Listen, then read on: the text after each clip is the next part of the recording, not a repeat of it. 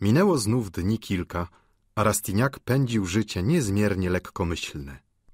Obiadował prawie zawsze z panią Dunusiżą, a później wszędzie jej towarzyszył. Powracał do siebie o trzeciej lub czwartej po północy. Wstawał o południu, ubierał się, po czym jechał znów z delfiną, jeżeli pogoda sprzyjała. Marnował czas nieoględnie, nie znając jego wartości. A każdą lekcję zbytku, każdą jego ponętę przyjmował z takim upragnieniem, z jakim kielich palmy daktylowej pochłania pyłek zapładniający. Grał ryzykownie. Przegrywał i wygrywał wiele. Aż w końcu przyzwyczaił się do nieumiarkowanego życia młodzieży paryskiej. Z pierwszych wygranych pieniędzy odesłał 1500 franków matce i siostrom, dołączając do tego piękne podarunki dla wszystkich. Zapowiedział był wprawdzie, że opuści dom Woke, lecz styczeń dobiegał już do końca, a Eugeniusz nie ruszył się jeszcze z dawnego mieszkania. I nie wiedział, jak się z niego wydostanie.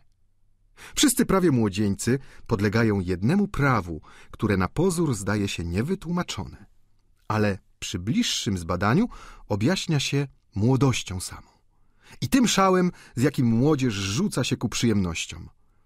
Bogaty czy ubogi, młodzieniec nie ma wcale pieniędzy na potrzeby codzienne, ale na zachcianki nigdy mu ich nie zabraknie. Marnotrawi nieoględnie to, co może dostać na kredyt, ale oszczędza skwapliwie wszystkiego, co się kupuje za grosz gotowy. Rzekłbyś, że się mści za to, czego nie ma, rozpraszając to wszystko, czego dostać nie może. Chcąc jasno tę rzecz wyrazić, powiedzmy, że student troszczy się daleko więcej o zaoszczędzenie kapelusza niż o zachowanie całego odzienia w dobrym stanie. Wielkość zarobku usposabia naturalnie krawca do chętnego poczekania, gdy przeciwnie skromność sumy żądanej sprawia, że kapelusznik jest najbardziej nieprzystępnym ze wszystkich istot, z którymi student musi wchodzić w układy. Gdy w teatrze młodzieniec przyciąga lornetki pięknych pań widokiem prześlicznej kamizelki, to można przypuszczać, że nogi jego obchodzą się bez skarpetek. Pończosznik bowiem należy też do molów toczących sakiewkę młodzieży. Rastiniak nie stanowił wyjątku.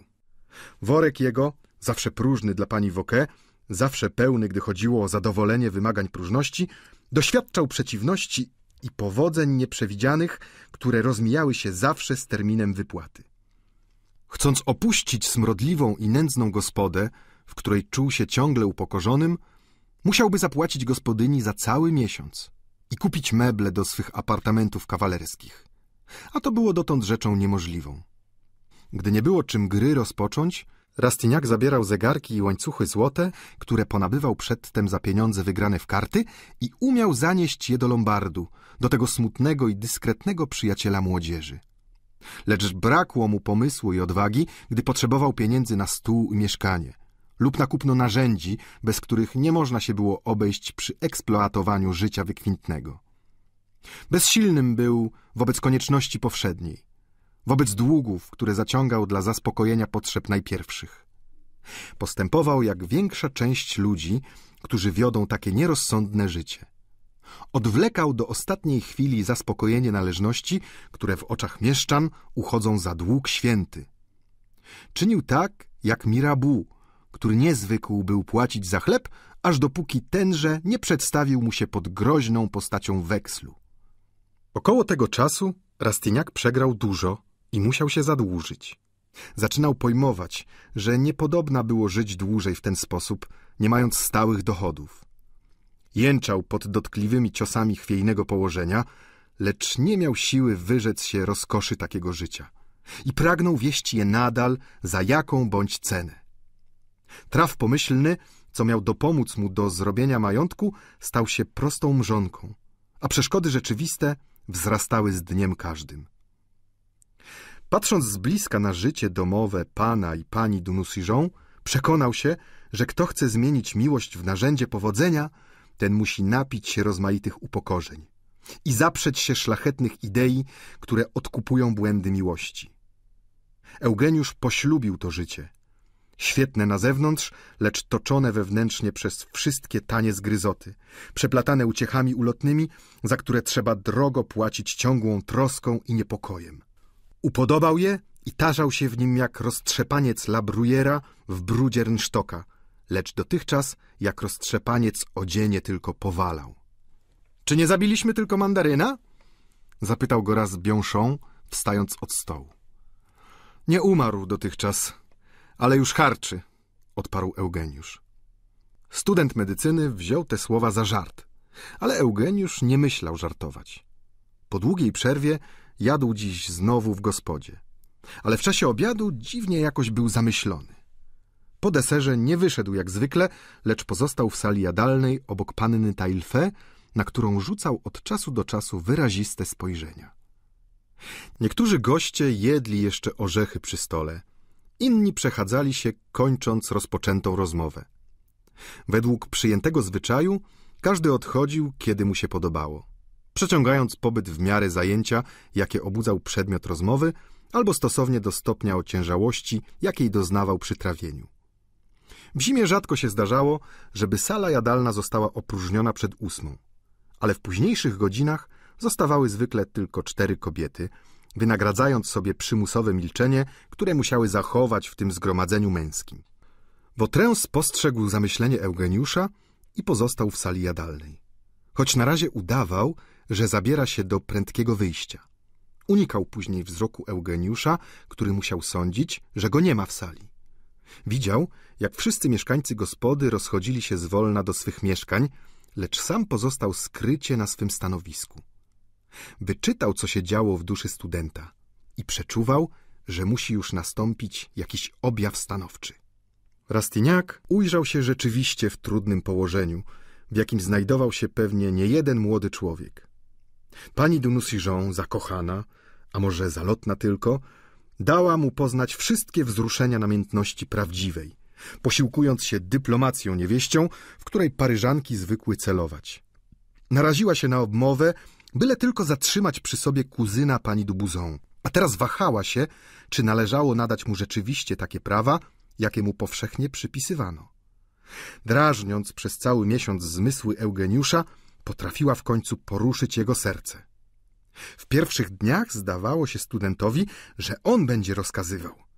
Lecz wkrótce pani Dunusijon otrzymała przewagę za pomocą tej taktyki, która obudziła w sercu Eugeniusza wszystkie złe i dobre uczucia dwóch lub trzech ludzi, które śpią w piersi młodego Paryżanina. Czy to było wyrachowanie ze strony Delfiny? Nie. Kobiety zawsze są prawdziwe. Nawet wtedy, gdy postępują najfałszywiej. Bo zawsze ulegają jakiemuś uczuciu przyrodzonemu. Być może, że Delfina, która poddała się na razie Eugeniuszowi i pokazała mu zbyt wielką przychylność, ulegała teraz uczuciu godności, które kazało jej cofnąć swe obietnice lub zawiesić je przynajmniej. Paryżanka, którą namiętność unosi, zwykła się wahać w chwili upadku. Zwykła wystawiać na próby serce tego, komu ma oddać przyszłość całą. Za pierwszym razem pani de zawiodła się we wszystkich nadziejach, a wierność jej dla młodego samoluba została nieuznana. Miała więc prawo być teraz nieufna. Może też raziło ją postępowanie Eugeniusza, który stał się zarozumiały dzięki łatwemu powodzeniu i zdradzał pewne lekceważenie wynikające z dziwnych stosunków, jakie się między nimi zawiązały. Chciała zapewne wydać się wspaniała, imponująca i wielka w oczach młodego człowieka. Ona, co tak długo była mała wobec tego, który ją opuścił. Nie chciała uchodzić za łatwą zdobycz w przekonaniu Eugeniusza. A to właśnie dlatego, że on wiedział, iż przedtem należała do du Marseilla. Wreszcie miłość owego młodzieńca zepsutego, który był istnym potworem, miała w sobie coś tak poniżającego, że Delfina z rozkoszą zagłębiła się teraz w kwiecistą krainę prawdziwej miłości. Przyglądała się z zachwytem widokom nieznanym. Wsłuchiwała się długo w szmer wietrzyka, który pieścił ją swym nieskalanym powiewem. Prawdziwa miłość wynagradzała zakłamaną. Będzie się to niestety powtarzało zbyt często, dopóki mężczyźni nie pojmą, jak wiele kwiatów łamie się w duszy młodej kobiety pod ciosami pierwszego zawodu. Mniejsza wreszcie o pobudki. Dosyć, że Delfina igrała sobie z Rasiniakiem i znajdowała w tym przyjemność. Może dlatego, że czuła się kochana i wiedziała, iż wszystkie zgryzoty Eugeniusza pierzchną, gdy ona tego najmiłościwiej zachcieć raczy. Eugeniusz zaś nie chciał, przez szacunek dla siebie samego, żeby pierwsza walka zakończyła się jego porażką. I postanowił wytrwać w pogoni, jak myśliwy, który chce koniecznie zastrzelić kuropatwę na pierwszej uroczystości świętego Huberta. Ciągły niepokój, niezadowolenie miłości własnej, napady rozpaczy zmyślonej lub prawdziwej, wszystko to przywiązywało go coraz bardziej do Delfiny. Cały Paryż dawał mu panią Dunusiżą, a on nie zbliżył się do niej ani na jotę więcej, jak w pierwszym dniu znajomości.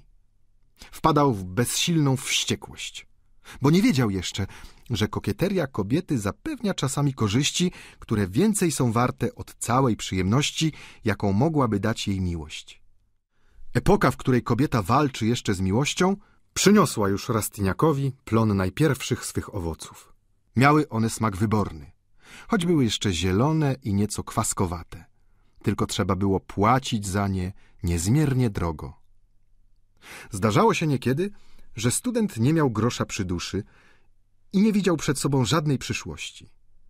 Wtedy starał się stłumić głos sumienia i myślał o ponętnej drodze do fortuny, którą Vautrin ukazał mu w małżeństwie z panną Taillefer. Owóż i teraz była to jedna z takich chwil, w których nędza przemawiała do niego tak natrętnie, że prawie mimowolnie dał się wplątać w intrygę straszliwego sfinksa, którego wzrok trzymał go nieraz pod czarodziejskim zaklęciem. Po odejściu Puareta i panny Michonu, którzy zabawili najdłużej w sali jadalnej, Rastignac mniemał, że jest sam tylko z panią Wauquez i z panią Couture. I spojrzał na pannę Taillefer tak wyraziście, że dziewczę oczy spuściło. Czy masz pan jakie zmartwienie, panie Eugeniuszu? zapytała Wiktoryna po chwilowym milczeniu. Któż nie ma zmartwień? odparł Eugeniusz. My młodzi nie mielibyśmy może trosk żadnych, gdybyśmy wiedzieli, że jest ktoś, co nas kocha szczerze i poświęceniem swoim może zapłacić nam za wszystkie ofiary, któreśmy zawsze ponieść gotowi. Za całą odpowiedź panna Taillefer rzuciła mu wejrzenie, które nie było wcale dwuznaczne. Dziś pani jesteś pewna swego serca. Ale czy możesz ręczyć, że się ono nigdy nie zmieni? Na ustach młodej dziewczyny zaigrał uśmiech, który niby promień wytryskający z duszy oblał twarz jej takim blaskiem, że się Eugeniusz przestraszył gwałtownego wybuchu uczucia. Jak to? A gdybyś pani miała być jutro bogata i szczęśliwa, gdyby majątek olbrzymi spadł ci z nieba, czyż pomimo to nie przestałabyś kochać biednego młodzieńca, który ci się podobał w dniach niedoli?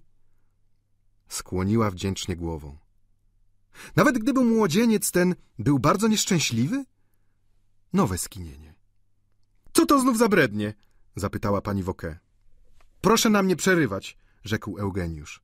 My się porozumiewamy.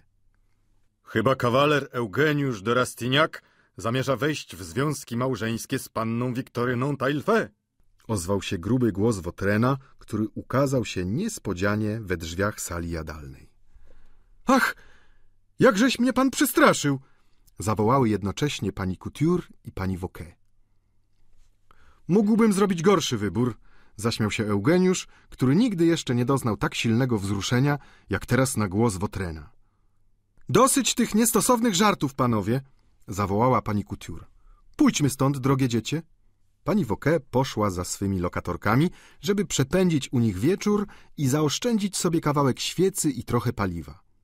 Eugeniusz został sam na sam z Wotrenem. Wiedziałem dobrze, że pan dojdziesz do tego, rzekł Wotren z zimną krwią.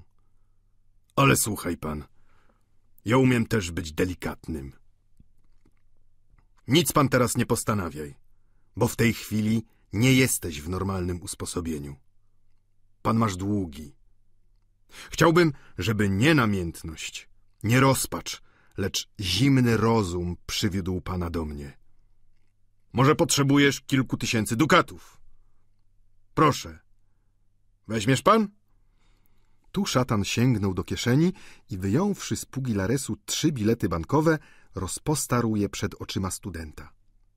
Eugeniusz był w najokropniejszym położeniu. Przegrał markizowi d'Adjuda i hrabiemu de Trey sto luidorów na słowo.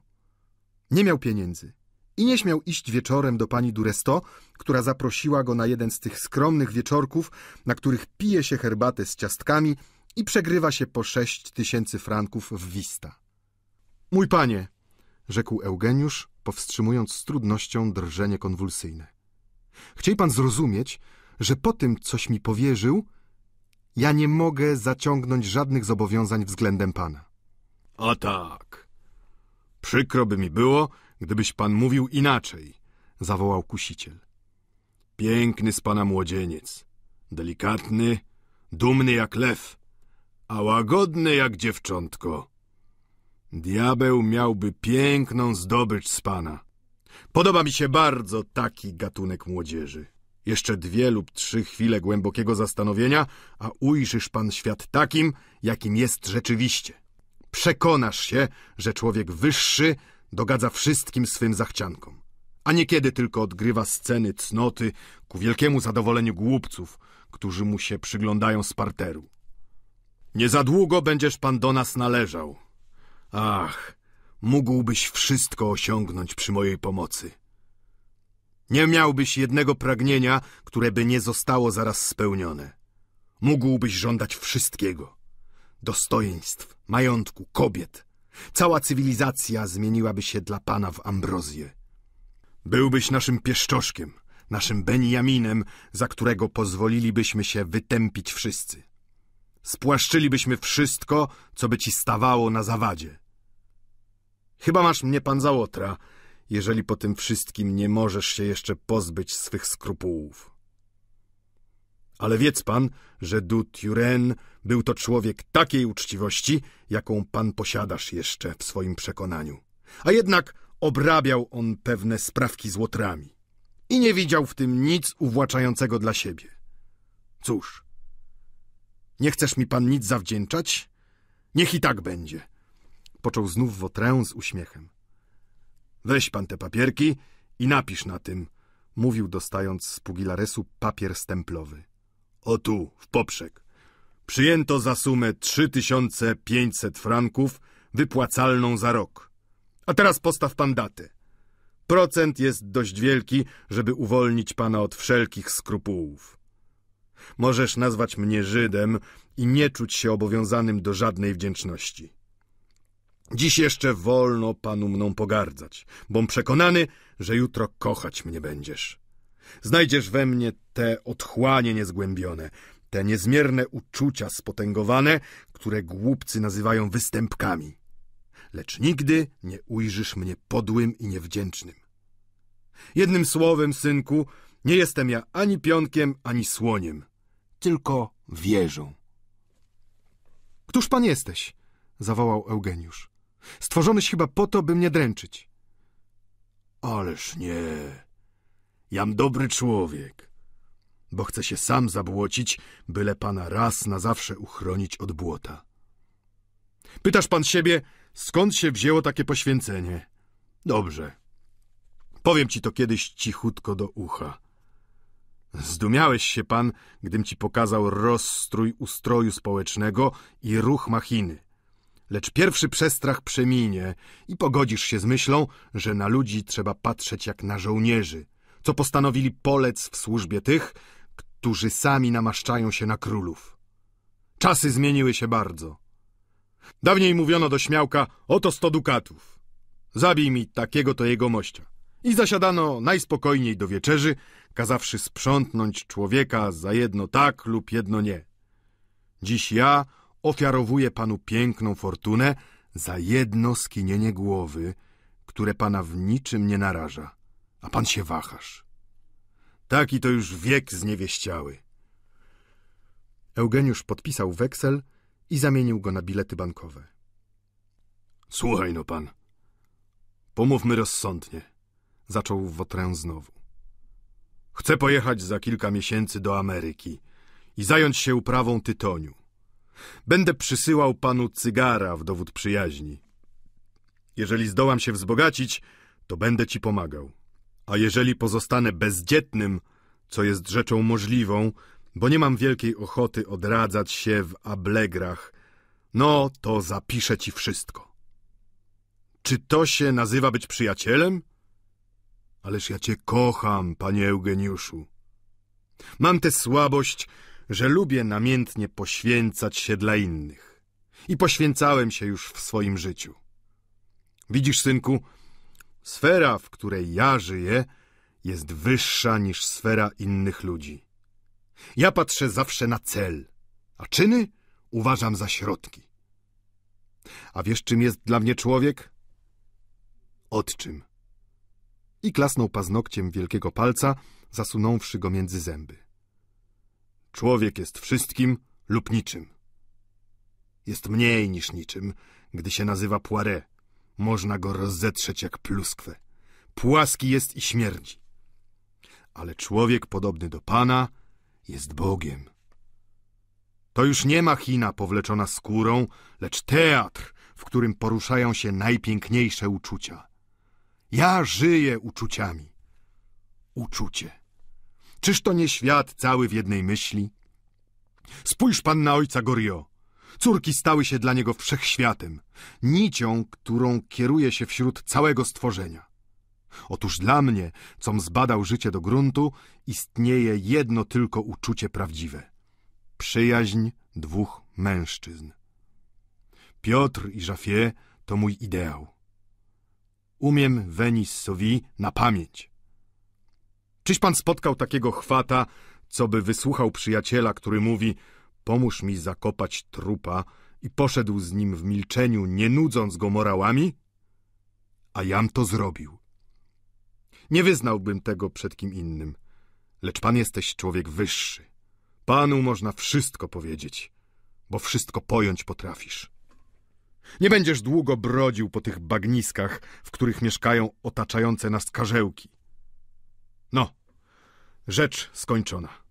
Pan się ożenisz. A teraz do ataku. Moja broń żelazna nigdy nie mięknie. Botrem wyszedł, żeby nie krępować studenta i nie doczekać się przeczącej odpowiedzi. Rzekłbyś, że wiedział o tym słabym oporze, o tej walce, którą ludzie toczą z sobą i za pomocą której usprawiedliwiają później swoje czynności naganne. Niech sobie robi, co chce. A ja nie myślę żenić się z panną Tailfe, rzekł Eugeniusz do siebie. Na razie opanowała go wewnętrzna gorączka na myśl, że zawarł przymierze z człowiekiem, który w nim wstręt wzbudzał. A jednocześnie rósł w jego oczach przez sam cynizm swych zasad i przez odwagę, z jaką deptał społeczność całą. Niebawem jednak ochłonął, ubrał się i zażądawszy fikara, pojechał do pani Duresto. Od kilku dni hrabina okazywała szczególne względy młodzieńcowi, którego powodzenie w wyborowym kółku wielkiego świata zapowiadało, że wpływ jego stanie się kiedyś bardzo potężny. Eugeniusz oddał, co był winien panom de Trai i d'Adjuda, a przepędziwszy część nocy przy wiście, odzyskał wszystko, co stracił był poprzednio.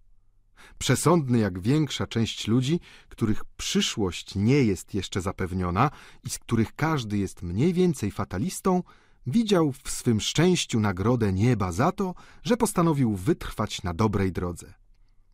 Następnego poranku pilno mu było zapytać, czy Wotrę ma jeszcze jego weksel. Odebrawszy odpowiedź twierdzącą, oddał mu trzy tysiące franków, zdradzając przy tym dość naturalne zadowolenie. Wszystko idzie dobrze, powiedział mu Wotrę. Lecz ja nie jestem pańskim wspólnikiem, rzekł Eugeniusz. Wiem, wiem, przerwał Wotrę. Dziecinnisz się pan jeszcze. Zatrzymują cię na wstępie rzeczy małej wagi. W dwa dni później Poiret i panna Michonu siedzieli wśród ustronnej alei ogrodu botanicznego na ławce oblanej promieniami słońca i prowadzili rozmowę z jego mościem, którego Bianchon nazwał słusznie podejrzaną figurą. Nie pojmuję, mówił pan Gondiuru, skąd się biorą skrupuły pani. Jego ekscelencja minister policji generalnej państwa. Ach, jego ekscelencja minister policji generalnej państwa, powtórzył Poiret. Tak, jego ekscelencja zajmuje się tą sprawą, rzekł Gondiru. Komuż nie wyda się nieprawdopodobne, że Poiret, dawny urzędnik, człowiek pozbawiony zdolności myślenia, lecz zbrojny prawdopodobnie we wszystkie cnoty mieszczańskie, nie przestał słuchać mniemanego kapitalisty z ulicy Buffon, w chwili, gdy tenże wymówił słowo policja, ukazując spod maski poczciwca fizjonomię agenta z ulicy du Jeruzalem. A jednak to rzecz najnaturalniejsza w świecie. Wielu obserwatorów zrobiło spostrzeżenie, którego jeszcze nie rozpowszechniono, lecz które objaśni lepiej, jakie miejsce Poiret zajmował w wielkiej familii głupców.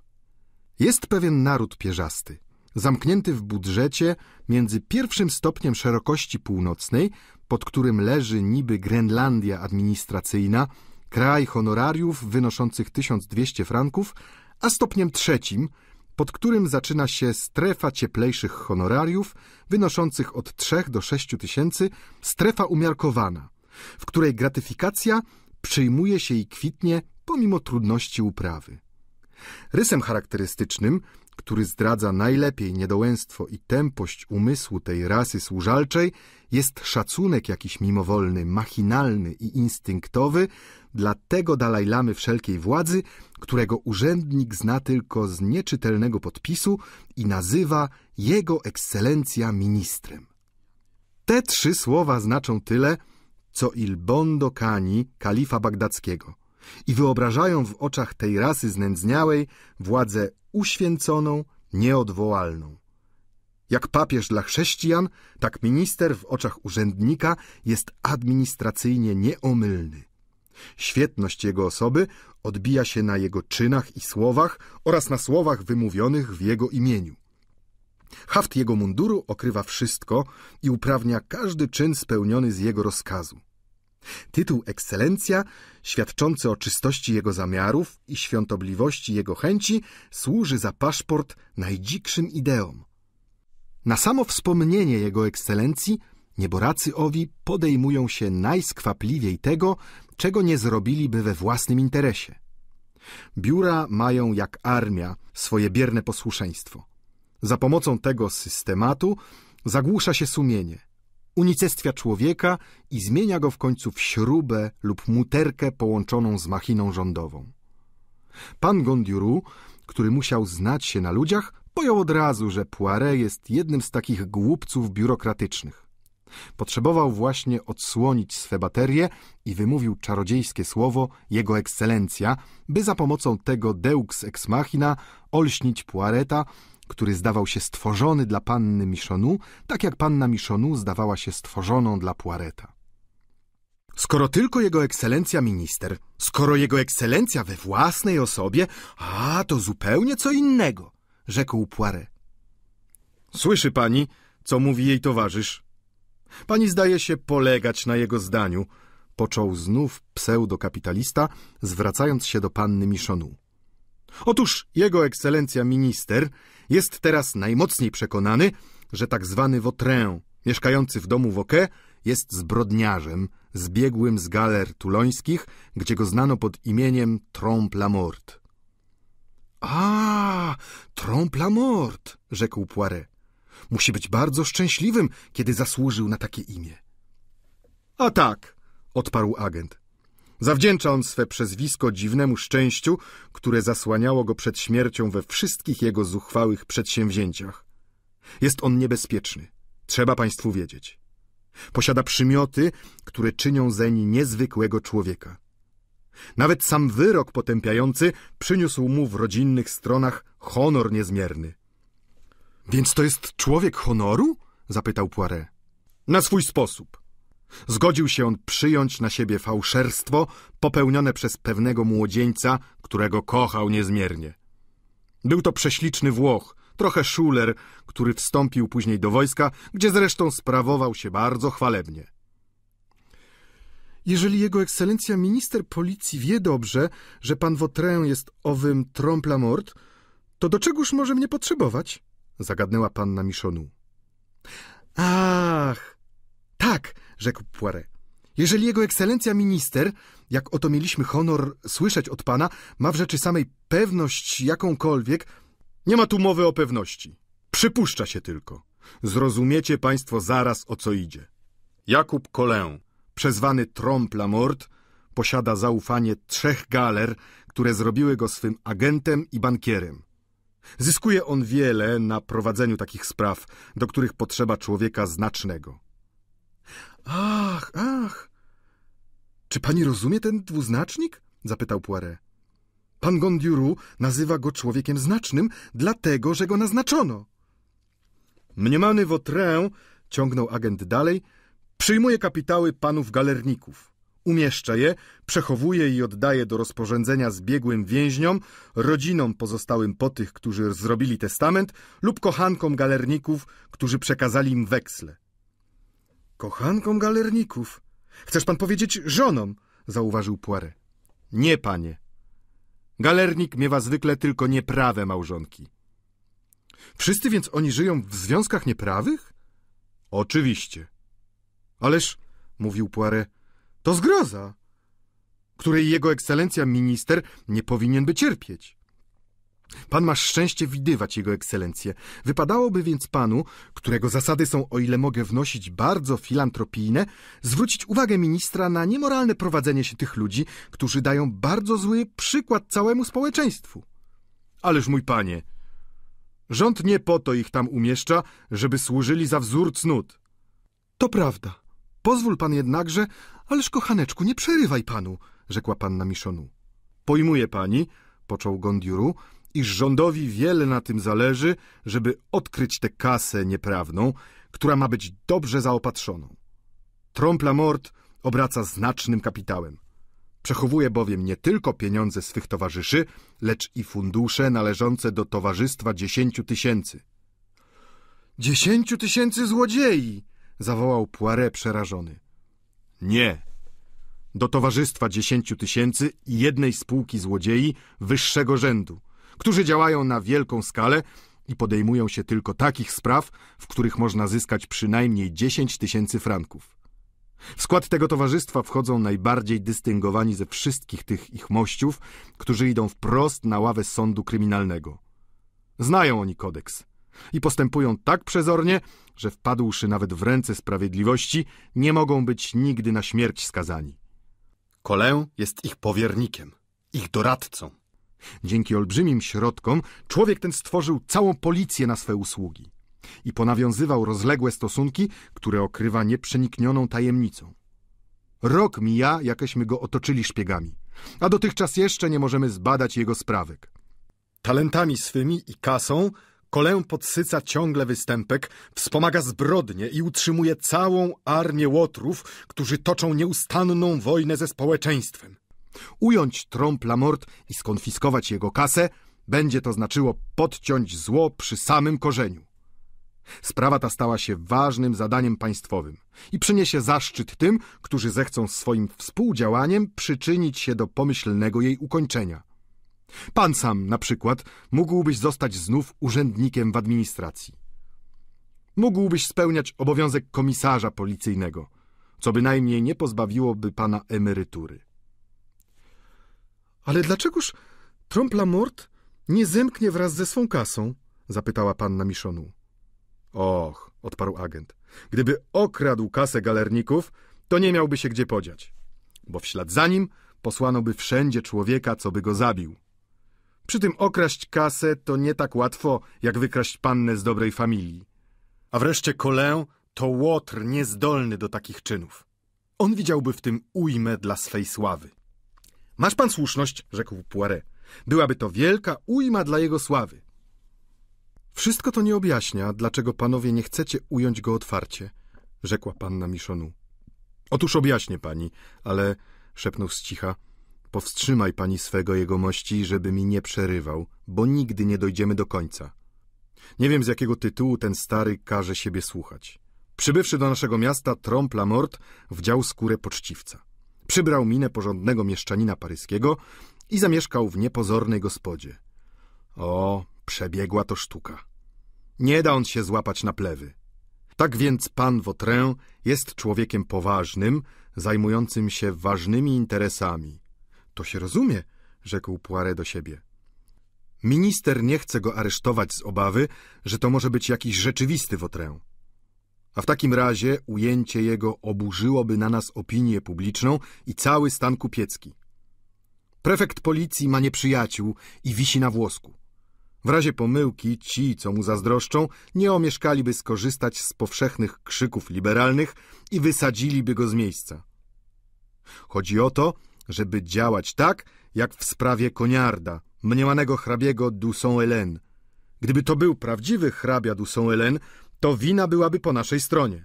Dlatego to sprawdzić trzeba. I w tym celu potrzebujecie państwo pięknej kobiety? Zagadnęła panna Miszonu z żywością. Żadna kobieta nie potrafiłaby zbliżyć się do trompe mort, rzekł agent. Trzeba pani wiedzieć, że on kobiet nie lubi.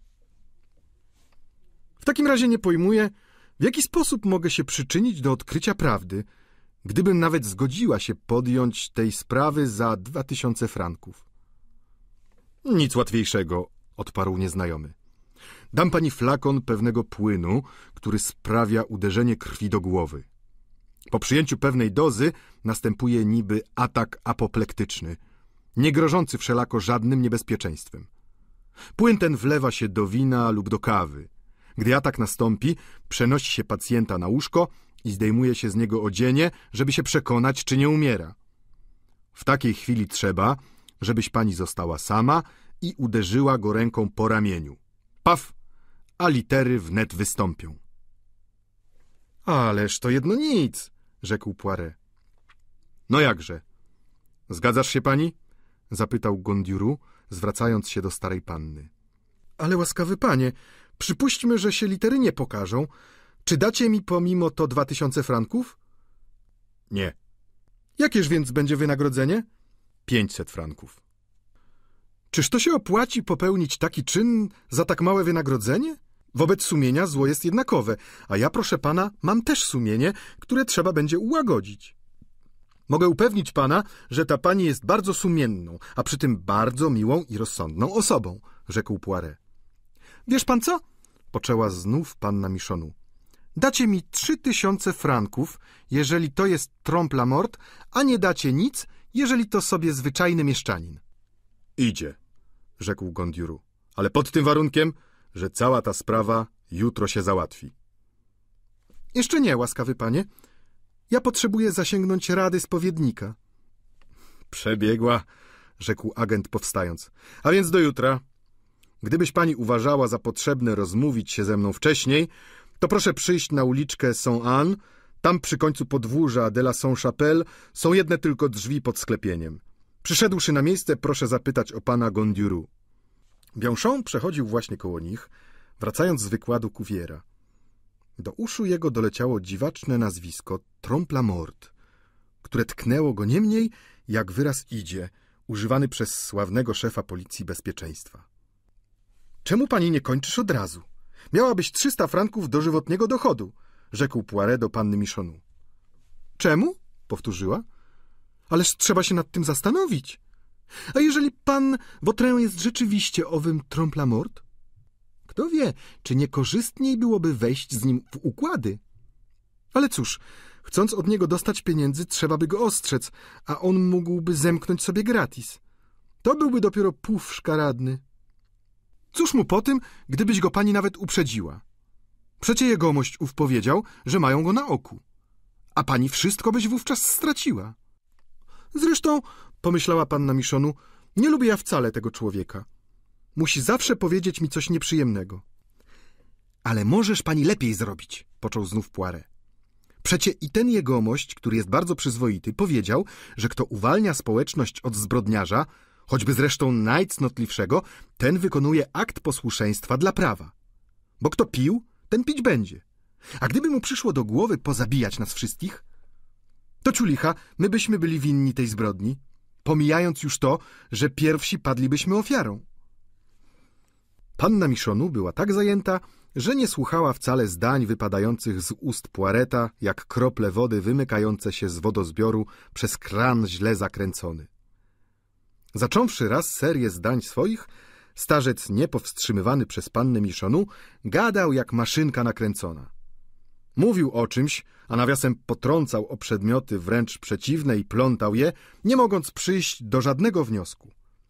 Zbliżając się do domu Woke, zaplątał się był w sieć zdań nawiasowych i cytatów przygodnych, z których przeszedł nieznacznie do opowiadania o sprawie jakiegoś pana Ragulu i jakiejś pani Morin, w której on, Poiret, występował jako świadek. Wchodząc do mieszkania, panna Michonu spostrzegła Rasiniaka i pannę Taillefe, którzy rozmawiali z sobą poufnie. Młoda para tak była zajęta rozmową, że nie zwróciła uwagi na dwoje starych, którzy przeszli przez salę jadalną. To się nie mogło skończyć inaczej, rzekła panna Michonu do Poireta. Od tygodnia już rzucali na siebie strzeliste wejrzenia. Tak, odparł Poiret. To też sąd ją potępił. Kogo? Panią Morin. Ja mówię o pannie Wiktorynie, rzekła Michonu. A pan mi prawisz o pani Morin. Cóż to za jedna? Ale czymże mogła zawinić panna Wiktoryna? zapytał Poiret. Zawiniła tym, że kocha pana Eugeniusza Durastignac i idzie ku niemu nie wiedząc, dokąd to ją zaprowadzi. Biedne niewiniątko. Z rana dnia tego pani Dunusijon przywiodła Eugeniusza do rozpaczy. Student czuł w sumieniu, że się już zupełnie oddał Wotrenowi, nie chcąc badać pobudek, z których wypływała przyjaźń tego dziwnego człowieka, ani zastanawiać się nad przyszłością podobnego związku. Od godziny już zamieniał z panną Taillefe najsłodsze obietnice i cudem chyba mógłby być wybawiony z przepaści, w której stał już jedną nogą. Wiktorynie zdawało się, że słyszy głos anioła, że się niebiosa dla niej otwierają, że dom Woke stroi się w barwy tęczowe, którymi dekoratorzy pokrywają pałace teatralne. Ona kochała, ona była kochaną, a przynajmniej wierzyła, że nią jest. A jakaż kobieta nie uwierzyłaby tak jak ona, patrząc na Rastiniaka i słuchając go przez całą godzinę skradzioną wszystkim argusom domowym. Eugeniusz walczył z sumieniem. Wiedział, że źle czyni i ma świadomość złego, lecz mówił, że szczęściem kobiety okupi grzech ten powszedni i wypiękniał swą rozpaczą i jaśniał całym blaskiem ognia piekielnego, co mu w sercu rozgorzał. Szczęściem dla niego spełnił się cud pożądany. Botrę wszedł wesoło i wyczytał, co się działo w duszy młodych ludzi, których połączyły już kombinacje jego szatańskiego geniuszu. Radość młodej pary rozwiała się na dźwięk grubego głosu, który zaśpiewał ironicznie. Moja Franusia dziwnie jest miła w swojej prostocie. Wiktoryna wymknęła się, unosząc z sobą tyle radości, ile dotychczas było niedoli w jej życiu. Biedne dziewczę. Jedno uściśnienie ręki, lekkie dotknięcie włosów Rastiniaka, które musnęły ją po twarzy. Słowo wymówione tak blisko, że poczuła gorące tchnienie mówiącego. Uścisk drżącego ramienia. Pocałunek złożony na jej szyi. Oto i wszystkie zadatki uczucia, które dzięki sąsiedztwu grubej Sylwii mogącej wejść lada chwila do salonu, stały się gorętsze, żywsze i bardziej ponętne od najpiękniejszych dowodów przywiązania, o których czytamy w sławnych romansach. Te drobne hołdy, jakie dawniej pięknie nazywano, były występkiem w oczach pobożnego dziewczęcia, które się co dwa tygodnie spowiadało. W tej jednej godzinie wylała się z jej duszy taka moc skarbów, że już w późniejszym życiu nie znalazłaby ich tyle, gdyby nawet bogata i szczęśliwa chciała się oddać komuś niepodzielnie. Sprawa załatwiona, rzekł Wotrę do Eugeniusza. Nasi chłopcy już się poczubili. Wszystko odbyło się przyzwoicie.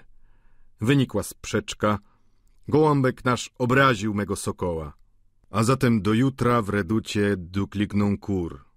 Jutro o pół do dziewiątej panna Taillefe odziedziczy miłość i mienie swego ojca, w chwili, gdy nie wiedząc o niczym, będzie sobie maczała kromkę chleba w kawie. Czyż to nie śmieszne? Ten mały Taillefe umie dobrze obejść się ze szpadą, a zarozumiały jest jak prawdziwy gracz. Ale z tym wszystkim przeciwnik upuści mu krwi za pomocą pewnego cięcia mojego pomysłu, które na tym polega, żeby zręcznie podnieść szpadę i pchnąć w samo czoło. Nauczę pana tego pchnięcia, które może być niezmiernie przydatne. Rastyniak słuchał go osłupiały, niezdolny słowa wymówić. W tej chwili ojciec Goriot, Biąszą i kilku innych stołowników weszło do sali. Otoś pan wreszcie taki, jakim cię widzieć pragnąłem, mówił Wotrę do Eugeniusza. Świadomy jesteś tego, co robisz. Dobrze, młode moje orle, będziesz rządził ludźmi. Jesteś silny, barczysty, obrośnięty. Zasługujesz na mój szacunek.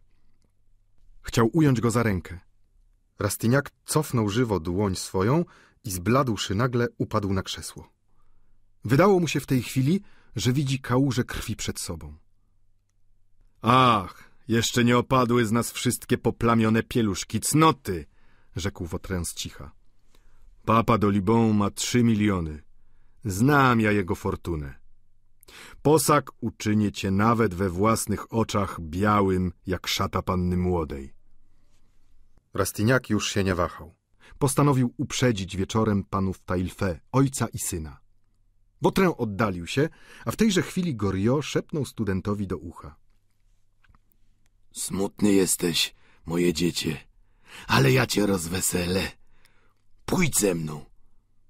Mówiąc to, stary fabrykant zapalał swój stoczek koło jednej z lamp. Eugeniusz poszedł za nim, przejęty ciekawością. Wejdźmy do pana, rzekł stary, który wziął od Sylwii klucz studenta. Myślałeś pan rano, że ona cię nie kocha, co? Począł po chwili. Odpraliła cię przemocą i wyszedłeś od niej zagniewany, zrozpaczony. Niewiniątko. Ona czekała na mnie. Pojmujesz pan?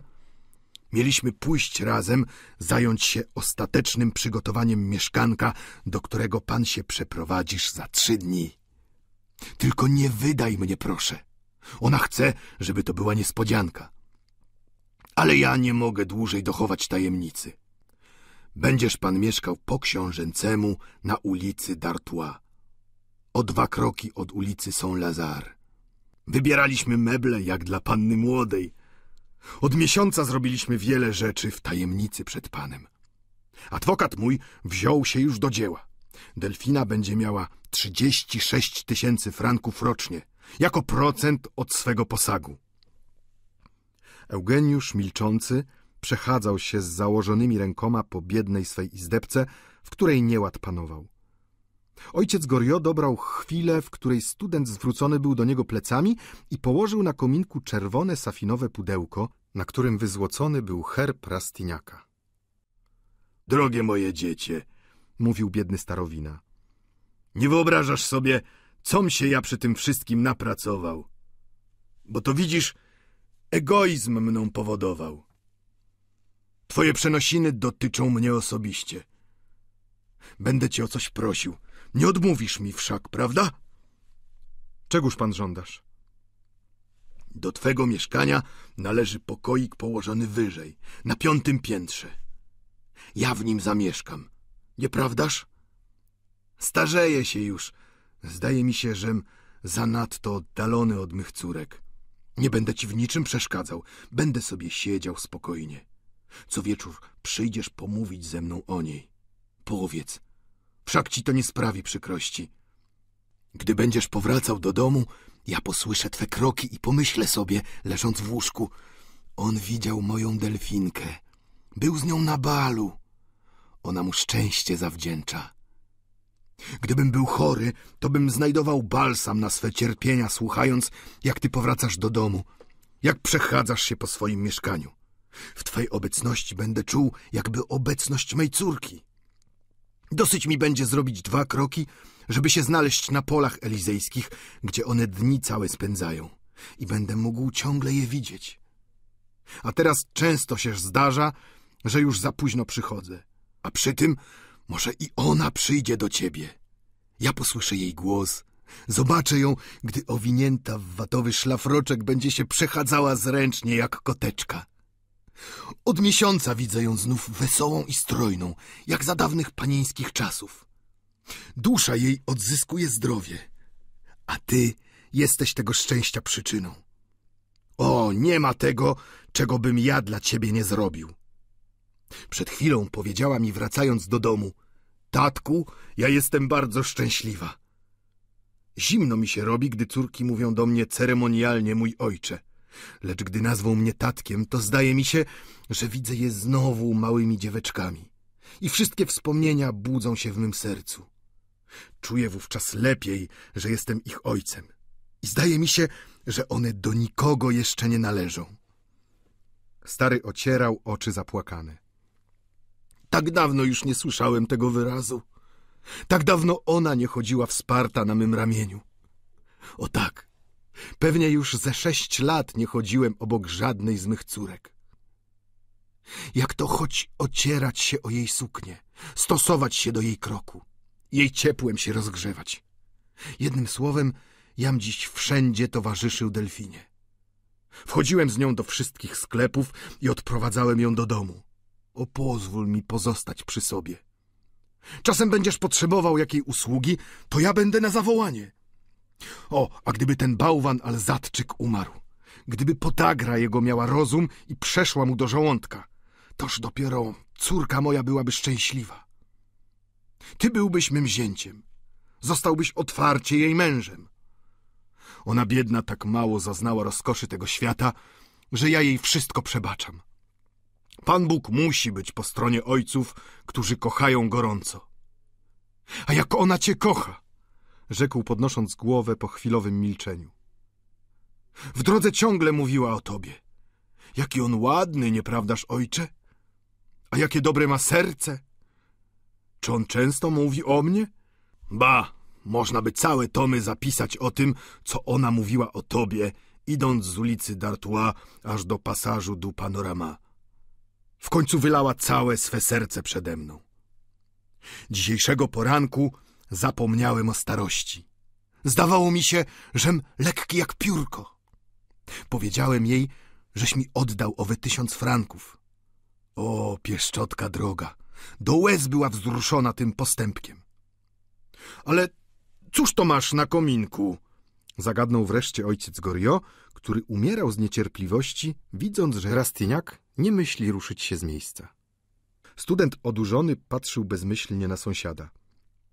Pojedynek zapowiedziany na jutro przez Wotrena stanowił tak rażącą sprzeczność ze spełnieniem najdroższych jego nadziei, że zaczynał prawie wierzyć, iż jest pod wrażeniem snu strasznego. Zbliżył się do kominka, a spostrzegłszy pudełko kwadratowe, wziął je w ręce i otworzył. Wewnątrz znajdował się zegarek Brogeta, przykryty ćwiartką papieru, na której były słowa Chcę, żeby pan myślał o mnie w każdej chwili, ponieważ Delfina. Ostatni ten wyraz miał zapewne przypomnieć jakąś scenę, która zaszła między nimi. Eugeniusz uczuł się wzruszony. Wewnętrzną stronę złotej koperty pokrywał emaliowany herb Rastiniaków. Od dawna już marzył o takim cacku. Łańcuszek, kluczyk, kształt i deseń wszystko niezmiernie mu się podobało. Ojciec Gorio był rozpromieniony. Obiecał zapewne córce, że opowie jej wszystkie szczegóły wrażenia, jakiego Eugeniusz dozna na widok jej daru, bo podzielał całym sercem młodzieńcze wzruszenie i wydawał się nie mniej zadowolony od Rastyniaka, którego kochał już i za córkę, i za siebie samego. Pójdź do niej wieczorem. Ona czekać cię będzie.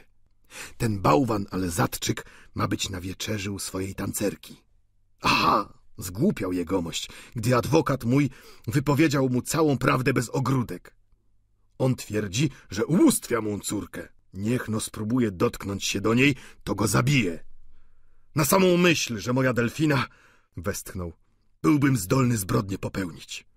Nie byłoby to nawet mężobójstwem zabić tę istotę, co ma głowę wołu, a kadłub wieprza. Zabierzesz mnie ze sobą, nieprawdaż? Dobrze, kochany ojcze Gorio. Wiesz przecie, że cię kocham. O, ja widzę dobrze, że ty się mnie nie wstydzisz. Pozwól, niechże cię uściskam. I pochwycił go w ramiona. Przyrzecz mi, że ją uczynisz szczęśliwą. Pójdziesz dziś do niej, nieprawdaż? O tak. Muszę wyjść dla ważnych spraw, których odłożyć niepodobna. Może bym mógł w czym dopomóc. A w rzeczy samej. Ja pójdę do pani Dunusiżą, a pan idź do pana Tailfe ojca i poproś go, by mi udzielił wieczorem godzinę posłuchania w sprawie niezmiernej wagi. Czyżby to była prawda, młodzieńcze? Zapytał ojciec Gorio, mieniąc się na twarzy. Miałżebyś starać się o jego córkę, jak twierdzą ci głupcy z dołu? Niech cię Bóg strzeże. Nie próbowałeś ręki Goriota. A gdybyś nas oszukiwał, to by się ta sprawa pięścią zakończyła. Och, to być nie może. Przysięgam panu, że jedną tylko kobietę kocham na świecie, rzekł student. Przekonałem się o tym dopiero przed chwilą. Ach, co za szczęście! zawołał ojciec Gorio. Ale, począł znów student, syn Tailfera ma się bić jutro. A ja słyszałem, że go mają zabić. Cóż to ciebie obchodzi? rzekł Gorio. Ależ trzeba go uprzedzić, żeby nie pozwolił synowi, zawołał Eugeniusz. W tej chwili mowę jego przerwał głos Wotrena, który zaśpiewał tuż koło drzwi. O Ryszardzie, królu mój, cały świat opuszcza cię. Brum, brum, brum, brum, brum. Długo błądziłem po szerokim świecie i teraz jeszcze aż tralalala. Proszę panów, zawołał Krzysztof. Zupa podana. Wszyscy już siedli do stołu. Słuchaj, rzekł Wotrę. pójdź przynieś ode mnie butelkę Bordeaux. Jakże ci się zegarek podoba? mówił Gorio. Dobry ma gust, prawda? Wotrę, ojciec Gorio i Rastignac zeszli razem i musieli wskutek opóźnienia zasiąść rzędem obok siebie. Podczas obiadu Eugeniusz okazywał wielką oziębłość Wotrenowi. Człowiek ten, uznany już przez panią Wokę za najmilszego na całym świecie, rozwijał dzisiaj niezwykły zasób dowcipu. Strzelał wciąż świetnymi słówkami i rozruszał wszystkich współbiesiadników. Eugeniusza zdumiewała ta krew zimna, ta niezachwiana pewność siebie. — Którą nogą wstałeś pan dziś z łóżka? — zapytała go pani Wokę. — Jesteś wesół jak zięba. Jam zawsze wesół, gdy robię dobre interesy. — Interesy? — zagadnął Eugeniusz. — Ano tak, dostawiłem transport towarów, za co dostanę dobre porękawiczne. — Panno Miszonu! — zawołał, widząc, że stara panna przygląda mu się z uwagą. — Czy w mej twarzy jest jaki rys, co się pani nie podoba, że spoglądasz, panie, na mnie takim amerykańskim okiem? Proszę powiedzieć, ja się odmienię, byle tylko przypodobać się pani. A co na to powie Poiret? Cóż, nie będziemy się gniewali, dodał mrugając do starego urzędnika. Słowo daję, pan powinien byś pozować na Herkulesa Trefnisia, rzekł malarz do Wotrena. Czemu nie? Zgoda. Jeżeli panna Michonu zechce pozować na Wenerę z Père Lachaise, odparł Wotrę. A Poiret? zagadnął Biąszą. O, Poiret będzie pozował na Poireta. To będzie Bóg ogrodów, zawołał Wotrę. On pochodzi od gruszki. Miękkiej, podchwycił Biąszą. W takim razie pan będziesz pomiędzy gruszką a serem. Wszystko to są brednie, rzekła pani Wokę. Ot, wolałbyś pan potraktować nas winem Bordeaux, bo widzę właśnie butelkę, która wysadza swą główkę. Wino będzie nas utrzymywało w dobrym humorze, a przy tym to tak zdrowo na żołądek. Panowie, rzekł Wotrę, prezes przywołuje nas do porządku. Pani Couture i panna Wiktoryna nie zgorszą się waszymi swobodnymi żarcikami, ale umiejcież uszanować niewinność ojca Gorio. Proponuję państwu buteleczko ramy wina Bordeaux, któremu imię Lafitte dodaje jeszcze więcej sławy. Mówię to bez żadnej aluzji politycznej. Słuchaj, Chińczyku, zawołał, zwracając się do Krzysztofa, który nie ruszył się z miejsca. Pójdźże, Krzysztofie. Cóż to? Nie słyszałeś swego imienia? Chińczyku, sprowadź trunki. Proszę, powiedział Krzysztof, podając mu butelkę. Wotrę napełnił szklankę Eugeniusza i ojca Gorio, a sobie nalał zwolna kilka kropel i zaczął je kosztować, podczas gdy obaj sąsiedzi wychylali swe szklanki. Skosztowawszy, skrzywił się nagle. Tam do licha. Wino trąci korkiem. Weź to dla siebie, Krzysztofie. A dla nas pójdź przynieś więcej. Znajdziesz tam na prawo, wiesz? Jest nas osób szesnaście. Sprowadź więc osiem butelek. Skoro pan tak się wysadzasz, to i ja płacę sto kasztanów, rzekł malarz. Oho, bu, prrr. Wykrzykniki wylatywały ze wszystkich stron niby rakiety. Wiecie co, mamo Wokę? Żebyście dali tak ze dwie butelki szampana, zawołał Wotrę. A to trafił. Czemu nie zażądać już lepiej całego domu? Dwie butelki szampana. Ależ to kosztuje dwanaście franków. Ja tyle nie zarabiam, nie. Jeżeli pan Eugeniusz zapłaci, to mogę dać nalewki porzeczkowej. Ta jej nalewka przeczyszcza żołądek jak manna, rzekł z cicha student medycyny. Zmiłuj się, nie gadaj, biąszą, zawołał Rastyniak. Na samo wspomnienie o mannie serce mi... Dobrze, zgoda na szampana, ja płacę, dodał student. Sylwio, rzekła pani Woke, podaj sucharki i małe ciasteczka. Te małe ciasteczka są za wielkie. Na sucharki to zgoda. W jednej chwili obniesiono dookoła butelki Bordeaux. Goście ożywili się i wesołość się podwoiła. Wśród szalonego śmiechu wyrywały się głosy naśladujące krzyk rozmaitych zwierząt. Urzędnikowi z muzeum przyszło do głowy odtworzyć krzyk Paryża, który miał przypomnieć miauczenie kota zakochanego. I wnet osiem głosów ryknęło osiem zdań następujących. Ostrzyć noże, siemię dla ptasząt, sztuki, patrzcie panie, sztuki, drutować porcelanę, proszę do łodzi, proszę do łodzi, bić żony, trzepać odzież, stare odzienie, stare galony, stare kapelusze do sprzedania, wiśnie, wiśnie słodkie. Palmę pierwszeństwa otrzymał Biąszą za akcent nosowy, z jakim wywołał handlarz parasoli. Po chwili hałas stał się nieznośny. Rozmowa zmieniła się w jakieś brednie bezmyślne, a Wotrę dowodził tym wszystkim niby dyrygujący operą, przy czym spoglądał niekiedy na Eugeniusza i ojca Goriot, którzy zdawali się już upojeni. Obaj siedzieli wsparci plecami o poręcz krzesła i pili niewiele, patrząc z powagą na nieład panujący dookoła. Obaj myśleli o tym, co mieli spełnić wieczorem, lecz żaden nie miał siły powstać z swego miejsca. Wotrę śledził ukradkiem zmiany ich fizjonomii, aż spostrzegł, że błędne oczy zaczynają się przymykać. Wtedy pochylił się ku Rastiniakowi i szepnął mu do ucha. Synku kochany, jeszcześ nie dość przebiegły, by walczyć z tatusiem Wotrenem, który zanadto cię kocha, by pozwolił ci robić głupstwa. Gdy ja postanowię coś zrobić, to tylko Bóg jeden może mi przeszkodzić. Ach, chcieliśmy ostrzegać ojca Tailfe. Chcieliśmy popełnić błazeństwa. Piec gorący, ciasto rozczynione, chleb siedzi już na łopacie. Jutro będziemy zajadali z takim apetytem, aż okruchy wyżej głowy wyskakiwać nam będą. A dziś chcieliśmy nie dopuścić, by go w piec wsadzono. Nie, nie, wszystko się upiecze. Pozostanie nam może trochę zgryzoty, lecz i to się razem przetrawi. Chrapniemy sobie troszeczkę, a tymczasem hrabia Francesini otworzy nam końcem szpady spadek po Michale Tailfe. Wiktoryna odziedziczy wszystko po bracie i będzie miała piętnaście tysiączków dochodu. Dowiedziałem się również, że spadek po matce dochodzi do trzech kroć tysięcy. Eugeniusz słuchał i nie mógł nic odpowiedzieć.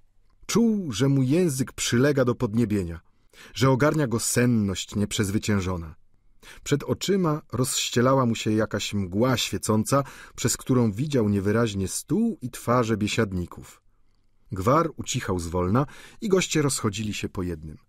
Za stołem pozostała już tylko pani Woke, pani Couture z panną Wiktoryną, Wotrę i ojciec Goriot. Rastignac, rozmarzony, widział jeszcze, jak pani Woke zlewała pozostałe wino do jednej butelki. A jacy oni szaleni, jacy młodzi, mówiła wdowa. Było to ostatnie zdanie, które Eugeniusz mógł jeszcze zrozumieć. Tylko pan Wotrę potrafi wyprawiać takie sztuki, rzekła Sylwia.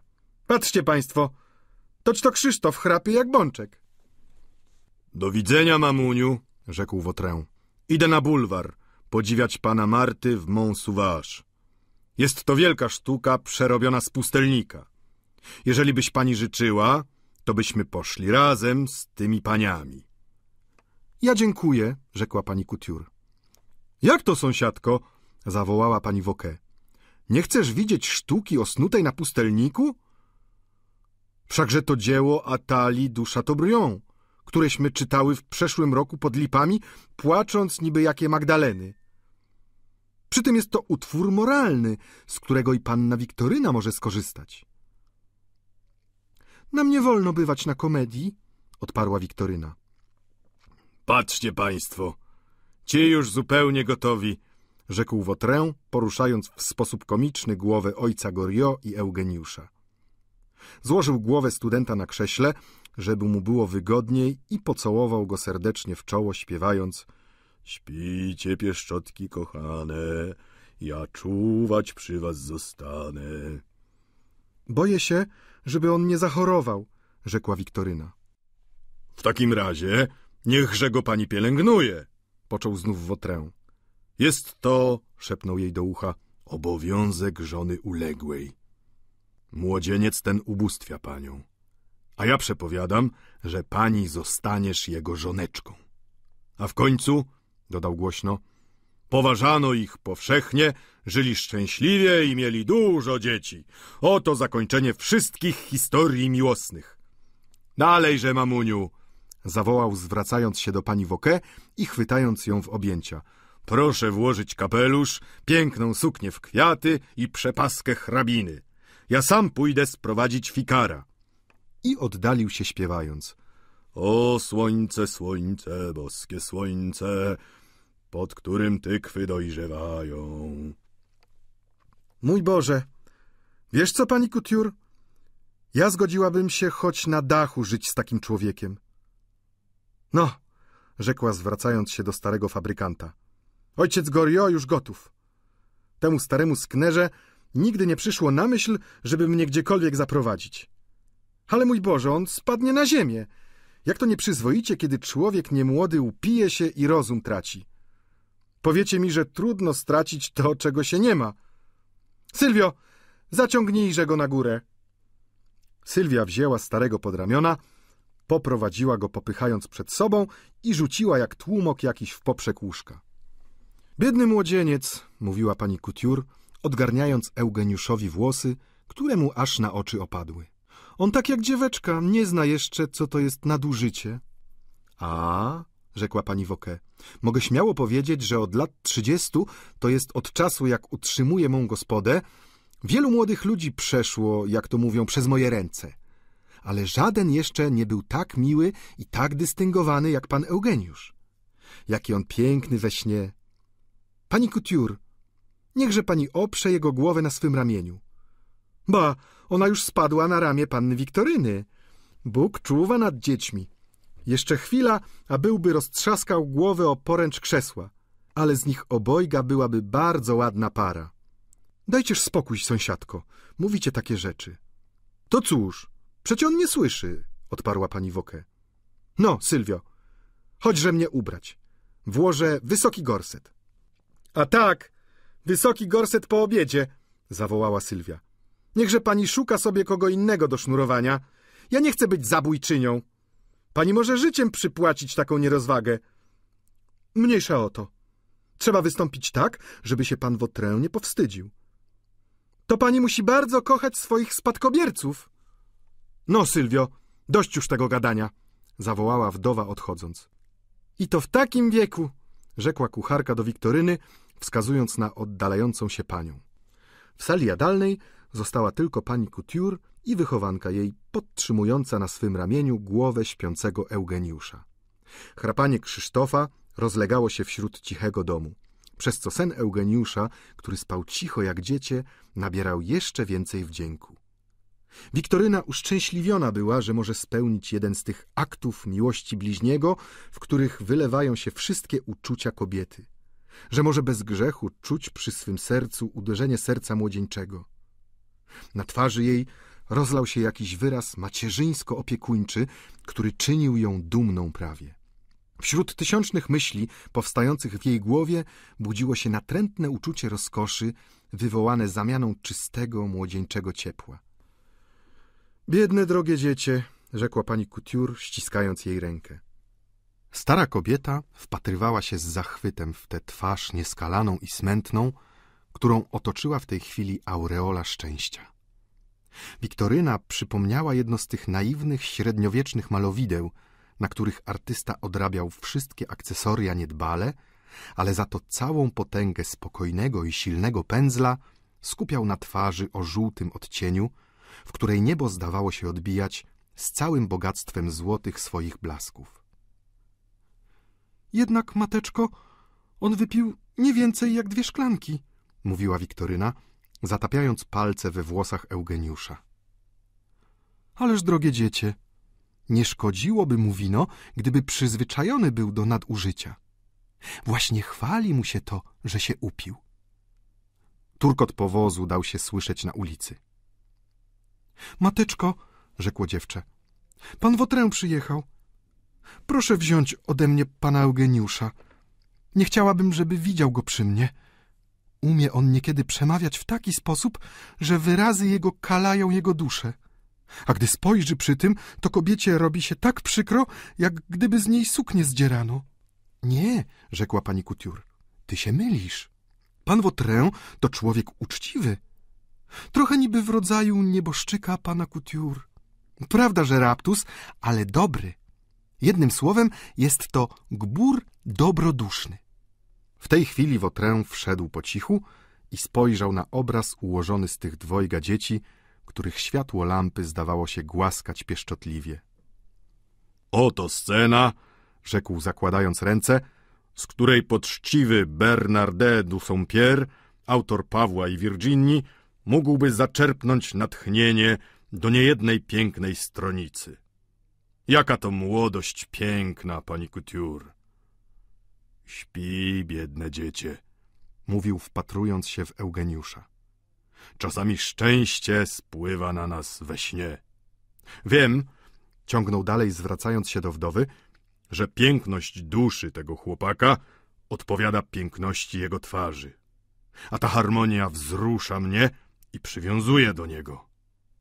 Patrz pani, czyż to nie jest cherubin spoczywający na ramieniu anioła? O, takiego warto kochać. Gdybym był kobietą, chciałbym umrzeć... Nie, nie głupim. Chciałbym żyć dla niego. Gdy patrzę tak na oboje, szepnął pochylając się do ucha wdowy, to nie mogę powstrzymać się od myśli, że Bóg stworzył ich po to, żeby wzajemnie do siebie należeli. Opatrzność przenika serca ludzkie, a drogi jej są dla nas zakryte, zawołał głośno. Widząc was, dzieci moje, w tej chwili, gdyście złączeni z sobą nieskazitelnością dusz waszych i wszystkimi uczuciami ludzkimi, myślę sobie, że niepodobna jest, abyście kiedyś w przyszłości mieli być rozłączeni. Bóg jest sprawiedliwy. Zdaje mi się, rzekł do Wiktoryny, że widziałem na ręku pani linie zapowiadające przyszłość szczęśliwą. Proszę mi pokazać rękę, panno Wiktoryno. Znam się ja na chiromancji i nieraz już wróżyłem. No, nie bójże się pani. Och, cóż to ja widzę. Ręczę pani słowem uczciwego człowieka, że zostaniesz wkrótce jedną z najbogatszych dzieweczek w Paryżu i uszczęśliwisz tego, który cię kocha. Ojciec weźmie panią do siebie. Poślubisz człowieka z tytułem, młodego i pięknego, który już teraz cię ubóstwia. W tej chwili ciężkie stąpanie zalotnej wdowy przerwało wróżby Wotrena. Oto mamma Woker, piękna jak gwiazda, wysznurowana jak marchew. Czy nie dusimy się troszeczkę, mammuniu? Zapytał, przykładając rękę do brykli od gorsetu. Jeżeli się rozpłaczemy, to może być eksplozja, ale ja pozbieram szczątki z troskliwością antykwariusza. Ten człowiek zna mowę galanterii francuskiej, szepnęła wdowa, pochylając się do ucha pani Couture. Do widzenia, dzieci, rzekł Wotrę do Eugeniusza i Wiktoryny. Błogosławię was, dodał, wyciągając ręce nad ich głowami. Wierz mi, pani, życzenia uczciwego człowieka mają swoją wartość, bo idą od Boga i muszą szczęście sprowadzić. Do zobaczenia, przyjaciółko droga, rzekła pani Woke do swej lokatorki. Jak sądzicie? dodała po cichu. Czy pan Wotrę ma jakie plany dotyczące mojej osoby? Hmm, hmm. A, matko droga, zawołała Wiktoryna, zostawszy sam na sam z panią Couture. Gdyby to mogło być prawdą, co mówił dobry pan Wotrę. I popatrzyła z westchnieniem na swe ręce. Nie trzeba nic więcej, tylko żeby ten potwór, brat twój, zleciał z konia, rzekła stara kobieta. Ach, mateczko, mój Boże, może to i grzech życzyć źle nieprzyjacielowi, poczęła znów wdowa. W takim razie gotowam za to odpokutować. Ale prawdziwie bardzo by mi było przyjemnie zanieść kwiaty na grób jego. Niedobry. Nie ma odwagi przemówić za swą matką. A spadek po niej zabrał wykrętnie i używa go z twoją krzywdą. Kuzynka moja miała piękną fortunę, tylko nieszczęściem dla ciebie w intercyzie nie było mowy o jej wniosku. Szczęście byłoby mi ciężkie do zniesienia, gdyby ktoś musiał je życiem okupić, rzekła Wiktoryna. A gdybym miała być szczęśliwa pod tym warunkiem, że brat mój zginie, to wolałabym na zawsze pozostać tu, gdzie jestem. Mój Boże, poczęła znowu pani Couture. Dobrze mówi pan Wotrę. Widzisz, jaki on religijny.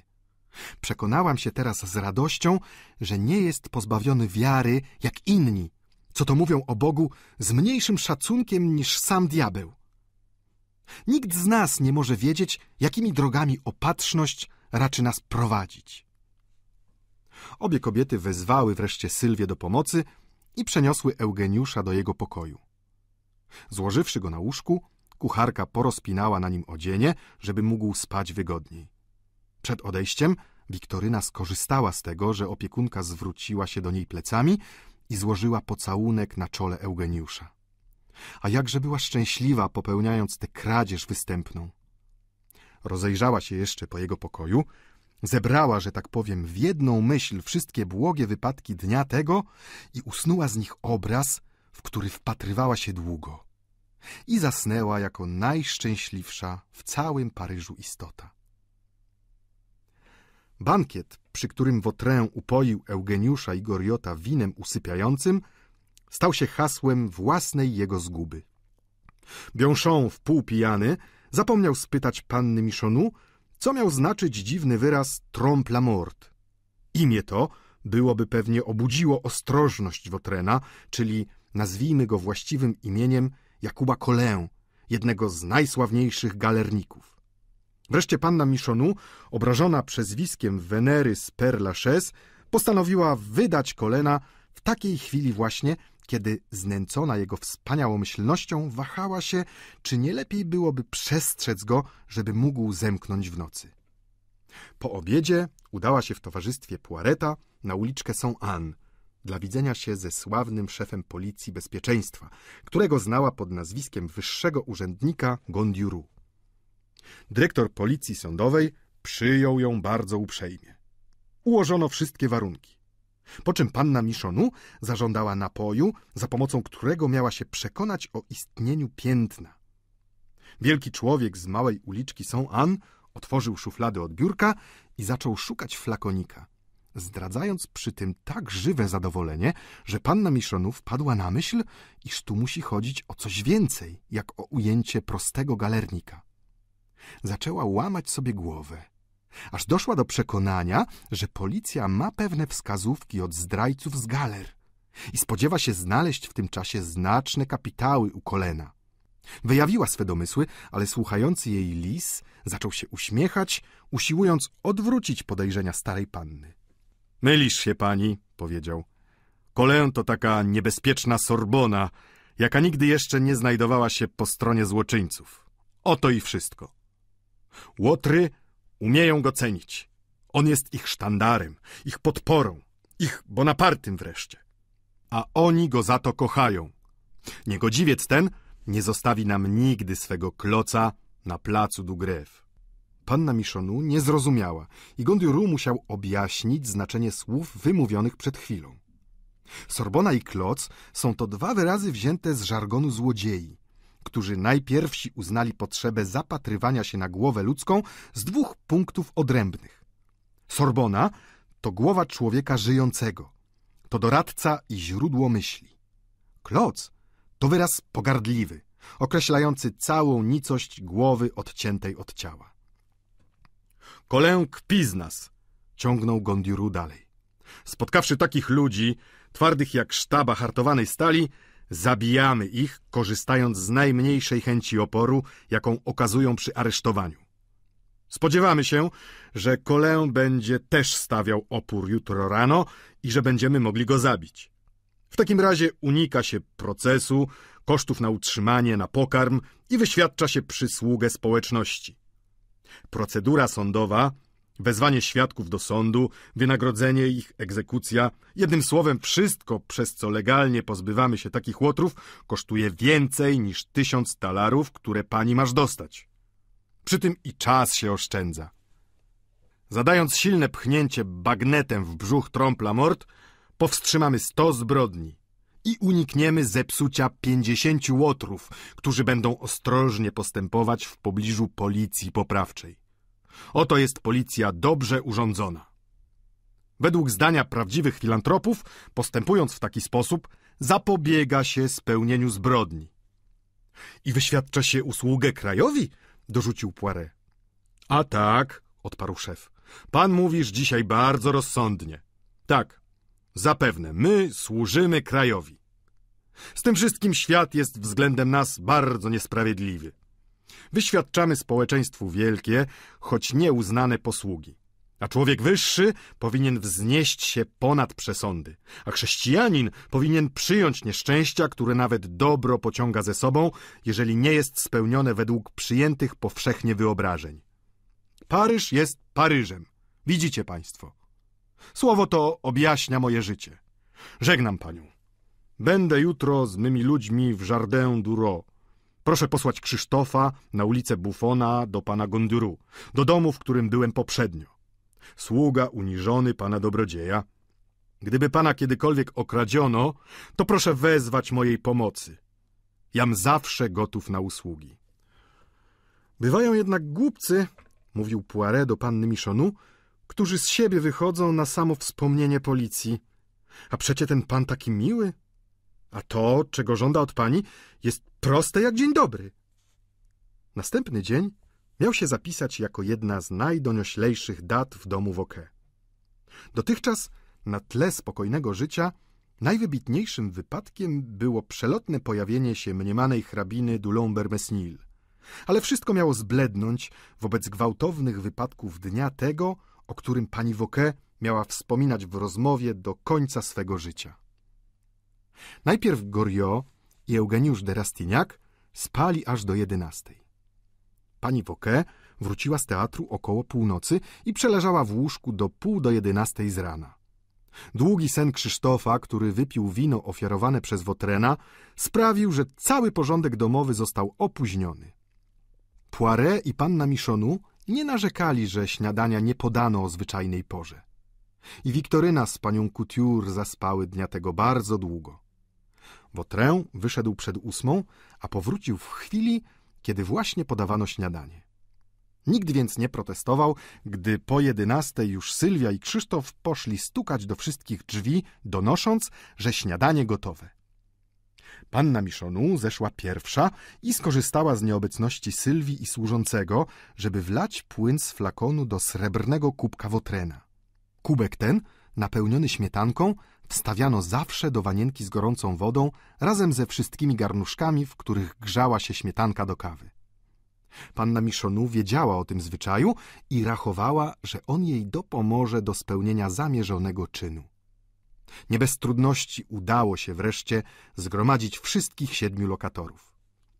W chwili, gdy Eugeniusz schodził ostatni, przeciągając się leniwie, posłaniec wręczył mu list od panny Dunusijon. List ten zawierał, co następuje. Wobec ciebie, przyjacielu, nie znam ani fałszywej próżności, ani gniewu. Czekałam cię aż do drugiej po północy. Z czymże porównać oczekiwanie ukochanej istoty? Kto sam poznał tę mękę, ten nikogo na nią nie skaże. Teraz widzę dobrze, że kochasz po raz pierwszy. Co ci się stać mogło? Niepokój mnie ogarnął. Gdyby nie obawa, że zdradzę tajemnicę mego serca, to byłabym sama poszła przekonać się, jakie to szczęście lub jakie nieszczęście ciebie spotkało. Ale naraziłabym się na zgubę niezawodną, gdybym o takiej porze wyjechała z domu powozem lub wyszła piechotą. Poznałam, jakie to nieszczęście być kobietą. Uspokój mnie. Wytłumacz, dlaczegoś nie przyszedł potem, co ci mój ojciec powiedział. Będę się gniewała, ale przebaczę. Możeś chory? Po co było najmować tak odległe mieszkanie? Jedno słowo, przez litość. Do prędkiego zobaczenia, nieprawdaż? Jedno słowo wystarczy mi, jeśliś zajęty. Powiedz, biegnę lub cierpię. A gdybyś był cierpiący, to przecie ojciec mógłby mnie zawiadomić. Więc cóż się stało? Tak, co się to stało? Zawołał Eugeniusz i wpadł do sali jadalnej, mnąc w ręku list niedokończony. Która teraz godzina? Pół do dwunastej.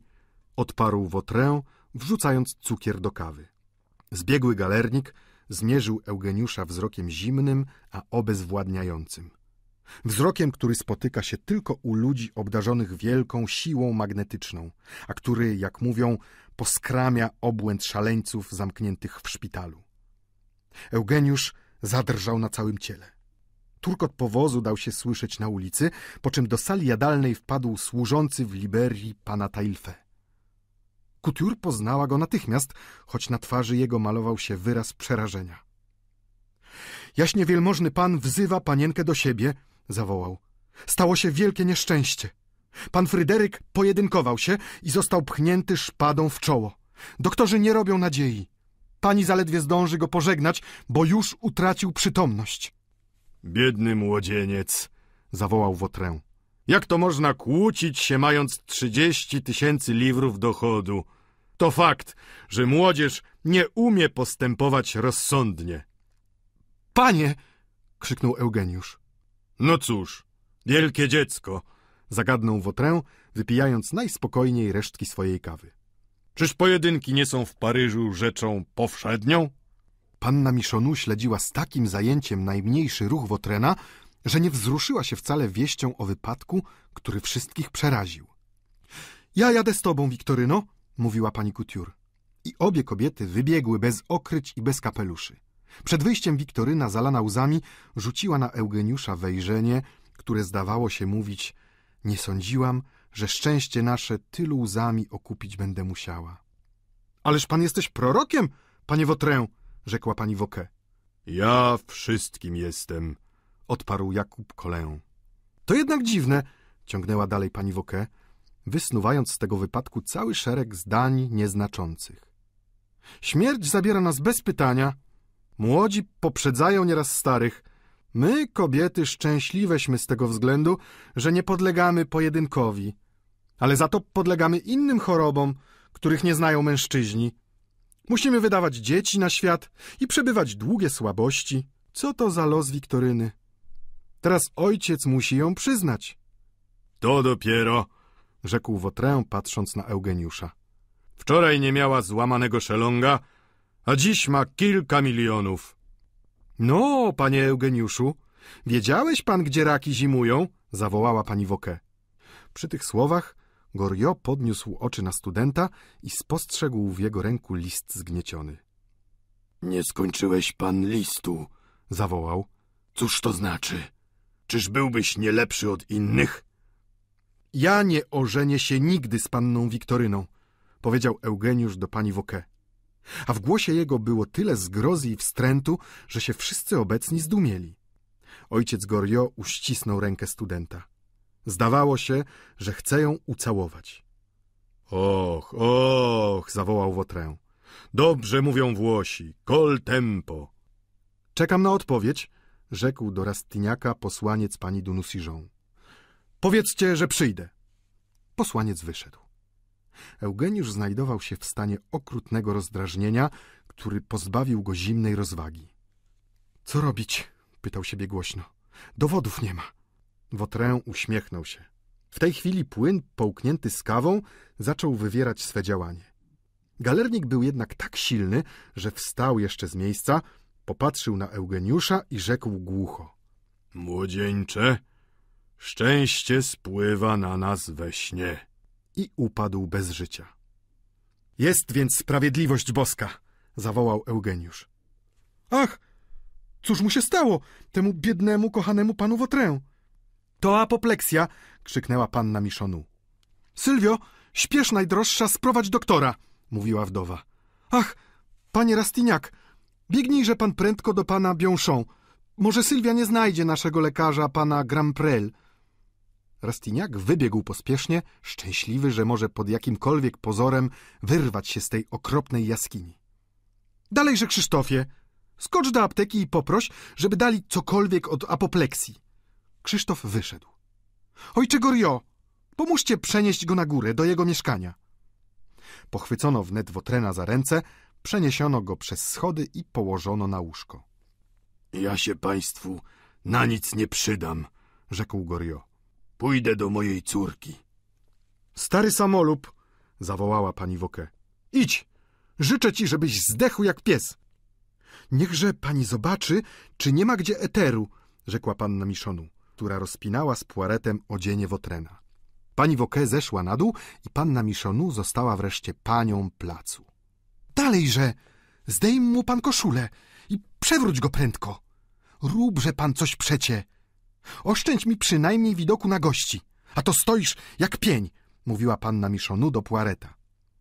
Poiret przewrócił chorego, a panna Miszonu uderzyła go silnie po ramieniu i wnet dwie złowrogie białe litery wystąpiły na tle czerwonym. No, zarobiłaś pani łatwo trzy tysiące franków, zawołał Poiret, podtrzymując Wotrena, któremu panna Miszonu wkładała koszulę. Och, jaki on ciężki, powiedział kładąc go na łóżko. Cicho. A gdyby to była kasa, mówiła żywo stara panna, której oczy badały z chciwością każdy sprzęt w pokoju i zdawały się mury przenikać. Gdyby to można pod jakimkolwiek pozorem otworzyć to biurko. Może by to źle było, zarzucił Poiret.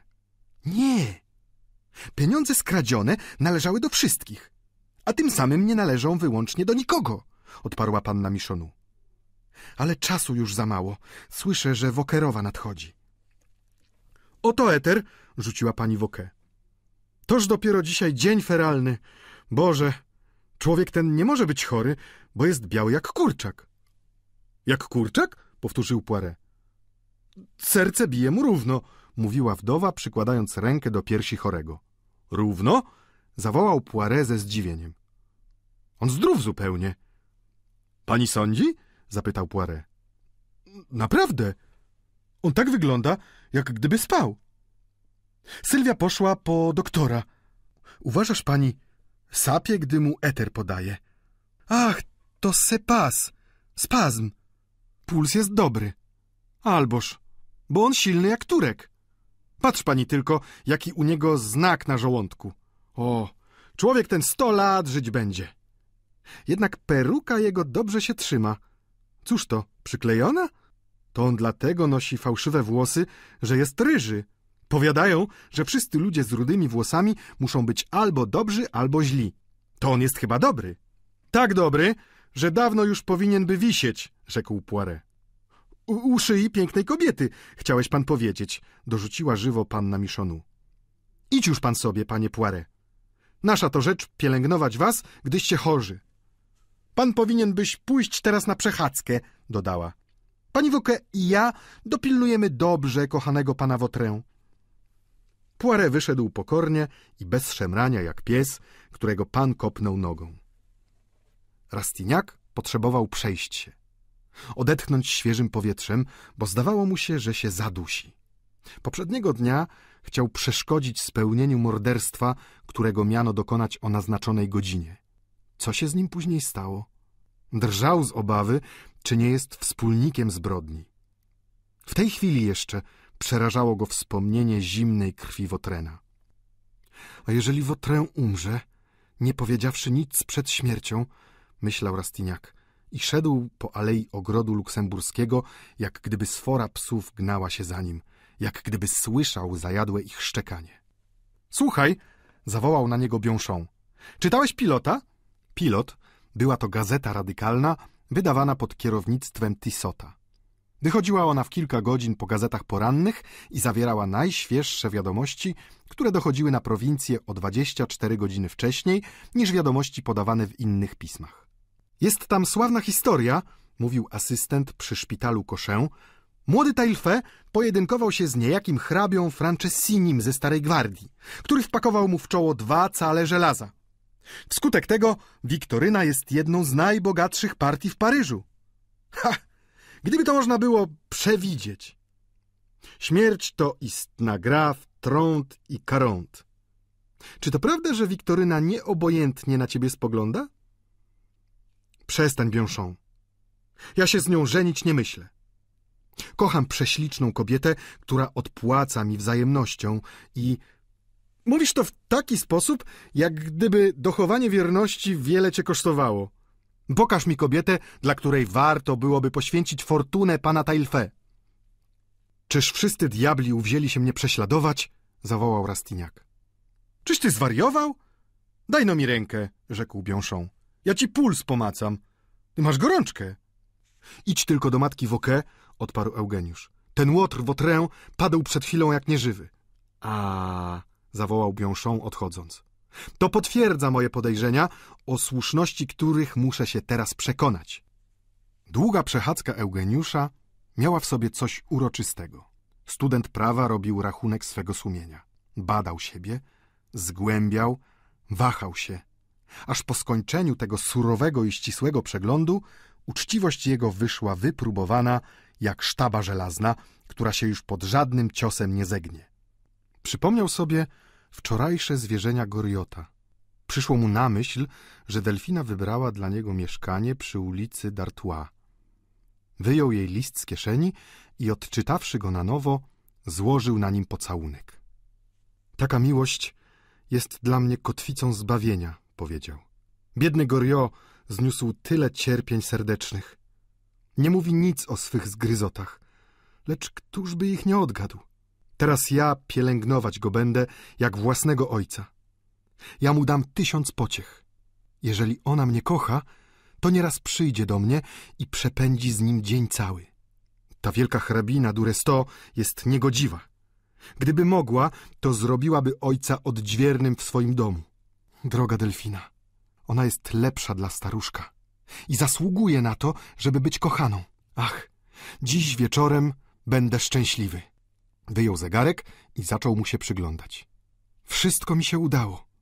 Kochając się szczerze, można sobie dopomagać. Czemuż więc nie miałbym przyjąć tego od niej? Zresztą jam przekonany, że się dorobię fortuny i będę mógł kiedyś oddać stokroć więcej niż biorę. W związku tym nie ma zbrodni, ani nic takiego, co by mogło oburzyć najsurowszą cnotę. Iluż to ludzi uczciwych wchodzi w związki podobne. Nie okłamujemy nikogo a tylko kłamstwo poniża. Kłamać to znaczy zrzekać się swej godności. Ona rozłączyła się już dawno z mężem. Zresztą powiem temu Alzatczykowi, żeby mi odstąpił kobietę, której nie umie uszczęśliwić. Walka Rastiniaka trwała długo. Zwycięstwo miało pozostać po stronie cnót młodzieńczych, a jednak o wpół do piątej, kiedy zmrok poczynał zapadać, nieprzezwyciężona ciekawość popchnęła go do domu Woke, który poprzysiągł sobie opuścić na zawsze. Chciał się przekonać, czy Wotrę nie żyje. Biąszą wpadł na myśl, żeby dać choremu na wymioty, po czym substancje wyrzucone kazał odnieść do szpitala, gdzie miano je poddać analizie chemicznej. Panna Miszonu odradzała tak usilnie, żeby tego nie czynić, że podejrzenia Biąszona jeszcze bardziej się wzmocniły. Wotrę wrócił nadzwyczaj prędko do stanu normalnego, co również kazało się domyślać jakiegoś spisku przeciw wesołemu trefnisiowi gospody. W chwili, gdy Rastignac powrócił, Wotrę stał już przy piecu w sali jadalnej. Wszyscy stołownicy, z wyjątkiem ojca Goriot, zebrali się dziś wcześniej niż zwykle, zwabieni wieścią o pojedynku młodego Tailfera. Wszyscy ciekawi byli szczegółów wypadku oraz pragnęli dowiedzieć się, jaki wpływ pojedynek ten wywrze na los Wiktoryny. Przy wejściu oczy Eugeniusza spotkały wzrok Wotrena, który tak głęboko wniknął mu do serca i tak silnie poruszył w nim jakieś struny niedobre, że młodzieniec zadrżał mimowolnie. No cóż, drogie dziecię, rzekł zbiegły galernik. Zdaje się, że płaskonosa jejmość nieprędko sobie ze mną poradzi. Panie tu powiadają, żem zniósł bez szwanku takie uderzenie krwi, które by mogło byka zabić. A, mógłbyś pan powiedzieć bawoła, zawołała wdowa Wokę. Czybyś pan nie rad był, że ja żyję? szepnął Wotrę, pochylając się ku Rastiniakowi, którego myśli zdawał się przenikać. To by zakrawało na diable silnego człowieka. Ach, prawda? zawołał Biąszą. Panna Michonu mówiła onegdaj o jakimś panu przezywanym Tromplamort. Dla pana to imię byłoby bardzo stosowne. Wyraz ten uderzył niby grom w Wotrena. Biedny galernik zbladł i zachwiał się, a magnetyczne jego spojrzenie padło jak promień słońca na pannę Michonu, której kolana ugięły się pod tym prądem silnej woli. Stara panna osunęła się bezwładnie na krzesło, a Poiret stanął śpiesznie pomiędzy nią a Wotrenem, pojmując, że jej niebezpieczeństwo zagraża. Galernik zrzucił maskę dobroduszności, pod którą ukrywał prawdziwą swą naturę, a twarz jego stała się naraz dziko wyrazista. Obecni patrzyli ze zdumieniem na niepojęty dla nich dramat. W tej chwili dało się słyszeć stąpanie kilku ludzi i szczęk karabinów, które żołnierze na bruk opuścili. Kolę zaczął machinalnie szukać wyjścia, mierząc spojrzeniem okna i ściany. Gdy wtem czterech ludzi ukazało się we drzwiach salonu. Był to szef policji w towarzystwie trzech oficerów bezpieczeństwa. W imię prawa i króla zaczął jeden z oficerów, ale mowę jego zagłuszył szmer podziwu.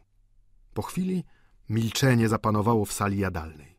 Obecni rozstąpili się przed trzema oficerami, którzy zbliżali się z ręką w bocznej kieszeni, gdzie każdy z nich miał pistolet nabity. Dwaj żandarmi weszli w ślad za agentami i stanęli we drzwiach salonu, a dwaj inni ukazali się jednocześnie we drzwiach prowadzących na schody. Szczęk broni i kroki kilku żołnierzy dały się słyszeć na bruku przed fasadą domu.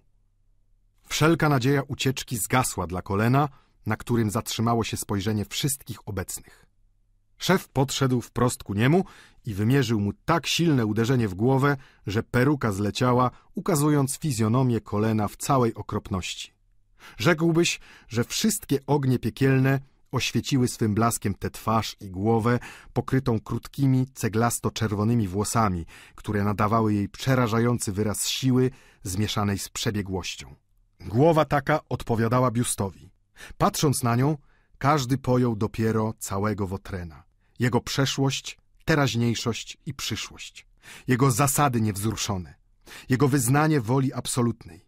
Władzę, jaką mu nadawał cynizm myśli i czynów oraz siła organizacji mogącej wszystko znieść. Krew uderzyła mu do twarzy. Oczy zaiskrzyły się jak u dzikiego kota. Podskoczył na miejscu z dziką energią i zaryczał tak, że wszyscy stołownicy wydali okrzyk przerażenia. Na ten lwi podskok agenci poparci ogólnym krzykiem wyciągnęli pistolety z kieszeni. Widząc błyszczące kurki u pistoletów, Kolę pojął grożące mu niebezpieczeństwo i w jednej chwili dał dowód najwyższej potęgi ludzkiej.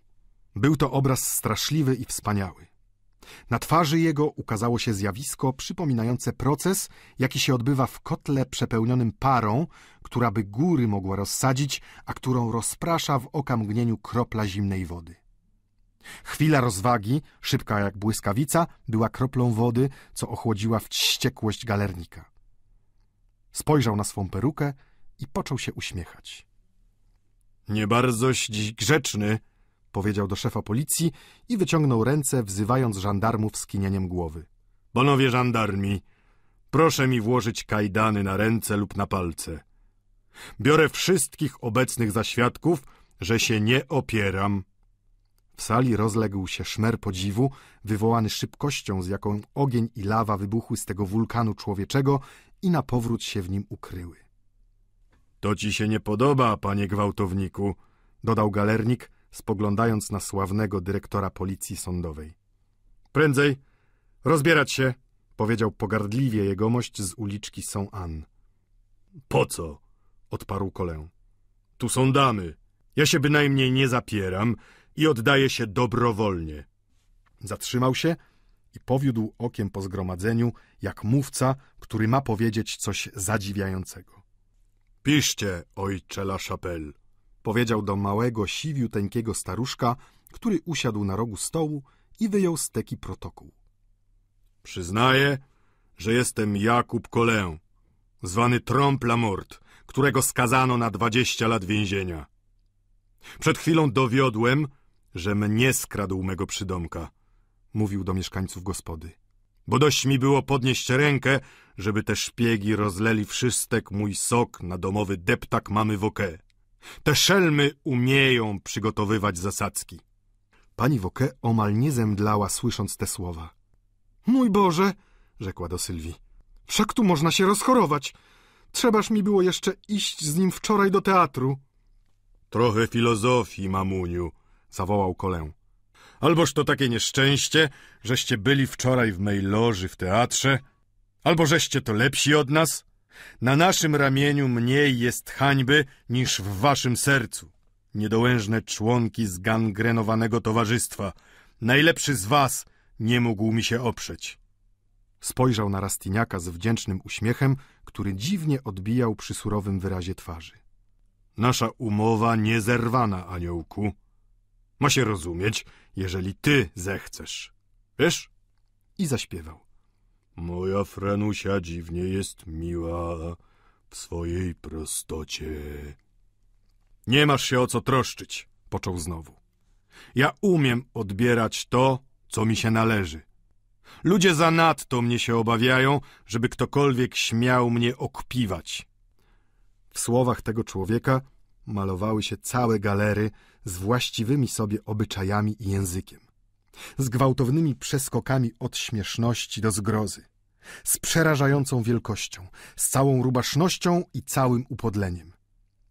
Nie był to już człowiek zwyczajny, ale typ całego narodu wyrodnego, całego ludu dzikiego, a logicznego, nieokrzesanego, agientkiego. W jednej chwili Kolę stał się poematem piekielnym, w którym malowały się wszystkie uczucia ludzkie, z wyjątkiem jednej tylko skruchy. Spojrzenie jego było spojrzeniem upadłego archanioła, który wiecznie wojny pragnie. Rastiniak spuścił oczy, przyjmując to zbrodnicze kuzynostwo jako karę należną za wszystkie złe myśli, którym się oddawał. Kto mnie zdradził? Zapytał Kolę, wodząc straszliwym swym wzrokiem po całym zgromadzeniu. To ty, stara świętoszko, powiedział wpatrując się w pannę Miszonu. Tyś wywołała moją fałszywą apopleksję. Ciekawe. Gdybym chciał powiedzieć dwa słowa, to by ci za tydzień głowę ścięto. Lecz przebaczam ci. Jam chrześcijanin. Zresztą to nie ty mnie zaprzedałaś. Ale kto mógł to zrobić? Ach, ach, szukajcie tam na górze, zawołał, słysząc, że agenci policji sądowej otwierają jego szafy i przetrząsają odzienie. Nie ma ptaków w gnieździe. Wczoraj już odleciały i nic się nie dowiecie. Moje księgi handlowe są tutaj, mówił, uderzając się w czoło. Teraz już wiem, kto mnie zaprzedał. Z pewnością nie kto inny, tylko ten podły Phil Dussois. Wszak prawda, ojcze łapaczu? Rzekł, zwracając się do szefa policji. Zgadza się to jakoś bardzo z pobytem naszych biletów bankowych tam na górze. Więcej nic nie ma, kochane szpiegi. Dussois zniknie z oblicza ziemi w przeciągu dwóch tygodni, choćby go strzegła cała wasza żandarmeria. Coście wydali tej miszonecie? zapytał policjantów. Jakieś kilka tysięcy talarów. Jam wart był więcej, ty niną zgniła. Ty pompadur w łachmanach. Ty veneros per lachet. Trzeba było mnie przestrzec. To bym ci dał sześć tysięcy franków. A, nie spodziewałaś się tego, stara nikczemnico. Gdybyś mogła przewidzieć, to pewnie wolałabyś mieć ze mną do czynienia. Tak jest. Byłbym dał sześć tysięcy, żeby uniknąć podróży, która wypada mi nie pomyśli i naraża mnie na stratę pieniężną, mówił Kolę, podczas gdy mu kajdany wkładano. Ci ludzie będą umyślnie wlec się ze mną całe wieki. Gdyby mnie zaraz posłali na galery, to bym niebawem powrócił do swych zajęć na złość wszystkim gawronom z nadbrzeża Dezorfr. Tam na galerach wszyscy wyłazić będą ze skóry, żeby oswobodzić jak najprędzej dobrego swego generała Trompla Mort. Czyż jest między wami choć jeden, co by mógł, tak jak ja, poszczycić się dziesięciotysięcznym zastępem braci, którzy wszystko dla mnie zrobić gotowi? Zapytał z dumą. Jest tu niemało dobrego, mówił uderzając się w piersi. Jam nigdy nikogo nie zdradził. Spójrz na tych ludzi, świętoszko, mówił do starej panny. Na mnie patrzą oni ze strachem, a na ciebie spoglądają z najwyższym obrzydzeniem. Zbieraj teraz coś posiała. Zatrzymał się i powiódł okiem po zgromadzonych. Jacyście wy wszyscy głupi. Czyście nie widzieli nigdy galernika? Galernik, rodzaju obecnego tutaj kolena, jest człowiekiem mniej nikczemnym od innych. Człowiekiem, który protestuje przeciw kłamstwu ustaw społecznych, jak mówi Jan Jakub, którego uczniem mam zaszczyt się nazywać. Wreszcie ja występuję sam przeciw rządowi, który ma za sobą całą kupę trybunałów, żandarmów i budżetów. Do licha, zawołał malarz. Warto by go odmalować w tej chwili. Powiedz mi, przewodniku imć pana Kata, naczelniku wdowy. Jest to imię pełne straszliwej poezji, które galernicy nadają gilotynie. Bądź dobrym dzieckiem. Powiedz, czy to Fildus Ła mnie zaprzedał? Mówił kolę do szefa policji. Nie chciałbym, żeby on pokutował za drugiego. To byłoby niesprawiedliwe. Agenci policyjni, którzy przetrzęśli i opisali wszystko, co się znajdowało w jego mieszkaniu, zeszli w tej chwili na dół i mówili coś z cicha do naczelnika wyprawy. Protokół był skończony. Za chwilę już mnie stąd uprowadzą, rzekł kolę do wszystkich mieszkańców domu. Byliście państwo dla mnie bardzo uprzejmi przez cały ciąg naszej znajomości. Nigdy wam tego nie zapomnę. Teraz żegnam was. Pozwólcie, że wam przyślę fig prowansalskich. Postąpił kilka kroków i zatrzymał się, żeby popatrzeć na Rastyniaka. Bywaj zdrów, Eugeniuszu, powiedział głosem smutnym i łagodnym, który dziwnie jakoś odbijał od szorstkiego tonu słów poprzednich. Gdybyś był kiedy w potrzebie, to pamiętaj, żem ci zostawił szczerego przyjaciela. Pomimo kajdan zrobił ruch, jak gdyby zasłaniał się szpadą, przy czym zakomenderował głosem fechmistrza Raz, dwa i zadał pchnięcie. W razie nieszczęścia możesz się tam udać. Osoba jego i pieniądze, wszystko na twe usługi.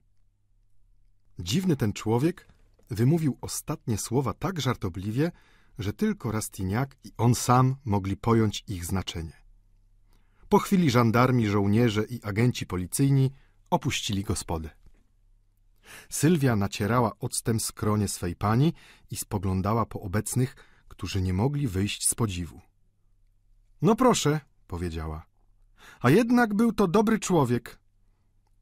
Słowa te rozwiały urok wywołany dziwną sceną, która obudziła w sercach obecnych tłum uczuć różnorodnych.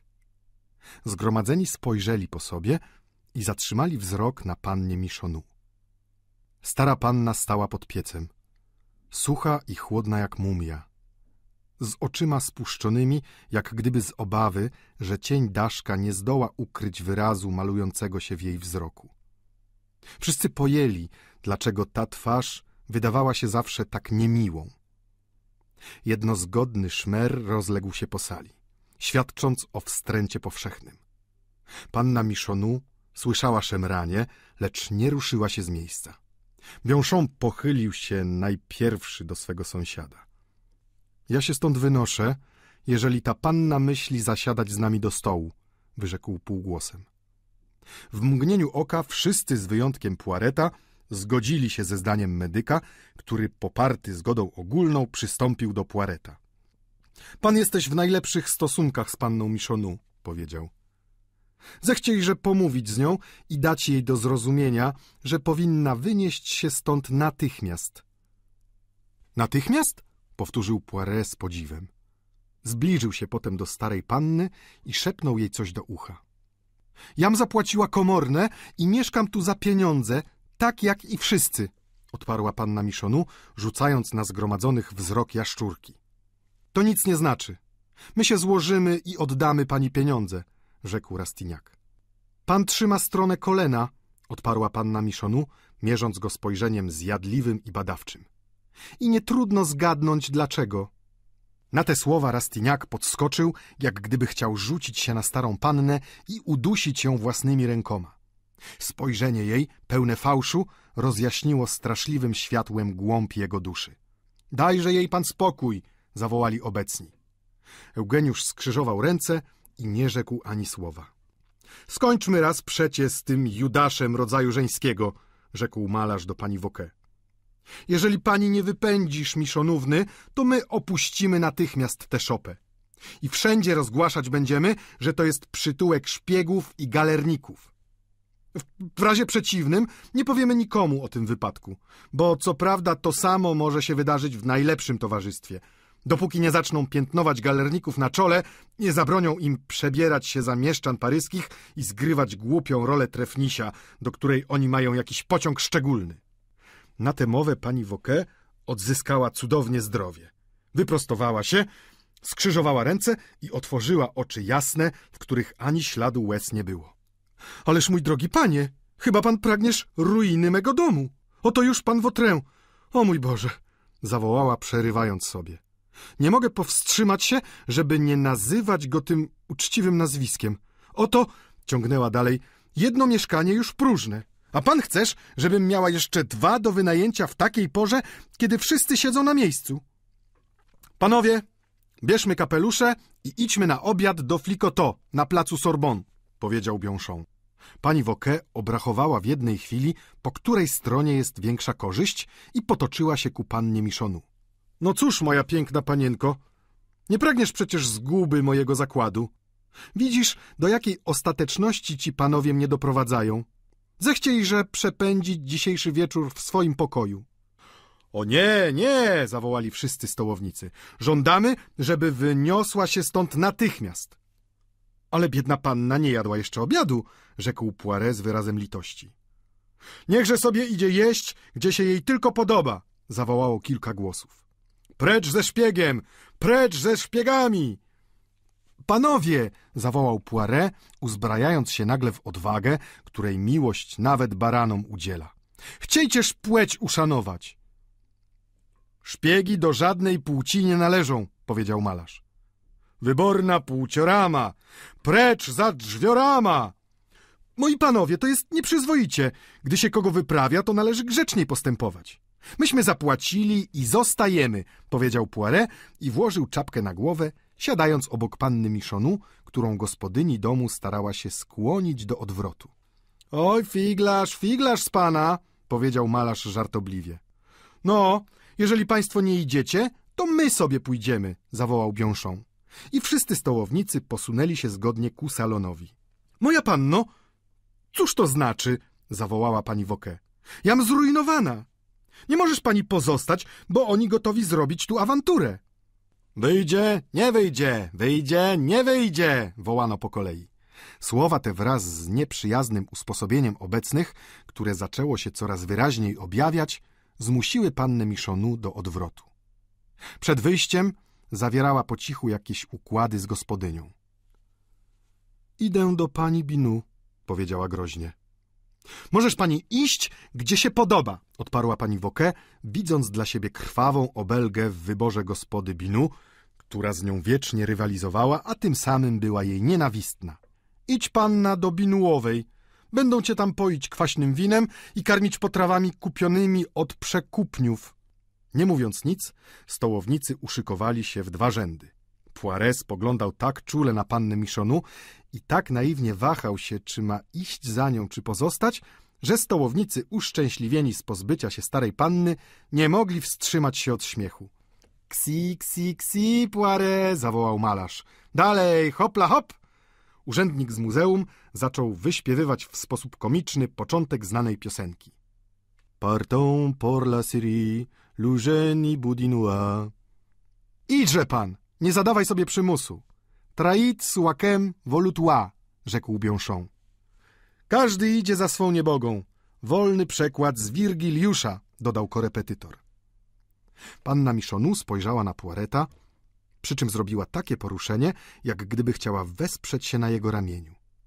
Nieborak nie mógł się oprzeć temu wezwaniu i stanął przy boku starej panny. Śmiech głośny i oklaski rozległy się po sali.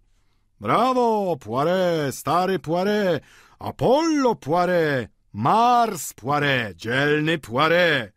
W tej chwili posłaniec wszedł do pokoju i podał list pani Woke. Wdowa przebiegła go oczyma i upadła bezwładnie na krzesło.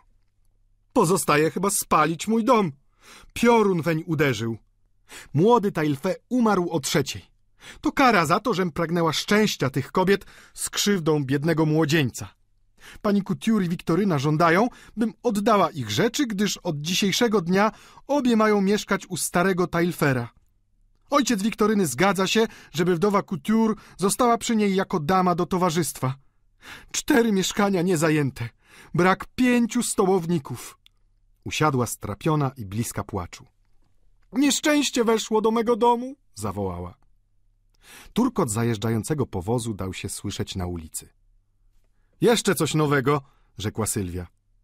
Gorio ukazał się nagle we drzwiach z twarzą zarumienioną i jaśniejącą wyrazem takiego szczęścia, iż rzekłbyś, że się odrodził na nowo. Gorio przyjechał fikarem, zawołali stołownicy. Ależ to chyba koniec świata. Stary podszedł prosto do Eugeniusza, który stał w kącie zadumany. Chodź pan, powiedział wesoło, biorąc go za ramię. Pan nie wiesz, co się stało? zapytał Eugeniusz. Wotrę był galernikiem i policja ujęła go przed chwilą, a młody Tailfe już nie żyje. Mniejsza o to. Co to nas obchodzi? odparł ojciec Gorio. Będę dziś jadł obiad z moją córką u pana. Słyszysz pan? Ona cię czeka. Chodź prędzej. Porwał go silnie za ramię i uprowadził prawie przemocą, jak gdyby to była jego kochanka. Jedzmy obiad, zawołał malarz. Wszyscy przysunęli sobie krzesła i usiedli przy stole. Masz tobie, rzekła gruba Sylwia. Dziś już same nieszczęścia. Przypaliła mi się potrawa z baraniny z rzepą. No, cóż robić? Musicie panowie zjeść przypaloną.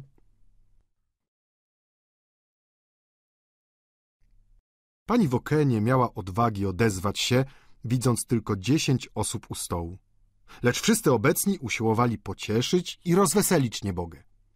Z początku rozmawiano o Wotrenie i o wypadkach dnia ubiegłego, lecz rozmowa ślizgająca się biegiem wężowym nie zatrzymała się długo na tym przedmiocie. Zaczęto mówić o pojedynkach, o galerach, o sprawiedliwości, o prawach potrzebujących reformy, o więzieniach i wkrótce rozmawiający zostawili o sto mil za sobą Jakuba Kolę i Wiktorynę z bratem. Dziesięciu stołowników krzyczało za dwudziestu. I rzekłbyś, że dnia tego grono ich było liczniejsze niż zwykle. To była jedyna różnica między tym obiadem a obiadem dnia poprzedniego. Wzruszenie prędko ustąpiło przed zwykłą obojętnością tych ludzi samolubnych, którzy spodziewali się znaleźć nazajutrz nową pastwę dla siebie w codziennych wypadkach Paryża. Nawet pani Wauquet uspokoiła się nadzieją, która przemawiała do niej przez usta grubej Sylwii. Cały ten dzień miał być dziwną jakąś fantasmagorią dla Eugeniusza.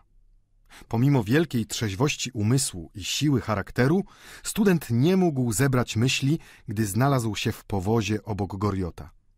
Po całodziennych wzruszeniach mowa starego, zdradzająca radość niezwykłą, dźwięczała mu w uszach jak wyrazy przez sen słyszane.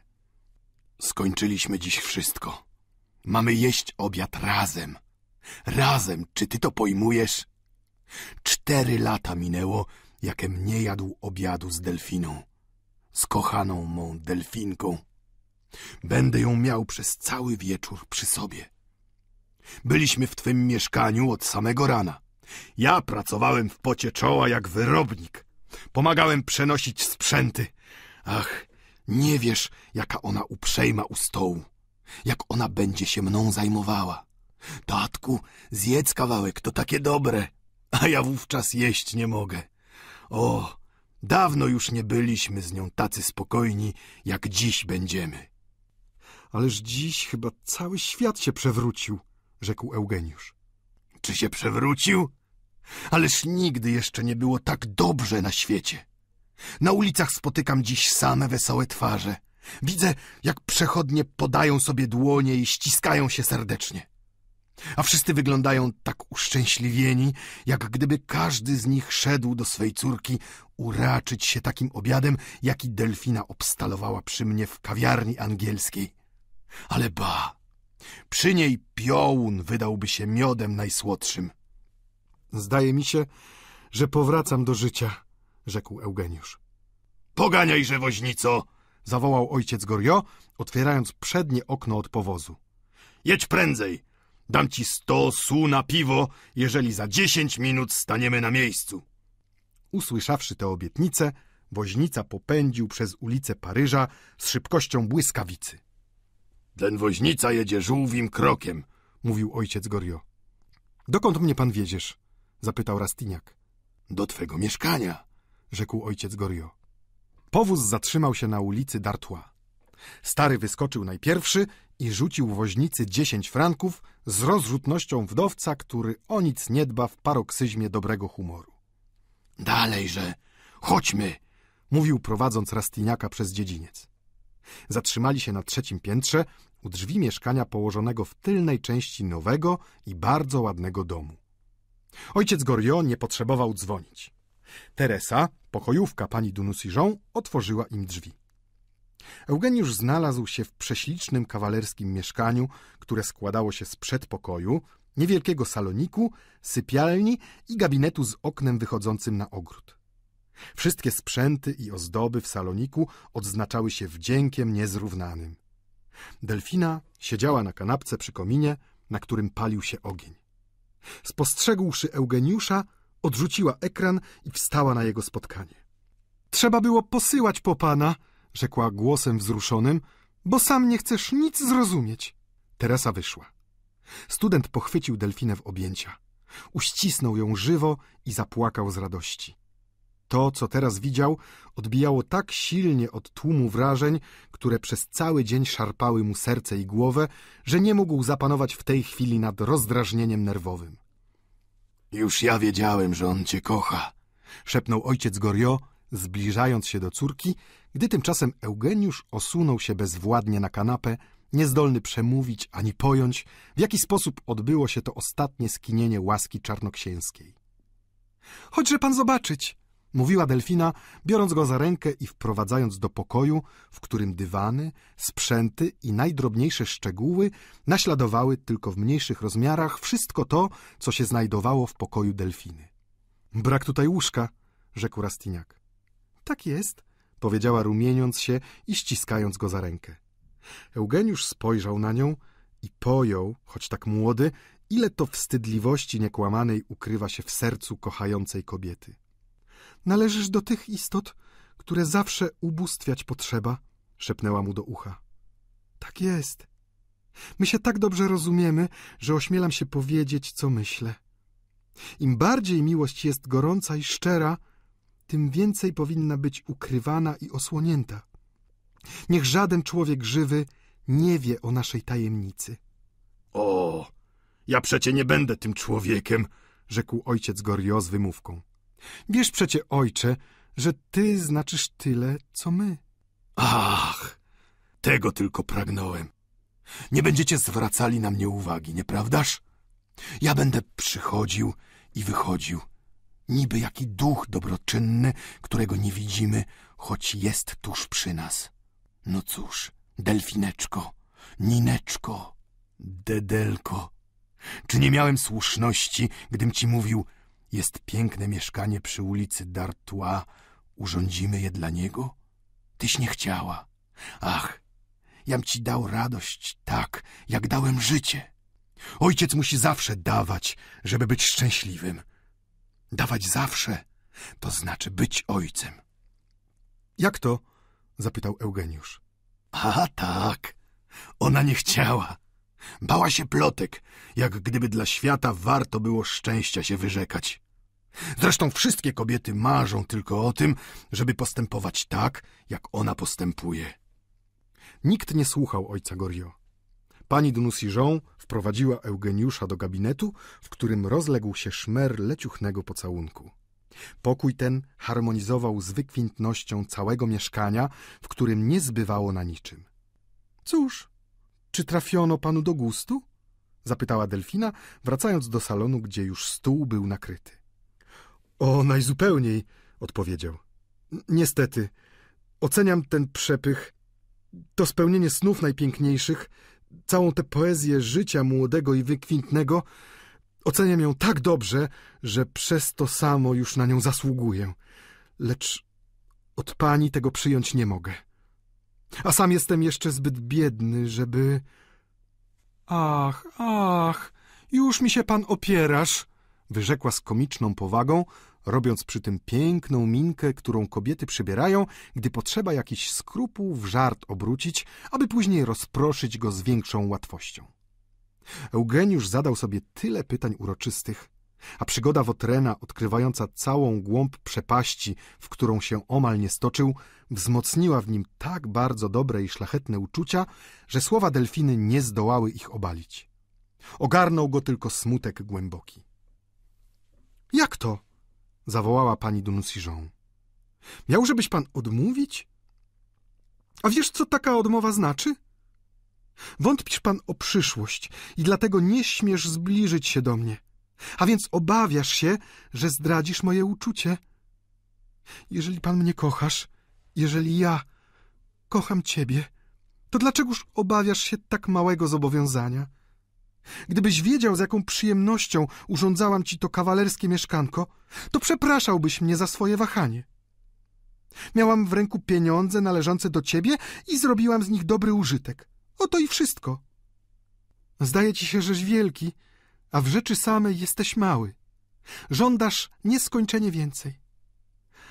Ach, wyrzekła, pochwyciwszy wyraz namiętności we wzroku Eugeniusza. A drożysz się lada głupstwo. Jeżeli mnie nie kochasz, o, to w takim razie nie powinieneś przyjmować. Jedno słowo los mój rozstrzyga. Mów pan. Mój ojcze, choć ty postaraj się go przekonać, dodała po chwili, zwracając się do ojca. Czy on sądzi, że ja jestem mniej drażliwa od niego, gdy chodzi o nasz honor? Ojciec Gorio słuchał tej wdzięcznej sprzeczki z posągowym uśmiechem. Dziecko, poczęła znowu, chwytając dłoń Eugeniusza. Spotykasz na progu życia zaporę, której wielu ludzi przebyć nie może i cofasz się, gdy ręka kobiety chce ci ją otworzyć. Ale ty będziesz szczęśliwy w życiu. Masz świetną przyszłość przed sobą. Powodzenie wyryte jest na twym pięknym czole. Czyż wówczas nie będziesz mógł oddać mi tego, co ci dziś pożyczam? Wszak za dawnych czasów dama darowała swemu rycerzowi zbroję, miecz, hełm, kolczugę i konia, żeby rycerz mógł iść na turnieje, walczyć w jej imieniu. Otóż, Eugeniuszu, to, co ja ci daję, jest bronią naszej epoki. Narzędziem, bez którego nie obejdzie się człowiek pragnący stać się czymkolwiek na świecie. Wyobrażam sobie, że stodoła, w której mieszkasz obecnie, musi być piękna, bo pewnie przypomina pokój mego ojca. No cóż, nie będziemy dziś jedli obiadu? Czy pragniesz mnie zasmucić? Odpowiedz przecie, mówiła wstrząsając go za rękę. Mój Boże, przekonaj go, tatku, albo pójdę stąd i nigdy już nie będę się z nim widziała. Ja cię przekonam, rzekł ojciec Gorio, budząc się z zachwycenia. Powiedz mi, kochany panie Eugeniuszu, wszak będziesz pożyczał pieniądze u Żydów. Zmuszony jestem, powiedział student. Dobrze, trzymam za słowo, począł stary, wyjmując z kieszeni pugilares wytarty i zniszczony. Ja stałem się Żydem i zapłaciłem wszystkim dostawcom. Nie winieneś ani grosza za wszystko, co się tutaj znajduje. Nie tak wielka to suma, najwyżej pięć tysięcy franków. Otóż pożyczam ci te pieniądze. Nie odmówisz mi, Jam przecie nie kobieta. Napiszesz rewers na jakimś świstku, a z czasem uiścisz mi się z długu. Łzy zakręciły się w oczach Eugeniusza i Delfiny. Oboje spojrzeli po sobie ze zdumieniem, po czym student pochwycił dłoń starego i ścisnął ją gorąco. No cóż, czy nie jesteście mymi dziećmi? rzekł ojciec Gorio. Biedny mój ojcze, jakżeś ty to zrobił? zapytała pani Dunusiżą. Gdym cię nakłonił, byś go tu sprowadziła, gdym zobaczył, że kupujesz rzeczy piękne, jak dla panny młodej, wtedy pomyślałem sobie, nabawi się ona kłopotu. Adwokat powiada, że proces, którym mamy zmusić twego męża, by ci oddał twe mienie, będzie trwał przeszło pół roku. Otóż ja sprzedałem tymczasem 1350 liwrów dożywotniego dochodu. Wziąwszy 15 tysięcy franków, zapewniłem sobie na dobrej hipotece 1200 franków dochodu. A pozostałymi pieniędzmi zaspokoiłem waszych dostawców, drogie dzieci. Za 50 talarów będę miał pokój tu na górze, w którym mogę żyć jak książę, nie wydając nawet 40 su na dzień. Odzienia prawie wcale nie potrzebuję, bo nie niszczę tego, co mam. Już od dwóch tygodni śmieję się potajemnie i myślę sobie, toż dopiero będą szczęśliwi. No cóż, alboż nie jesteście szczęśliwi?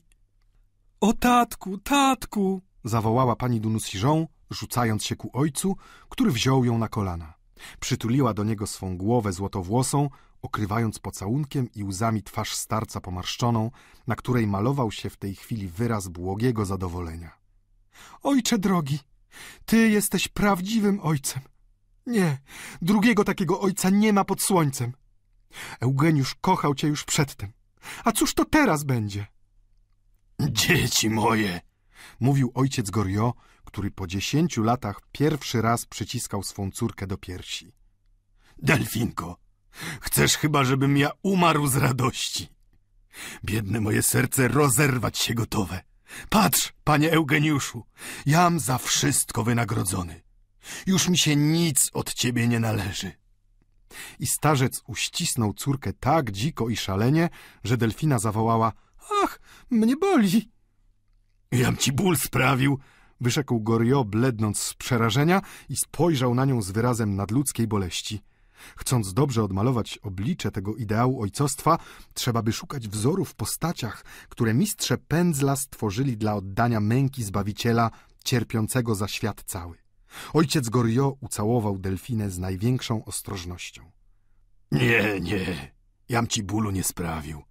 Począł znów, zapytując ją uśmiechem. Tyś mi raczej sprawiła ból swoim wykrzyknikiem. To drożej kosztuje – szepnął pochylając się do ucha delfiny i całując je ostrożnie. Ale musiałem go podejść, żeby się nie gniewał.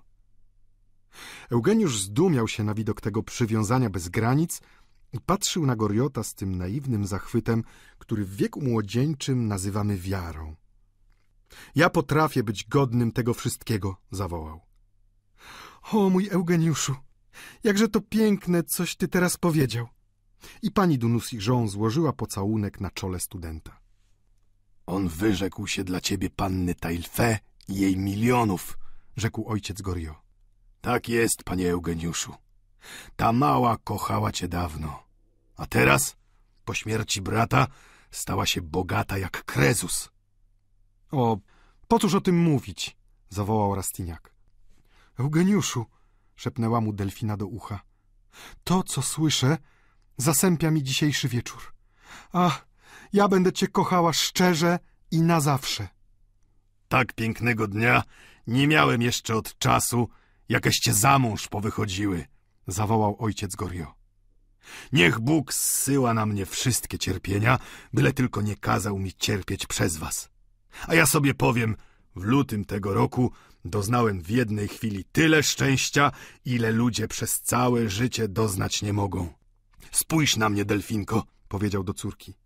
Jaka ona piękna, nieprawdaż? Proszę mi powiedzieć, czy wiele jest kobiet na świecie, co by miały takie prześliczne kolory i takie dołeczki w policzkach? Nieprawda? I ta pieszczotka jest moim dzieckiem. Teraz, gdy będziesz szczęśliwa przy tobie, stanie się jeszcze tysiąc razy piękniejsza. Ja mogę iść do piekła, kochany sąsiedzie, mówił do Eugeniusza. Ustąpię ci moje miejsce w raju, jeżeli ci go potrzeba. Jedzmy, jedzmy, Ciągnął dalej, nie wiedząc sam, co mówi. wszystko to do nas należy. Biedny ojciec, Gdybyś ty wiedziała, drogie dziecię, mówił idąc do niej i całując ją w głowę owiniętą jasnymi warkoczami. gdybyś wiedziała, jak łatwo możesz uczynić mnie szczęśliwym. Przyjdź czasem do mnie. Ja będę tam, na górze, o kilka kroków. Przyrzecz mi. Powiedz, Dobrze, ojcze kochany. powiedz jeszcze. Dobrze, drogi mój ojcze. Przestań już. Kazałbym ci sto razy powtarzać, gdybyś mnie słuchała. Jedzmy obiad. Cały wieczór zszedł na takich dzieciństwach, a ojciec Gorion nie ustępował placu dwojgu młodym. Padał przed córką, żeby ucałować jej nogi. Wpatrywał się w jej oczy, przyciskał głowę do jej sukni. Jednym słowem popełniał szaleństwa, na jakie mógłby się zdobyć chyba bardzo młody i czuły kochanek. Widzisz pan? rzekła Delfina do Eugeniusza. Gdy ojciec jest z nami, to trzeba wyłącznie jemu się poświęcać. To będzie nas bardzo krępować. Eugeniusz doznał już kilka razy uczucia zazdrości. Nie mógł więc zganić słów Delfiny, w których był zarodek najgłębszej niewdzięczności. Kiedyż mieszkanie będzie gotowe? Zapytał Eugeniusz, rozglądając się po pokoju. Jak widzę, dziś trzeba będzie się rozstać. Tak, ale jutro będziesz pan u mnie na obiedzie, rzekła Delfina z minką figlarną. Jutro mamy operę włoską, To i ja pójdę na parter. powiedział ojciec Gorio. Była północ. Powóz pani Dunusijon czekał u bramy. Ojciec Gorio i student skierowali się ku domowi Woke, rozmawiając o delfinie ze wzrastającym uniesieniem, które wywołało ciekawą walkę między tymi dwiema gwałtownymi namiętnościami. Eugeniusz nie mógł ukryć przed sobą, że miłość ojca, której nie splamił żaden wzgląd osobisty, zaćmiewała jego uczucie swoją wytrwałością i potęgą. W oczach ojca przedmiot miłości był zawsze piękny i nieskalany, a miłość sama potęgowała się przeszłością i przyszłością całą. Gdy przyszli do domu, stara gospodyni siedziała pod piecem w towarzystwie Sylwii i Krzysztofa. Wyglądała nieboga jak Mariusz na ruinach Kartaginy. A gruba Sylwia podzielała jej żałość, oczekując powrotu dwóch wiernych mieszkańców, którzy pozostali im z całego grona. Niczym są rzewne skargi, które Lord Byron włożył w usta Tassa, wobec głębokiej prawdy, jaką tchnęły w tej chwili żale pani Woke. Sylwio, wszak jutro tylko trzy filiżanki kawy nalać trzeba będzie. Ach, serce mi pęknie. Dom mój opustoszał. Czymże będzie życie moje, gdy w domu mieszkańców zabraknie? Niczym. Dom mój wyprzątnięty teraz z ludzi. Życie całe jest w meblach. Cóżem zawiniła niebu, że zesłało na mnie nieszczęść tyle. Zapas fasoli i kartofli zrobiony na osób dwadzieścia. Policja była w mym domu. Chyba samymi kartoflami żyć będziemy. Wypadnie chyba odprawić Krzysztofa. Sabautczyk spał sobie spokojnie, lecz przy ostatnich wyrazach obudził się nagle i zapytał. Co proszę pani? Biedny chłopak. Wierny był jak pies, rzekła Sylwia. Teraz czas niewłaściwy. Nikt mieszkań nie zmienia. Skądże mi spadną lokatorowie? Ja głowę stracę. A jeszcze ta Sybilla Miszonu porywa mi Puareta. Jak to ona zrobiła, że ten człowiek jak piesek za nią chodzi? A, do licha, rzekła Sylwia, wstrząsając głową. Już to stare panny znają się na takich sztukach. Albo ten biedny Wotrę, którego zrobili galernikiem, poczęła znów wdowa. Wiesz, Sylwio, to przechodzi moje siły. Ja nie mogę jeszcze uwierzyć. To był człowiek taki wesoły, przy tym płacił mi 15 franków na miesiąc za kawę z wódką, a zawsze oddawał wszystko co do grosza. A jaki był hojny, dodał Krzysztof. To musi być jakaś omyłka, rzekła Sylwia. Ale nie, przecie on się przyznał, mówiła pani Woke. Kto by dał wiarę, że wszystko to stało się w moim domu, w tej dzielnicy, gdzie nawet kot rzadko się zabłąka? Słowo uczciwej kobiety jaśnie chyba. Bo to widzisz, za mej pamięci zdarzył się wypadek z Ludwikiem XVI. Później byłam świadkiem upadku cesarza. Widziałam, jak powrócił i upadł powtórnie. A wszystko to było w porządku rzeczy możliwych. Ale gospodom mieszczańskim to już się zdaje nic grozić nie powinno. Bez króla żyć można, a bez jedzenia nikt się nie obejdzie. A gdy do tego uczciwa kobieta z domu Conflon daje na obiad najlepsze potrawy, to chyba musi być koniec świata, skoro... Bo i też tak jest. Przyszedł już koniec świata. I to trzeba wiedzieć, że panna Miszonu, która naważyła pani tej kaszy, będzie miała, jak mówią, tysiąc talarów rocznego dochodu, zawołała Sylwia. Nie mów mi o niej, to zbrodniarka, rzekła pani Woke. W dodatku przenosi się jeszcze do binułowej, a ona do wszystkiego jest zdolna. Ona musiała okropieństwa popełniać, musiała zabijać i okradać w swoim czasie. Ją to trzeba było posłać na galery zamiast tego biednego, kochanego człowieka. W tej chwili Gorio z Eugeniuszem zadzwonili. Ach, to moi dwaj wierni, rzekła wdowa z westchnieniem. Dwaj wierni zapomnieli już prawie zupełnie o nieszczęściach, które spadły dnia tego na gospodę i oświadczyli gospodyni bez ogródek, że mają zamiar przeprowadzić się na Chaussée d'Anton. Ach, Sylwio! krzyknęła wdowa. Już teraz po wszystkim. Panowie, zadaliście mi cios śmiertelny. Coś mnie tu ścisnęło w żołądku. Dzień dzisiejszy zwalił mi dziesięć lat na głowę. Słowo daję, ja rozum stracę. Co teraz robić z fasolą? A dobrze, ponieważ ja sama zostaję w całym domu, to ty możesz sobie odejść od jutra, Krzysztofie. Żegnam was, panowie. Dobrej nocy. Co jej jest? rzekł Eugeniusz do Sylwii. A cóż, wszyscy ją opuścili wskutek interesów. To jej zmysły pomieszało. Cicho. Słyszę, że płacze. Niech się wybeczy, to jej ulgę sprawi.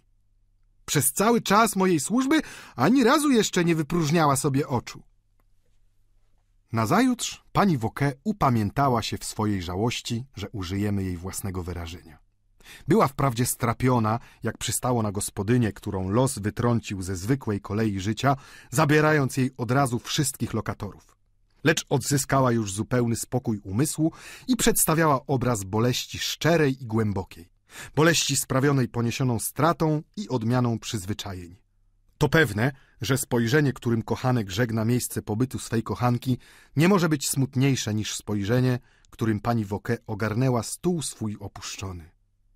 Eugeniusz pocieszał wdowę, że na jej miejsce zostawi jej pewnie Biąszona, którego kontrakt kończy się za dni kilka, a na miejscu pani Couture zamieszka prawdopodobnie urzędnik z muzeum, który nieraz oświadczał, że rad by mieć lokal podobny.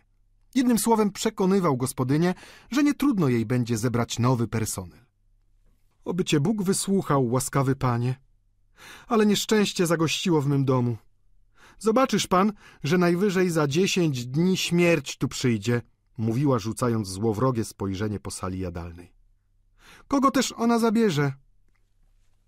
Dobrze, że my się stąd wynosimy, szepnął Eugeniusz do ojca Gorio. Proszę pani, zawołała Sylwia, wbiegając z miną przerażoną. Od trzech dni już nie widzę naszego Mistigrisa. Ach, jeżeli mój kot zdechł, jeżeli nas opuścił, to ja... Biedna wdowa nie dokończyła. Złożyła ręce i pochyliła się na poręcz fotela pod ciosem tej straszliwej przepowiedni. Około południa, to jest w porze, kiedy posłańcy pocztowi przybywają do dzielnicy du Panteon, wręczono Eugeniuszowi list w eleganckiej kopercie, na której była pieczęć z herbem buzontów. Był to bilet wicehrabiny zapraszający pana i panią Dunusijon na wielki bal, o którym mówiono już od miesiąca w Paryżu. Przy bilecie była kartka do Eugeniusza. Zdaje mi się, panie Eugeniuszu, że zostaniesz chętnie tłumaczem mych uczuć dla pani Dunusijon. Posyłam panu zaproszenie, o któreś mnie prosił i będę bardzo rada poznać siostrę pani Duresto. Proszę więc, żebyś mi pan przyprowadził tę piękną panią, lecz zastrzegam, żebyś jej nie oddał całego swego uczucia, którego wielka część mnie się należy w zamian za przyjaźń, jaką żywię dla pana. Wicehrabina Dubuzon. Ależ, myślał Eugeniusz, odczytując powtórnie słowa wicehrabiny, pani Dubuzon mówi mi dość wyraźnie, że nie życzy oglądać barona Dunusijon. Pośpieszył do Delfiny szczęśliwy, że będzie mógł sprawić jej radość, za którą pewnie otrzyma nagrodę. Pani Dunusijon była w kąpieli. Rastignac czekał w buduarze z niecierpliwością, właściwą młodemu człowiekowi, który pragnie jak najprędzej posiąść kochankę, o której marzył przez dwa lata. Są to wzruszenia, co się nie powtarzają dwa razy w życiu młodzieży. Pierwsza ukochana kobieta, która prawdziwie jest kobietą, to jest przedstawia się mężczyźnie w świetnym otoczeniu, jakiego żąda towarzystwo paryskie, może być pewna, że nigdy rywalki mieć nie będzie. Miłość paryska niepodobna jest do żadnej innej miłości. Ani mężczyźni, ani kobiety nie dadzą się tu złapać na bogate wystawy oklepanych frazesów, którymi każdy przystraja dla przyzwoitości swoje niby bezinteresowne uczucia. W kraju tym niedosyć, żeby kobieta zadowoliła serce i zmysły. Ma ona jeszcze ważniejsze obowiązki do spełnienia, względem tysięcznych odcieni próżności, z których się życie składa.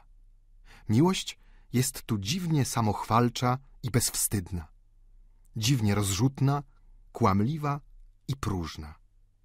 Czegóż chcieć można od reszty ludzkości, skoro wszystkie damy dworu Ludwika XIV zazdrościły pannie du Lavalier namiętności, która sprawiła, iż wielki król zapomniał, że mankiety jego kosztowały dwa tysiące talarów i podarł je, żeby ułatwić księciu du Vermandois wejście na scenę świata.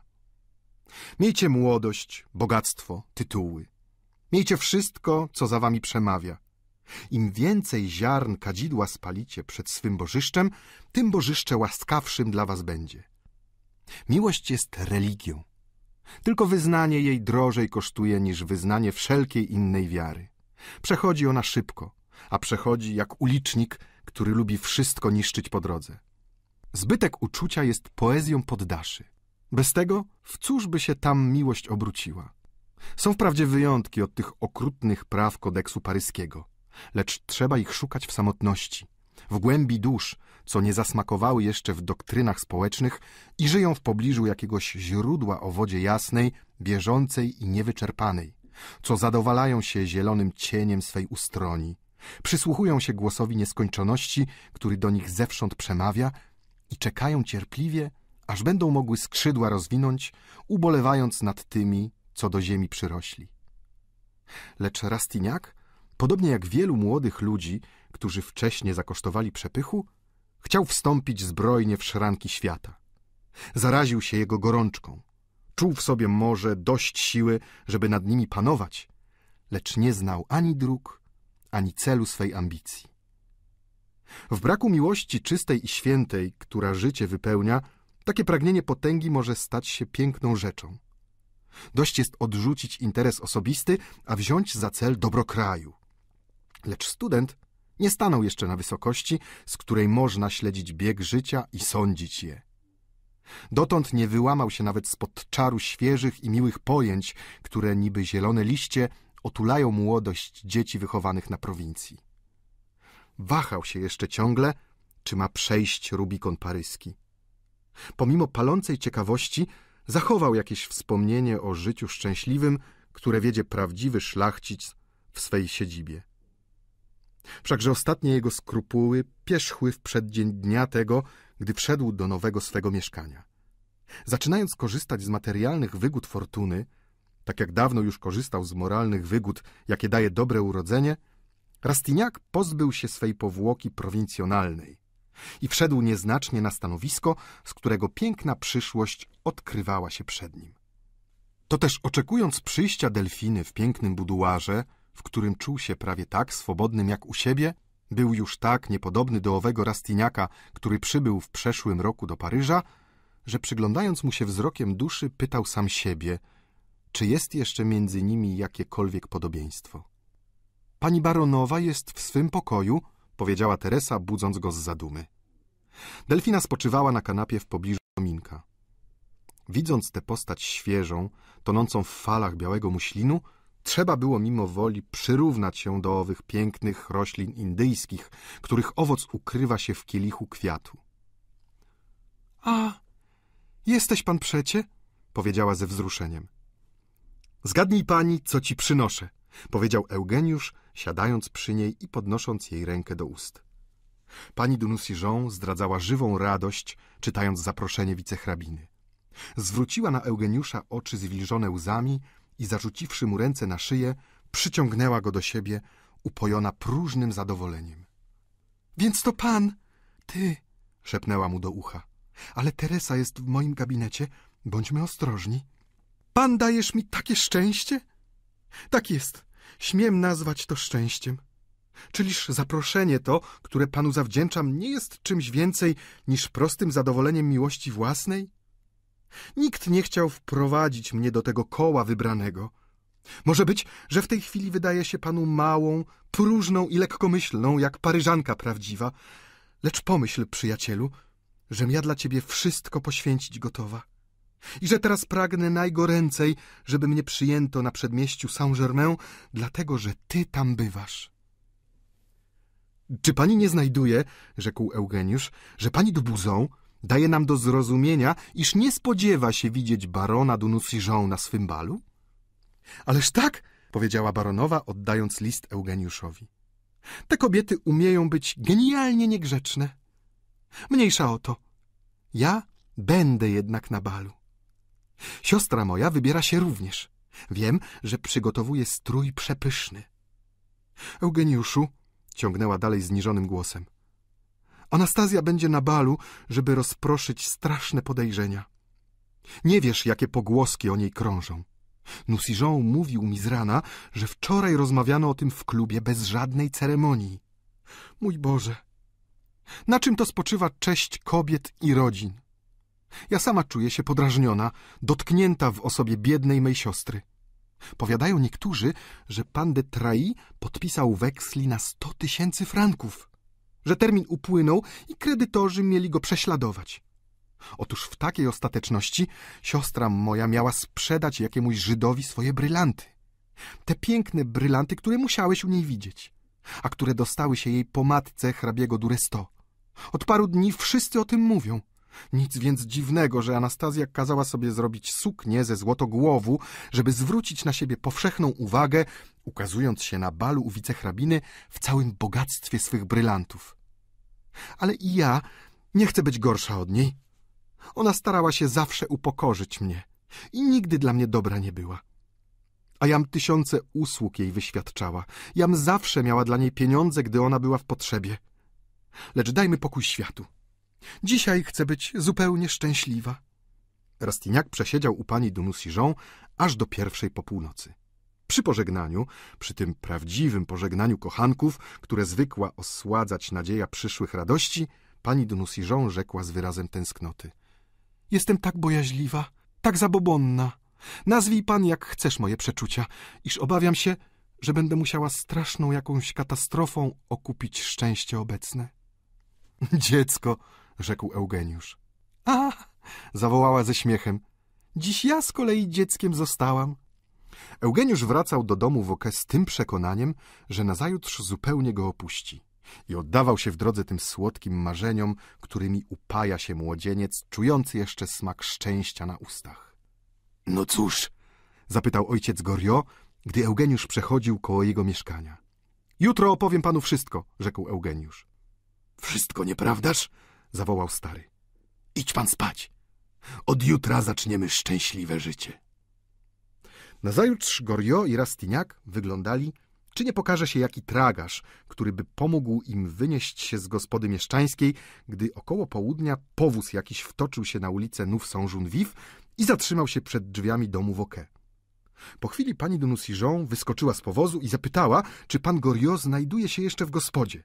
A odebrawszy od Sylwii potakującą odpowiedź, wbiegła lekko na schody. Eugeniusz był w swoim pokoju, choć nikt w domu o tym nie wiedział.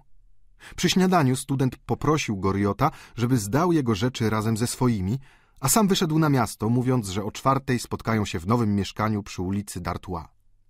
Niebawem stary poszedł szukać tragarzy, a Eugeniusz odpowiedział tymczasem na apel szkolny i wrócił śpiesznie do domu, żeby rozliczyć się z panią Woke, gdyż obawiał się, że Goriot w przystępie swego fanatyzmu gotów zapłacić za niego z własnej kieszeni. Nie zastawszy gospodyni, która wyszła na miasto, Eugeniusz wstąpił jeszcze do swego mieszkania, chcąc się przekonać, czy przypadkiem czego nie zapomniał. Jakoż nie pożałował swej przezorności, bo znalazł w szufladzie od stolika rewers, który napisał był dla Wotrena, a potem po zapłaceniu należności wrzucił niedbale do stolika. Nie mając ognia, chciał podrzeć go na drobne kawałki, gdy wtem usłyszał za ścianą głos delfiny i stanął bez ruchu, żeby posłyszeć, co będzie mówiła baronowa, która, jak sądził, nie powinna była mieć dla niego żadnej tajemnicy. Pierwsze wyrazy, które słyszał, obudziły w nim takie zajęcie, że postanowił wysłuchać rozmowy między ojcem a córką. Ach, mój ojcze, mówiła delfina. Postanowiłeś upomnieć się o moją fortunę, lecz daj Boże, żeby nie było za późno i żebyś zdołał jeszcze ochronić mnie od ruiny. Czy mogę mówić? Mów, w całym domu nikogo nie ma, wyrzekł ojciec Gorio głosem zmienionym. Co ci to, mój ojcze? zapytała pani Dunusiżą. Uderzyłaś mnie jak obuchem po głowie, rzekł starzec. Niech ci Bóg tego nie pamięta, dziecię moje. Ty nie wiesz, jak ja cię kocham. Gdybyś wiedziała, nie rzucałabyś mi tych słów okrutnych bez przygotowania. Zwłaszcza jeżeli nie zaszło nic nadzwyczajnego. Cóż cię tak znagliło, żeś przyjechała do mnie aż tutaj, wiedząc, że za chwilę mam być na ulicy Dartua? Ach, mój ojcze, czyliż w nieszczęściu można zapanować nad pierwszym poruszeniem? Ja głowę tracę. Adwokat twój wskazał mi dzisiaj nieszczęście, które niebawem pewnie w nas uderzy. Handlowe twoje doświadczenie będzie nam potrzebne. To też przybiegłam szukać ciebie, jak tonący, co się gałązki chwyta. Pan Derville przekonał się, że Nusijon myśli stawić opór i zagroził mu procesem, mówiąc, że nie trudno będzie otrzymać na to zgodę prezesa Trybunału. Nusijon przyszedł dziś do mnie i zapytał, czy ja pragnę jego i swojej ruiny. Odparłam mu, że ja się na tym nic a nic nie znam i że wiem tylko tyle, iż mam fortunę i powinnam z niej korzystać. Że zresztą wszystko, co się do tego sporu odnosi, należy wyłącznie do mego adwokata, gdyż ja sama nic z tego nie rozumiem i nic w tym względzie powiedzieć nie mogę. Czyż nie tak kazałeś mi powiedzieć, ojcze? Dobrześ powiedziała, odrzekł ojciec Gorio. Otóż, poczęła znów delfina, Nusijon przedstawił mi stan swoich interesów. Kapitały jego i moje włożone są w przedsięwzięcia zaledwie rozpoczęte, na które trzeba było wyłożyć z góry wielkie sumy. Jeżeli zażądam obecnie mego posagu, to Nusijon będzie zmuszony ogłosić się bankrutem. Jeżeli zaś zaczekam rok jeden, to przysięga mi na honor, że kapitały moje podwoją się a może i w trójnasób się powiększą, gdyż on będzie robił obroty i tak poprowadzi interesy, że ja zostanę właścicielką dóbr ziemskich. Ojcze mój, on mówił szczerze i ta szczerość jego mnie przeraziła. Przepraszał mnie za swe postępowanie, wrócił mi zupełną swobodę. Pozwolił mi postępować, jak mi się podoba, bylebym tylko upoważniła go do prowadzenia interesów w moim imieniu. Na dowód swej uczciwości przyrzekł mi, że ile razy ja zechcę, tyle razy wezwie pana Derville dla osądzenia, czy akta, na mocy których ja zostanę właścicielką ziemską, będą prawnie zredagowane. Jednym słowem, oddał mi się zupełnie na łaskę i niełaskę. Błaga tylko, żebym przez dwa lata jeszcze pozwoliła mu dom prowadzić i nie wydawała dla siebie nic nad to, co mi przeznacza. Przekonał mnie, że odprawił swą tancerkę że zmuszony jest zaprowadzić najsurowszą oszczędność, żeby nie zachwiać swego kredytu, zanim nie ukończy rozpoczętych spekulacji. Jam była nieubłagana. Udawałam, że w nic nie wierzę, żeby przywieźć go do ostateczności i dowiedzieć się całej prawdy. Pokazywał mi swe księgi, płakał wreszcie. Nigdy jeszcze nie widziałam człowieka w takim stanie. Zupełnie stracił głowę. Mówił, że się zabije, bredził jak w gorączce, aż mnie litość wzięła. I ty wierzysz w takie głupstwa? Zawołał ojciec Gorio. To komediant. Miałem ja do czynienia z Niemcami. Są to prawie zawsze ludzie uczciwi i otwarci. Lecz gdy który zacznie szachrować pod płaszczykiem szczerości, to pewnie stokroć gorzej od innych cię oszuka. Mąż twój zwodzi ciebie. Widzi, że go przyparto do muru. Udaj więc nieżywego i chce zasłonić się twoim imieniem więcej niż swoim własnym. Chce on skorzystać z tej okoliczności, żeby się zabezpieczyć przed nie dającymi się obliczyć z góry rezultatami swoich obrotów handlowych. Kręta z niego sztuka. Równie jest chytry jak przewrotny. Ale nic z tego. Nie pójdę ja na Père Lachaise z tym przekonaniem, że córki moje ze wszystkiego zostały wyzute. Znam się jeszcze trochę na interesach. Powiada, że kapitały jego włożone są w przedsiębiorstwa. Dobrze. W takim razie musi posiadać weksle, rewersy, umowy pisemne. Niechże ci je pokaże. I niech się z tobą rozliczy. Wtedy wybierzemy najkorzystniejsze spekulacje. Poprowadzimy je na swoje ryzyko i będziemy mieli dokumenty na imię Delfiny Goriot, małżonki barona Dunusijon, której majątek oddzielony jest od mężowskiego. Nie tacyśmy głupi, jak się jemu zdaje. Czy on sądzi, że ja pogodzę się z tą myślą, że ty możesz zostać bez majątku? Bez kawałka chleba? Ja bym jej nie zniósł przez jeden dzień, przez noc jedną, nawet przez dwie godziny. Ja nie mógłbym żyć z tą myślą. Jak to? Jam pracował przez lat czterdzieści, zlewając się potem i dźwigając worki na własnych ramionach. Jam sobie wszystkiego w życiu odmawiał dla was, anioły drogie, coście mi dodawały sił do każdej pracy. A dzisiaj mienie moje, życie moje całe miałoby pójść z dymem? O, ja bym umarł szalony rozpaczą. Nie, na wszystko, co jest świętego na ziemi i w niebie, my te sprawy rozjaśnimy. Sprawdzimy wszystkie księgi, kasę, przedsięwzięcia. Nie zasnę, nie położę się do łóżka. Jeść nie będę, dopóki się nie przekonam, że fundusz twój jest cały i nienaruszony.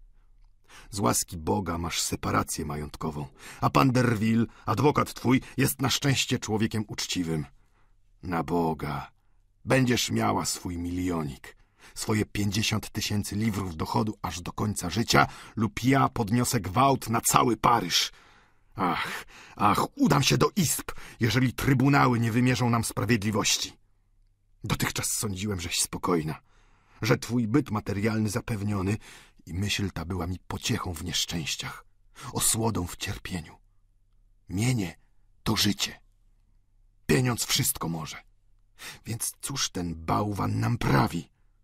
Delfino, nie ustępuj ani pół szelonga temu bydlakowi, który przykuł cię do łańcucha i uczynił nieszczęśliwą. Jeżeli nie będzie mógł obejść się bez ciebie, to przynajmniej wyuczmy go prosto chodzić. Boże, głowa mi płonie, coś mi czaszkę pali. Moja delfina w nędzy, och, fifinko moja, sapristi. Gdzież są moje rękawiczki? Dalej, śpieszmy. Idę. Zrewiduję wszystko. Książki, interesy, kasę, korespondencję. Pójdę w tej chwili. Nie uspokoję się, aż póki się nie przekonam, że twój fundusz jest zabezpieczony. Aż póki nie zobaczę tego na własne moje oczy. Rozważnie tylko, ojcze kochany. Pamiętaj, że zgubiłbyś mnie, gdybyś przystąpił do tego dzieła z najmniejszą chętką zemsty. Lub gdybyś zdradził zbyt nieprzychylne usposobienie. On cię zna i nie zdziwił się wcale, że pod twoim wpływem ja sama zaczęłam się troszczyć o swój fundusz. Lecz przysięgam ci, on wszystko zagarnął w swoje ręce. To nikczemnik. On gotów porzucić nas i uciec ze wszystkimi kapitałami. Bo wie dobrze, że ja bym go nie prześladowała, bo nie chciałabym hańbić własnego imienia. Jest on i słaby, i silny zarazem. Jużem ja wszystko dobrze zbadała. Przekonałam się, że przywodząc go do ostateczności, przyspieszę tylko własną ruinę. Ależ to łotr wierutny. Ha, tak jest, ojcze, zawołała, rzucając się z płaczem na krzesło. Nie chciałam mówić o tym, żeby ci oszczędzić zmartwienia, żeś mnie wydał za takiego człowieka. Obyczaje i sumienie, ciało i dusza, wszystko się w nim zgadza. To coś okropnego. Czuję dla niego pogardę i nienawiść. Tak jest. Po tym, co mi ten podły Nusiżon powiedział, nie mogę mieć dla niego najmniejszego szacunku. Człowiek, który mógł wdać się w takie spekulacje handlowe, o jakich on mi dziś mówił, nie ma żadnego poczucia delikatności. Obawy moje pochodzą stąd, żem jasno zobaczyła głąb jego duszy. On, mąż mój, powiedział otwarcie, że daje mi zupełną swobodę. Wiesz, ojcze, co to znaczy? Ale za to ja mam być w razie nieszczęścia narzędziem w jego ręku. Mam go zasłonić swoim imieniem. Ależ na to są prawa. Mamy przecie plac du Grif dla zięciów tego rodzaju, zawołał ojciec Gorio. Ja sam ściąłbym mu głowę, gdyby kata nie było. Nie, mój ojcze. Na niego prawa nie ma. Powtórzę ci w krótkości jego mowę, odrzucając niepotrzebne dodatki, w które treść samą objawił. Musisz pozwolić, bym ukończył rozpoczęte spekulacje, albo wszystko przepadnie i ty sama zostaniesz zrujnowana bez grosza przy duszy. Ja zaś nikogo prócz ciebie nie mogę wziąć za wspólnika. Czy to dość jasno?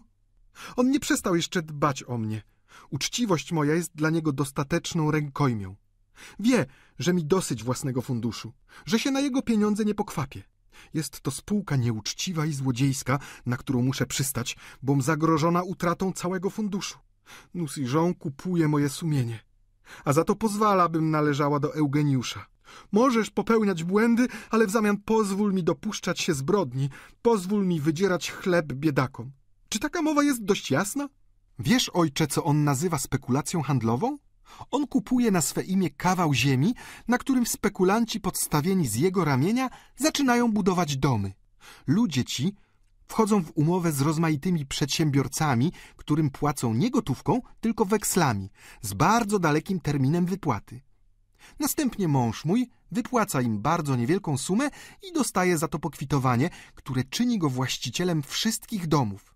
Oni zaś ogłaszają się bankrutami a biedni, oszukani przedsiębiorcy muszą iść z kwitkiem.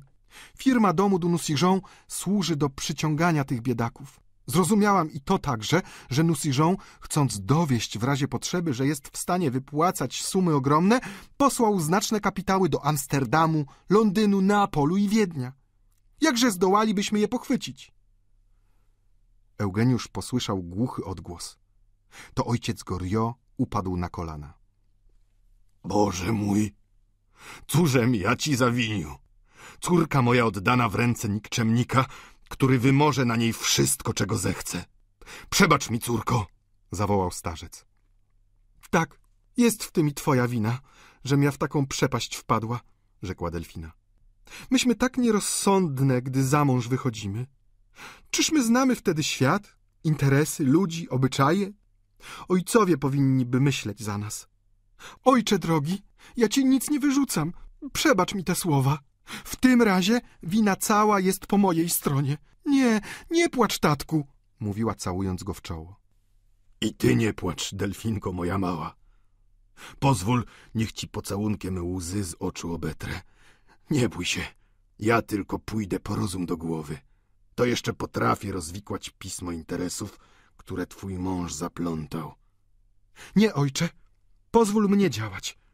Ja potrafię wziąć się do niego. On mnie kocha, mam nad nim przewagę. Skorzystam więc z tego i wymogę na nim, żeby obrócił niezwłocznie część moich kapitałów na kupno nieruchomości.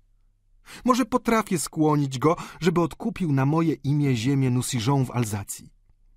Tylko proszę cię, ojcze, przyjdź jutro przejrzeć księgi i zbadać stan jego interesów. Pan Derville nic a nic nie zna się na sprawach handlowych. Nie, lepiej jutro nie przychodź. Nie chcę sobie psuć krwi. Pojutrze będzie bal u pani Dubuzon. Muszę więc oszczędzać się, żeby być piękną i świeżą i, i przynieść chlubę kochanemu memu Eugeniuszowi. Pójdźmy zobaczyć jego pokój. W tej chwili powóz jakiś zatrzymał się na ulicy Nów Saint-Jean-Vive, po czym dał się słyszeć na schodach głos pani Duresto, która zapytywała — Czy mój ojciec jest w domu? Okoliczność ta wybawiła szczęśliwie Eugeniusza, który zamierzał już rzucić się na łóżko i udać, że śpi w najlepsze. Ach, ojcze, czyś nie słyszał o Anastazji? rzekła Delfina, poznając głos siostry. Zdaje się, że u niej w domu dzieją się też dziwne rzeczy. Co takiego? zapytał ojciec Gorio. To już chyba przyszła ostatnia moja godzina. Biedna moja głowa nie wytrzyma podwójnego nieszczęścia. Dzień dobry, ojcze, rzekła hrabina we drzwiach. Ach, i tyś tutaj, Delfino. Pani Duresto była widocznie niezadowolona ze spotkania z siostrą. Dzień dobry, Naściu, rzekła baronowa. Czy cię moja obecność zadziwia? Ja się co dzień z ojcem widuję. Od jakiegoż to czasu? Nie potrzebowałabyś pytać, gdybyś również u niego bywała. Nie drażnij mnie, Delfino, zawołała hrabina płaczliwie. Jam taka nieszczęśliwa, jam zgubiona. Biedny mój ojcze.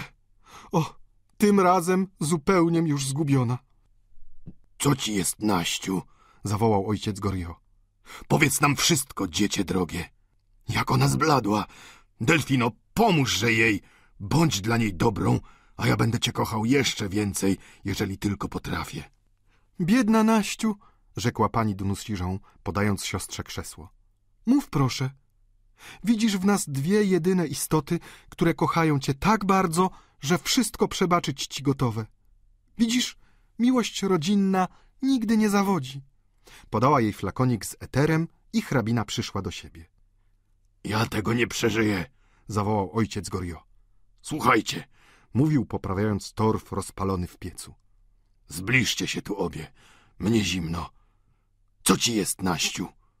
Mów prędko, bo mnie zabijasz. Ach, zawołała biedna kobieta. Mąż mój wie o wszystkim. Wyobraź sobie, ojcze, że niedawno przypominasz sobie ten weksel, Maksyma. Niestety, nie był to już pierwszy. Jużem ja przedtem nie jeden zapłaciła. W początku stycznia pan de Trai wydawał mi się jakoś bardzo zmartwiony. Nic wprawdzie nie mówił, ale to tak łatwo odgadnąć, co się dzieje w sercu istoty ukochanej dosyć najlżejszej wskazówki. Przy tym bywają czasem przeczucia.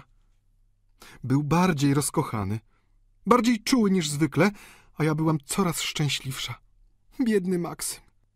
Wyznał później, że w myśli żegnał się ze mną, bo chciał sobie życie odebrać, ale zaczęłam go dręczyć, błagać. Dwie godziny modliłam go na kolanach, aż wyznał, że winien był sto tysięcy franków. Mnie się w głowie przewróciło. Tyś nie miał pieniędzy, bom ci wszystko wydarła, Nie, rzekł ojciec Gorio. nie mógłbym zebrać tyle pieniędzy. Chyba bym kraść poszedł. Ale ja byłbym poszedł, Naściu. Ja pójdę. Obie siostry milczały. Ostatnie słowo starego brzmiało złowrogo, jak przedśmiertne chrapanie i świadczyło o agonii uczucia ojcowskiego, które stało się już bezsilne. Jakiż egoizm nie zmiękłby na ten krzyk rozpaczy, co niby kamień w przepaść ciśnięty zdradzał głębokość jej niezmierzoną. Uzyskałam te pieniądze, rozporządzając tym, co do mnie należało, zawołała hrabina, zalewając się łzami. Delfina wzruszona zapłakała także, tuląc głowę do szyi siostry. Więc to wszystko prawda, wyrzekła. Anastazja spuściła głowę. Pani Dunusiżą otoczyła jej kibić ramieniem, ucałowała ją czule i przytuliła do piersi. Tu znajdziesz zawsze miłość, a nigdy sądzona nie będziesz, powiedziała. Aniołki moje, Rzekł Gorio słabym głosem. dlaczegoż nieszczęście jest przyczyną waszego połączenia? Chcąc ocalić życie Maksyma, chcąc wreszcie ocalić całe moje szczęście, poczęła hrabina ośmielona dowodami uczucia żywego i gorącego, poszłam do znanego ci lichwiarza, do tego piekielnego gopseka, którego nic wzruszyć nie może, i sprzedałam mu wszystkie brylanty familijne, do których pan Duresto niezmiernie jest przywiązany. Wszystkie sprzedałam. Rozumiecie? On został wybawiony, ale ja za to umarłam. Resto o wszystkim się dowiedział. Przez kogo? Jak? Ja go zabiję! krzyknął ojciec Gorio. Wczoraj kazał mnie prosić do swego pokoju. Poszłam. Anastazjo, powiedział takim głosem. Och, dość mi było głos jego usłyszeć, bym się wszystkiego domyśliła. Gdzie są twoje brylanty? Mam je u siebie. Nie, odparł patrząc mi w oczy. One są tu, na mojej komodzie. I pokazał mi szkatułkę, którą przykrył był chustką do nosa. Wiesz, skąd się tu wzięły? Zapytał. Upadłam mu do nóg. Płakałam. Pytałam, jaki rodzaj śmierci wolałby wybrać dla mnie. Tyś to wszystko powiedziała? Zawołał ojciec Gorio. Na święte imię pańskie. Każdy, kto ośmieli się skrzywdzić jedną z was, póki ja żyję, może być pewien, że go na wolnym ogniu spalę. Tak jest. Posiekam go jak... Ojciec Gorio zamilkł. Wyrazy zamierały mu w gardle. W końcu, moja droga, objawił takie żądanie, że wolałabym, iżby wydał na mnie wyrok śmierci. Nie daj Boże żadnej kobiecie, żeby miała usłyszeć to, co ja usłyszałam, Ja zamorduję tego człowieka, powiedział ojciec Gorio spokojnie. ale on ma tylko jedno życie, a mnie dwa winien. Czegóż on chciał? Zapytał, patrząc na Anastazję. Oto, poczęła hrabina po chwilowym milczeniu. Odezwał się do mnie w te słowa. Anastazjo, ja pokryję wszystko milczeniem.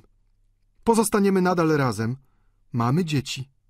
Nie zastrzelę pana de Trey, bo mógłbym go chybić, a chcąc się go pozbyć w inny sposób, mógłbym się spotkać ze sprawiedliwością ludzką. Zabić go w twoich objęciach to znaczyłoby zniesławić dzieci. Chcąc uniknąć zguby twych dzieci, ich ojca i swojej własnej, podaję ci dwa warunki. Odpowiadaj, czy ja mam choć jedno dziecko? Odpowiedziałam, że tak. Które? Ernesta, najstarszego. Dobrze, powiedział. Teraz przysięgnij, że będziesz mi posłuszną w jednym razie. Przysięgłam. Podpiszesz, gdy ja zechcę, akt sprzedaży dóbr swoich. Nie podpisuj! Zawołał ojciec Gorio. Nigdy nie podpisuj tego! Ach, ach, panie Duresto, nie umiesz zapewnić szczęścia kobiecie. Ona szuka go gdzie indziej, a ty karzesz ją za swą głupią niedołężność. Ale hola, ja tu jestem. Znajdzie on mnie na swej drodze. Bądź spokojna, Naściu. A, pan hrabia troszczy się o spadkobiercę. Bardzo dobrze. Ja mu pochwycę tego syna, który do pioruna jest przecie moim wnukiem. Wolno mi będzie przecie zobaczyć tego bębna. Będę miał o nim staranie. Bądź spokojna. Upokorzę ja tego potwora, gdy mu powiem, teraz między nami sprawa. Jeżeli chcesz mieć syna, to oddaj mej córce cały fundusz i pozwól jej postępować, jak się jej podoba. Mój ojcze! Tak, jam twój ojciec. A, jam ojciec prawdziwy. Niech ten jasny pan nie śmie krzywdzić mych córek. Do pioruna. Nie wiem, co w mych żyłach krąży. Mam krew tygrysią. Chciałbym pożreć tych dwóch ludzi. O dzieci, więc to takie wasze życie? Ach, to śmierć moja. Cóż się z wami stanie, gdy mnie już nie będzie? Rodzice powinni by żyć tak długo, jak i dzieci. Mój Boże, jakże ten świat źle urządzony. A jednak mówią nam, że ty masz syna. Powinien byś nie dopuścić, żebyśmy w dzieciach naszych cierpieli. Jak to, drogie moje anioły? Więc tylko boleści waszej zawdzięczam, żeście tu przyszły? Pokazujecie mi tylko łzy swoje. O tak, wy mnie kochacie, widzę to dobrze. Chodźcie, chodźcie poskarżyć się tutaj. Serce moje jest wielkie, może wszystko zmieścić. Tak jest, na próżno rozrywać je będziecie, bo z każdego kawałka powstanie serce ojcowskie. Chciałbym wziąć na siebie troski wasze i wycierpieć wszystko, co wycierpicie. Ach, byłyście bardzo szczęśliwe, gdyście były małe. Tylko wówczas dobrze nam było, rzekła Delfina. Gdzież są te czasy, kiedyśmy to zeskakiwały z worków w wielkim spichlerzu? Ojcze, to jeszcze nie wszystko, szepnęła Anastazja, pochylając się ku Goriotowi, który aż się cofnął. Sprzedaż brylantów nie przyniosła mi stu tysięcy franków. Maksyma wciąż ścigają. Pozostaje zapłacić tylko dwanaście tysięcy, a on przyrzekł, że się ustatkuje, że już nadal grać nie będzie. Ja mam tylko tę miłość jego na świecie. A zapłaciłam za nią tak drogo, że umrę, jeżeli utracić ją będę musiała. Poświęciłam jej mienie, sławę, spokój i dzieci. O, niechże przynajmniej Maksym będzie swobodny, szanowany. Niech pozostanie w świecie, gdzie sobie stanowisko wyrobić potrafi. Teraz on winien mi nie samo szczęście. Mamy dzieci, które zostałyby bez majątku. Wszystko przepadnie, jeżeli go osadzą w są pelagie.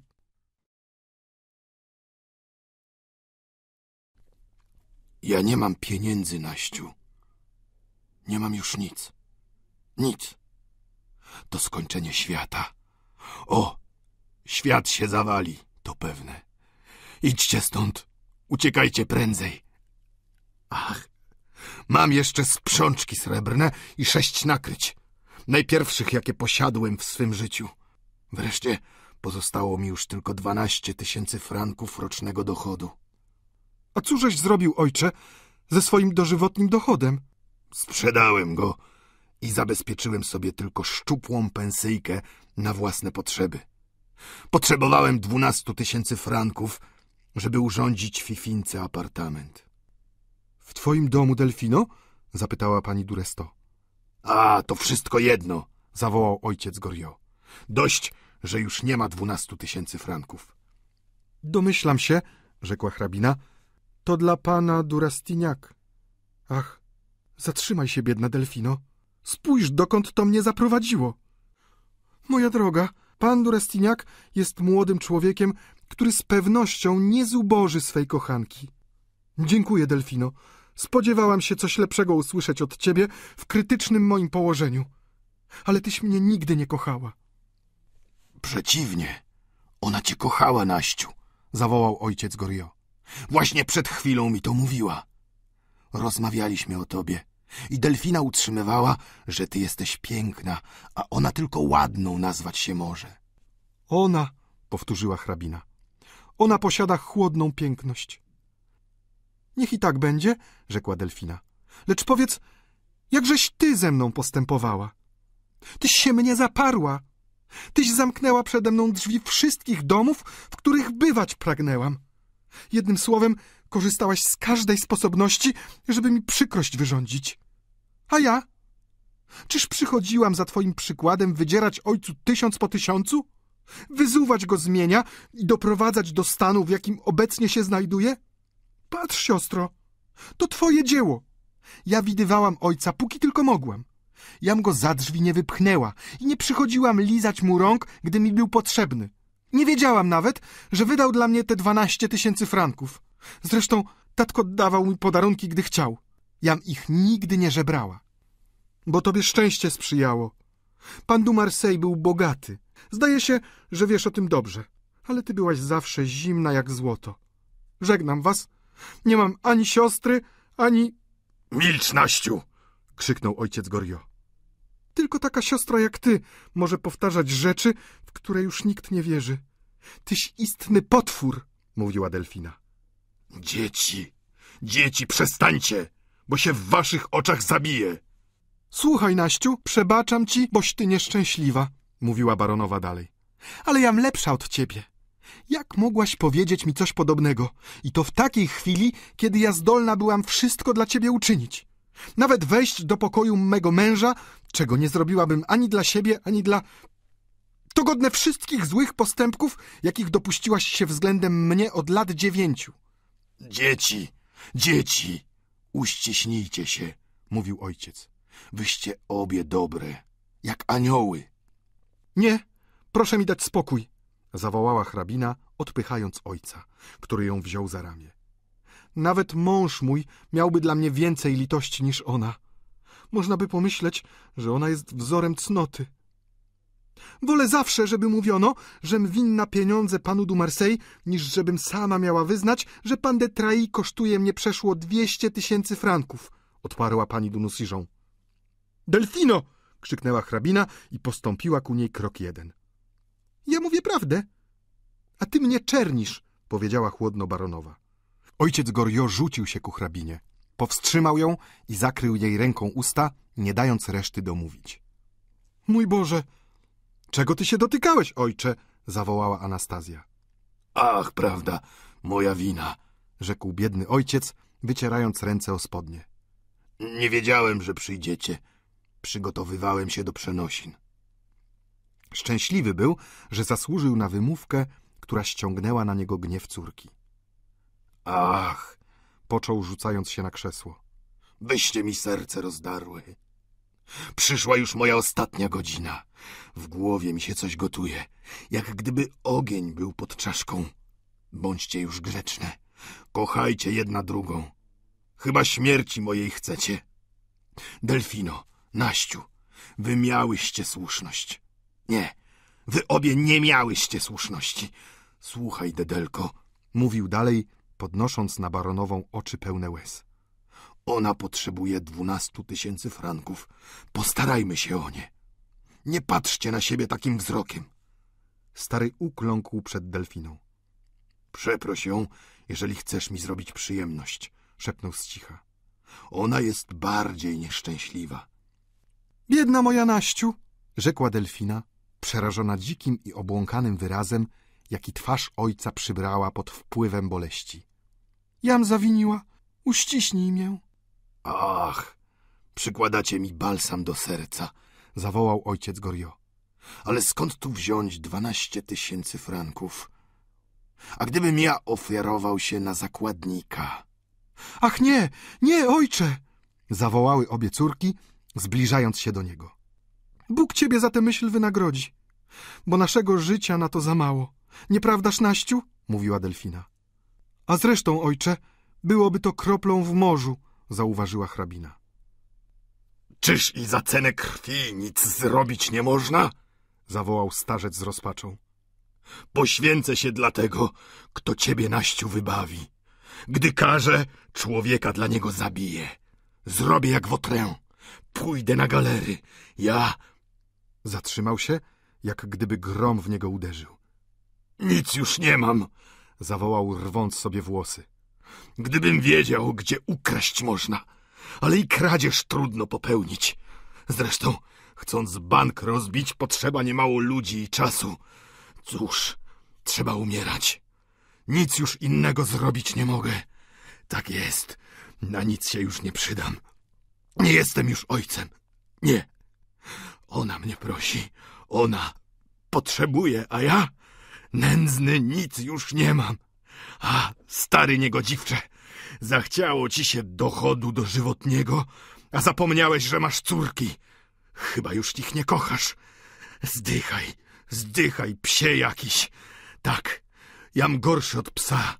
Żaden pies nie postąpiłby w ten sposób. Och, moja głowa, coś mi ją rozsadza. Ależ ojcze, bądź rozsądny, wołały obie kobiety, zatrzymując Goriota, który uderzał głową o ścianę. Stary zanosił się od płaczu. Eugeniusz, przerażony tym, co słyszał, pochwycił rewers podpisany dla Wotrena na znacznie większą sumę, poprawił cyfrę i zrobił na imię Goriota rewers regularny na dwanaście tysięcy franków.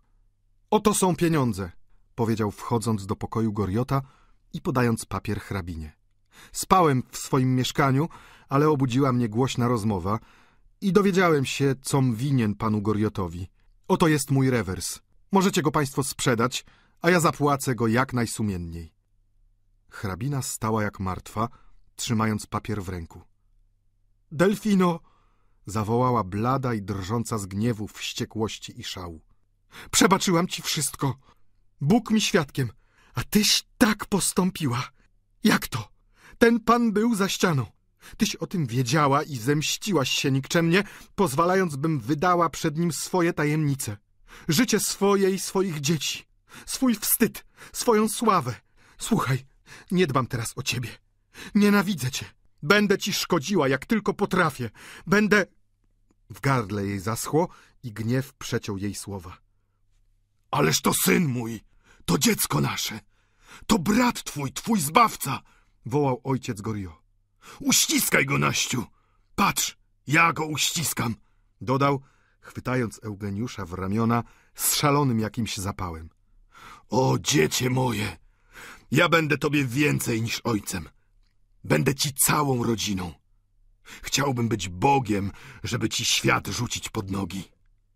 Ale pocałujże go, Naściu. To nie człowiek, to anioł. Prawdziwy anioł. Daj jej spokój, ojcze.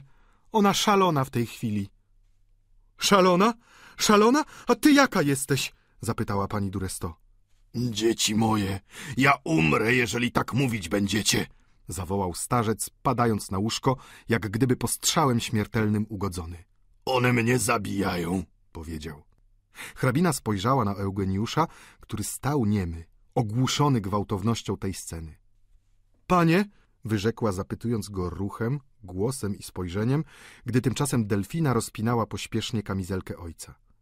Pani, zapłacę i będę milczał, odparł nie czekając zapytania.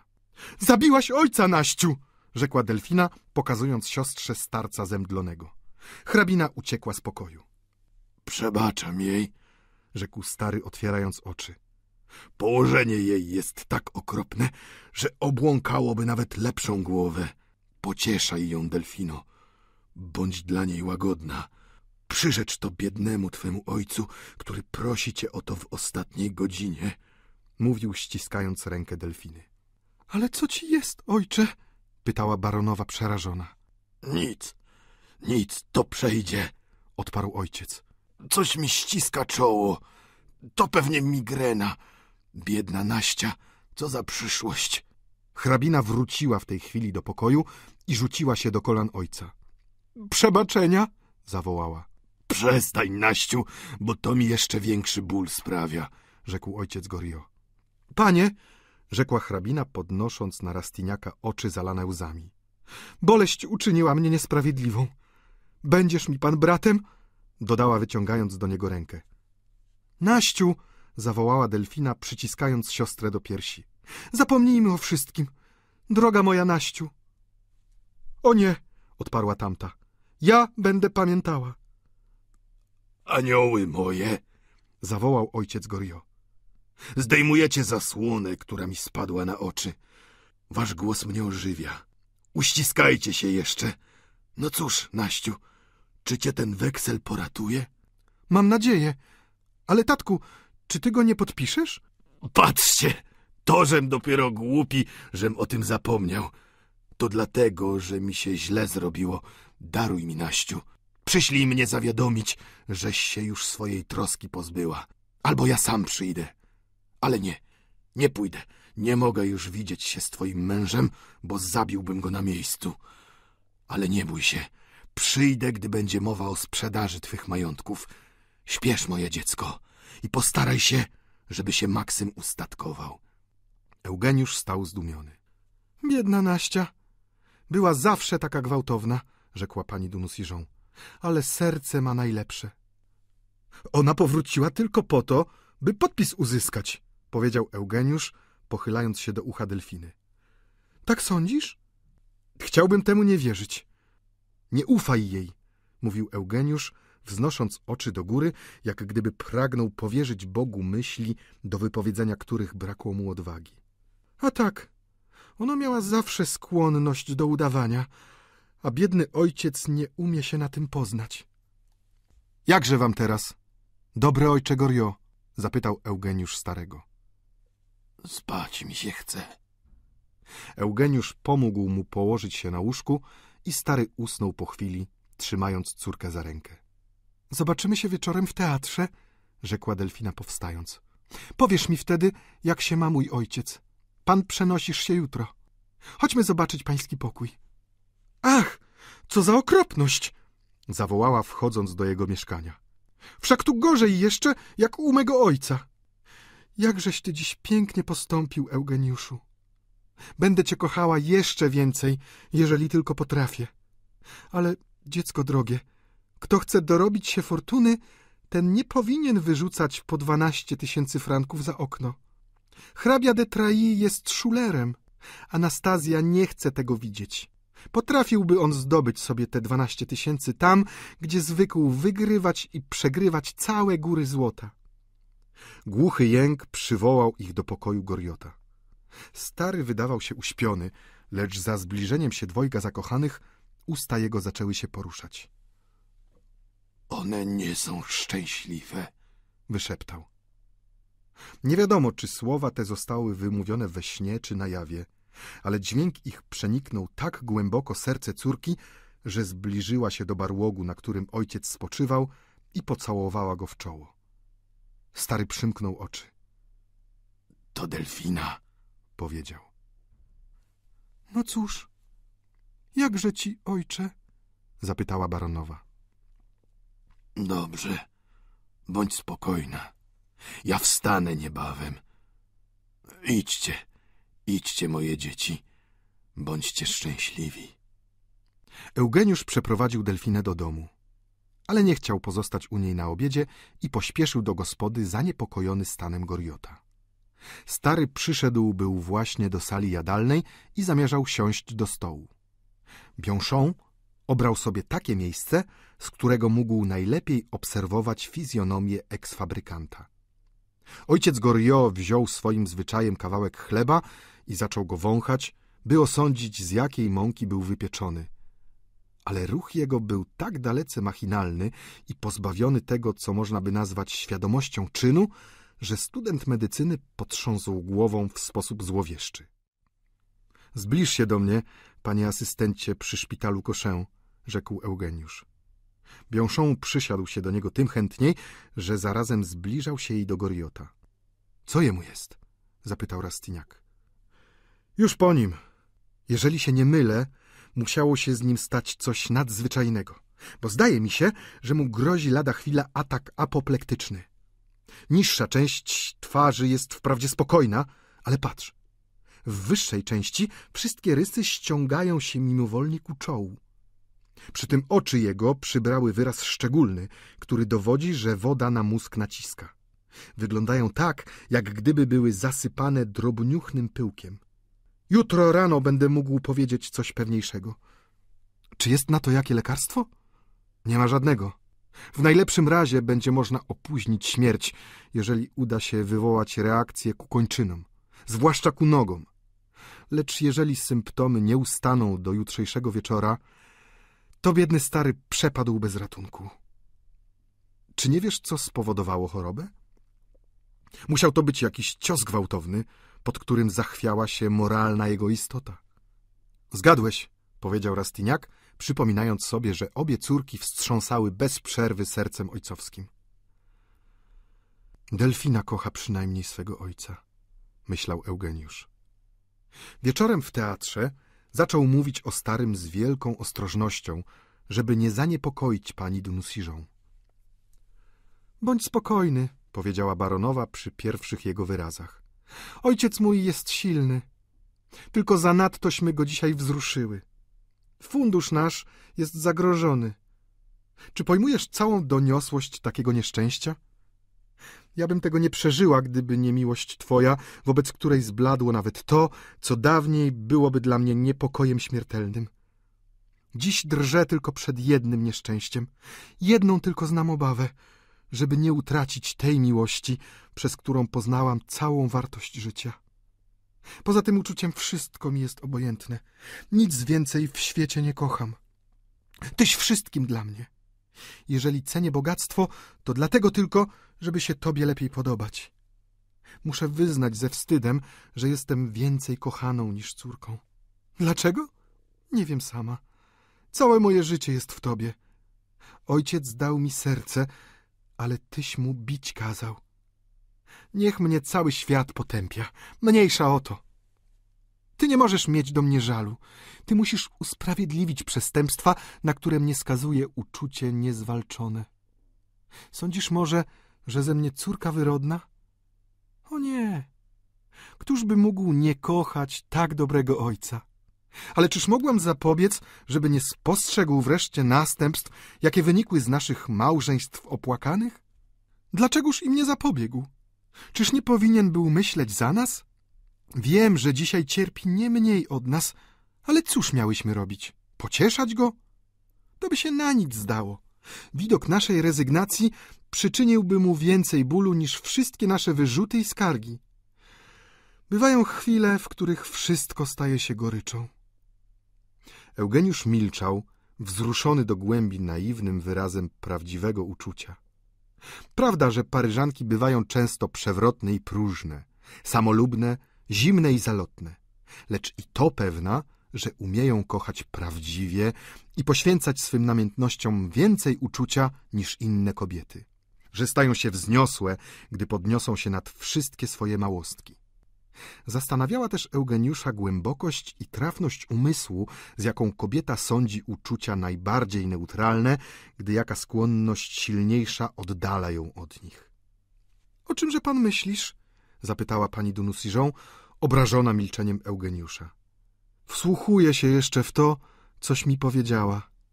Sądziłem dotychczas, że ja kocham silniej od ciebie.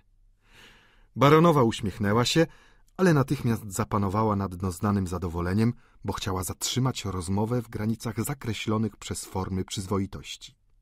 Dotąd nigdy jeszcze nie słyszała przejmujących wyrazów miłości młodzieńczej i szczerej. Jeszcze słów kilka, a nie miałaby już siły zapanować nad sobą. Eugeniuszu, powiedziała zmieniając przedmiot rozmowy, czy wiesz, że cały Paryż będzie jutro u pani Dubuzon? Rofidowie i markiz d'Adjuda postanowili działać w tajemnicy. Król ma podpisać jutro kontrakt ślubny, a biedna twoja kuzynka nic jeszcze o tym nie wie. Będzie musiała przyjmować jutro masę osób, a markiza nie będzie na jej balu. Powszechnie o tym tylko mówią. A świat śmieje się z podłości i udział w niej przyjmuje. Czyż nie wiesz, że pani Dubuzon życiem to przypłaci? Nie, odparła Delfina z uśmiechem. Nie znasz tego rodzaju kobiet, ale cały Paryż pójdzie do niej i ja tam będę. Tobie jednak zawdzięczam to szczęście. Może to tylko jedna z niedorzecznych pogłosek, których tak wiele krąży po Paryżu, powiedział Rastignac. Jutro dowiemy się prawdy. Eugeniusz nie poszedł do domu Woke. Nie mógł wymóc na sobie, żeby nie nacieszyć się nowym mieszkaniem. Ostatnim razem Eugeniusz wyszedł od Delfiny o pierwszej po północy. A teraz znów Delfina pożegnała go koło drugiej. Nazajutrz spał dość długo, a później czekał pani Dunusijon, która przyjechała o południu na śniadanie. Młodzi ludzie tak są chciwi tych uroczych chwil szczęścia, że Eugeniusz zapomniał prawie zupełnie o ojcu Gorio. Jakże mu błogo było oswajać się z tymi wykwintnymi przedmiotami, które do niego należały. Obecność pani Dunusijon podnosiła jeszcze wartość każdej rzeczy. Około czwartej kochankowie przypomnieli sobie ojca Gorio, myśląc o szczęściu, którego nieborak spodziewał się zakosztować w tym domu. Eugeniusz zrobił uwagę, że stary mógł się na dobre rozchorować i że dlatego właśnie należało przenieść go jak najrychlej do nowego mieszkania. Pożegnał więc Delfinę i pośpieszył do domu w Oke, gdzie wszyscy stołownicy zgromadzeni już byli u stołu. Brakowało tylko Goriota i Biąszona. — Wiesz — zawołał malarz — ojciec Gorio zupełnie się rozkleił. Biąszon jest u niego. Stary widział się z jedną z swych córek, z hrabiną Duros Storama. Potem chciał wyjść, ale słabość jego się wzmogła. Społeczeństwo utraci jedną z najpiękniejszych swych ozdób. Rastignac postąpił szybko ku schodom. — Panie Eugeniuszu! — Proszę pana! — rzekła wdowa. — I ojciec Gorio i pan mieliście opuścić mój dom 15 lutego. Tymczasem trzy dni upłynęły już od tej daty. Trzeba będzie zapłacić mi za cały miesiąc. Ale ja poprzestanę na słowie pańskim, jeżeli pan zechcesz zaręczyć za ojca Gorio. Po co? Czyż mu pani nie ufasz? Czy nie ufam? Gdyby nieborak stracił przytomność i umarł, to córki jego nie dałyby mi ani grosza. A to, co po nim pozostanie, nie warte i dziesięciu franków. Nie wiem, po co wyniósł dziś z domu ostatnie swoje sztućce srebrne. Wystroił się jak młodzieniec, a nawet, Boże odpuść, zdaje mi się, że się uróżował, bo był dziwnie jakoś wyświeżony. Ja odpowiadam za wszystko, rzekł Eugeniusz i zadrżał z przerażenia, przeczuwając nową jakąś katastrofę. Poszedł co prędzej do Goriota, którego zastał w łóżku. Biąszą siedział tuż przy nim. Dzień dobry, ojcze, rzekł Eugeniusz. Starzec uśmiechnął się łagodnie, zwracając na niego szkliste swoje oczy. Jakże się ona ma? zapytał. Dobrze. A ty, ojcze? Nieźle. Nie trzeba go utrudzać, rzekł Biąszą, odciągając Eugeniusza w róg pokoju. Cóż tu słychać? zapytał Rastignac. Biedak cudem chyba może być zbawiony. Uderzenie na mózg już nastąpiło. Przyłożyłem mu synapizmy. Szczęściem odczuwa je, to znak, że działają. Czy można go przenieść? Niepodobna. Trzeba go pozostawić w spokoju i strzec od wszelkiego wzruszenia, fizycznego lub moralnego. Kochany Biąszą, my obaj będziemy go pielęgnowali. Jużem ja wezwał naczelnego lekarza z mego szpitala. No i cóż? On zawyrokuje dopiero jutro wieczorem. Przyrzekł mi, że przyjdzie, gdy załatwi swą czynność.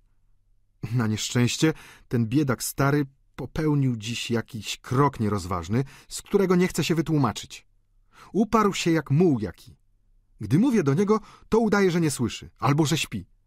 A gdy oczy otworzy, to zaczyna stękać, żeby mi tylko nie odpowiadać. Chodził dziś z rana na miasto, nie wiadomo dokąd. Zabrał z sobą, co tylko posiadał z kosztowniejszych rzeczy i musiał zrobić jakąś frymarkę, przy czym resztki sił wyczerpał. Jedna z córek była u niego. Hrabina? zapytał Eugeniusz. Czy to była brunetka wysmukła o kształtnej nóżce i żywych, pięknych oczach? Tak jest. Zostaw mnie na chwilę sam na sam ze starym. Ja go wyspowiadam. On mi wszystko powie. Pójdę tymczasem na obiad. Tylko staraj się nie wzruszać go zanadto, bośmy jeszcze ostatecznie nadziei nie stracili. Bądź spokojny, Jutro będą się dobrze bawiły. rzekł ojciec Gorio do Eugeniusza, gdy zostali sami. Będą na wielkim balu. Powiedz mi, tatku, coś ty dziś robił z rana, że teraz masz się gorzej i musisz leżeć w łóżku? Nic. Anastazja była u ciebie? zapytał Rastiniak. Tak. Odparł ojciec Gorio. No i cóż? Proszę nic przede mną nie ukrywać. Czegóż ona jeszcze żądała? Ach, Począł stary z wysiłkiem. cóż chcesz, moje dziecko? Ona była bardzo nieszczęśliwa. Naścia nie ma ani grosza od czasu owej sprawy z brylantami. Kazała sobie robić na bal suknię ze złotogłowu, w której będzie wyglądała jako cacko. Ale szwaczka niegodziwa nie chciała nic robić na kredyt i Naścia musiała wziąć tysiąc franków od pokojówki, żeby zapłacić jej z góry. Biedna. Trzebaż jej było dojść do tego. To mi serce rozdarło.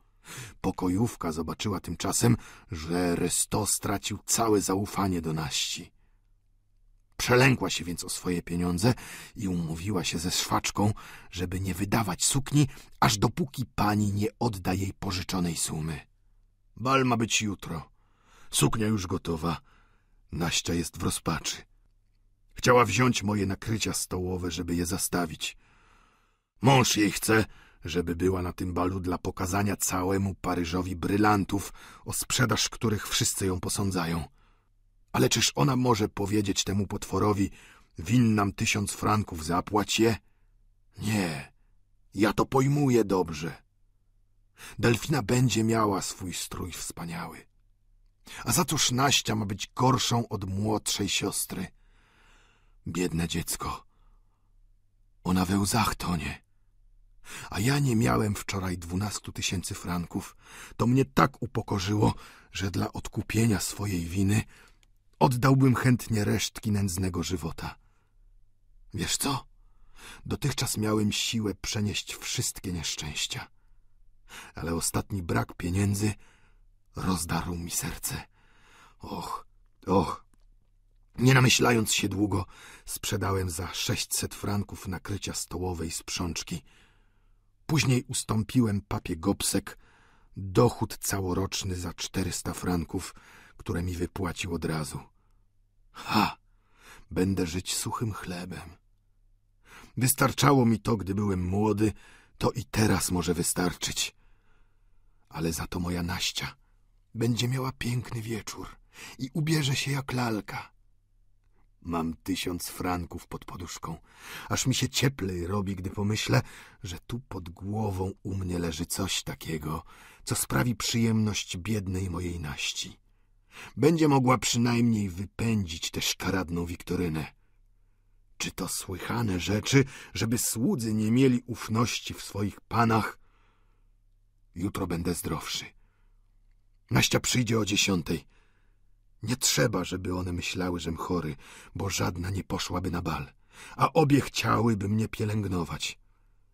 Naścia uściśnie mnie jutro jak swoje dziecko, a pieszczoty jej zupełnie mnie uzdrowią. Mogłem wydać tysiąc franków na lekarstwo, lecz wolę dać je memu wszechlekarzowi, mojej Naści. Przynajmniej pocieszę ją w nędzy, a to zgładzi mą winę, żem śmiał zapewnić sobie dochód dożywotni.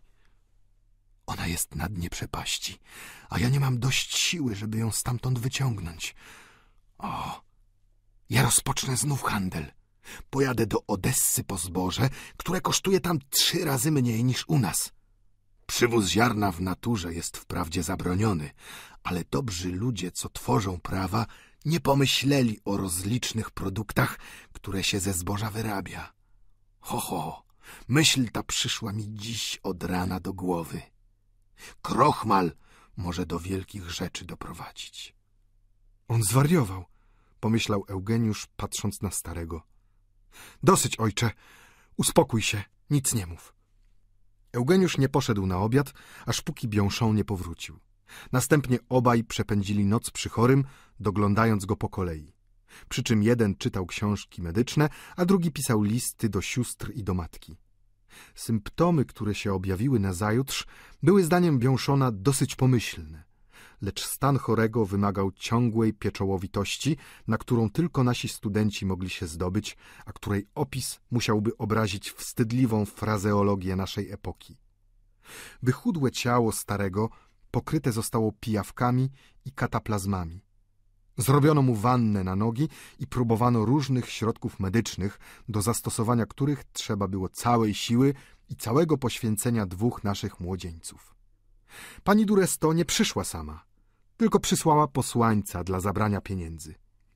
Sądziłem, że sama przyjdzie. Ale to i lepiej, że przysłała, bo widok mój mógłby ją zaniepokoić rzekł ojciec Gorio, którego i ta okoliczność zdawała się uszczęśliwiać. O siódmej wieczorem Teresa przyniosła list od Delfiny. Czymżeś ty zajęty, drogi przyjacielu?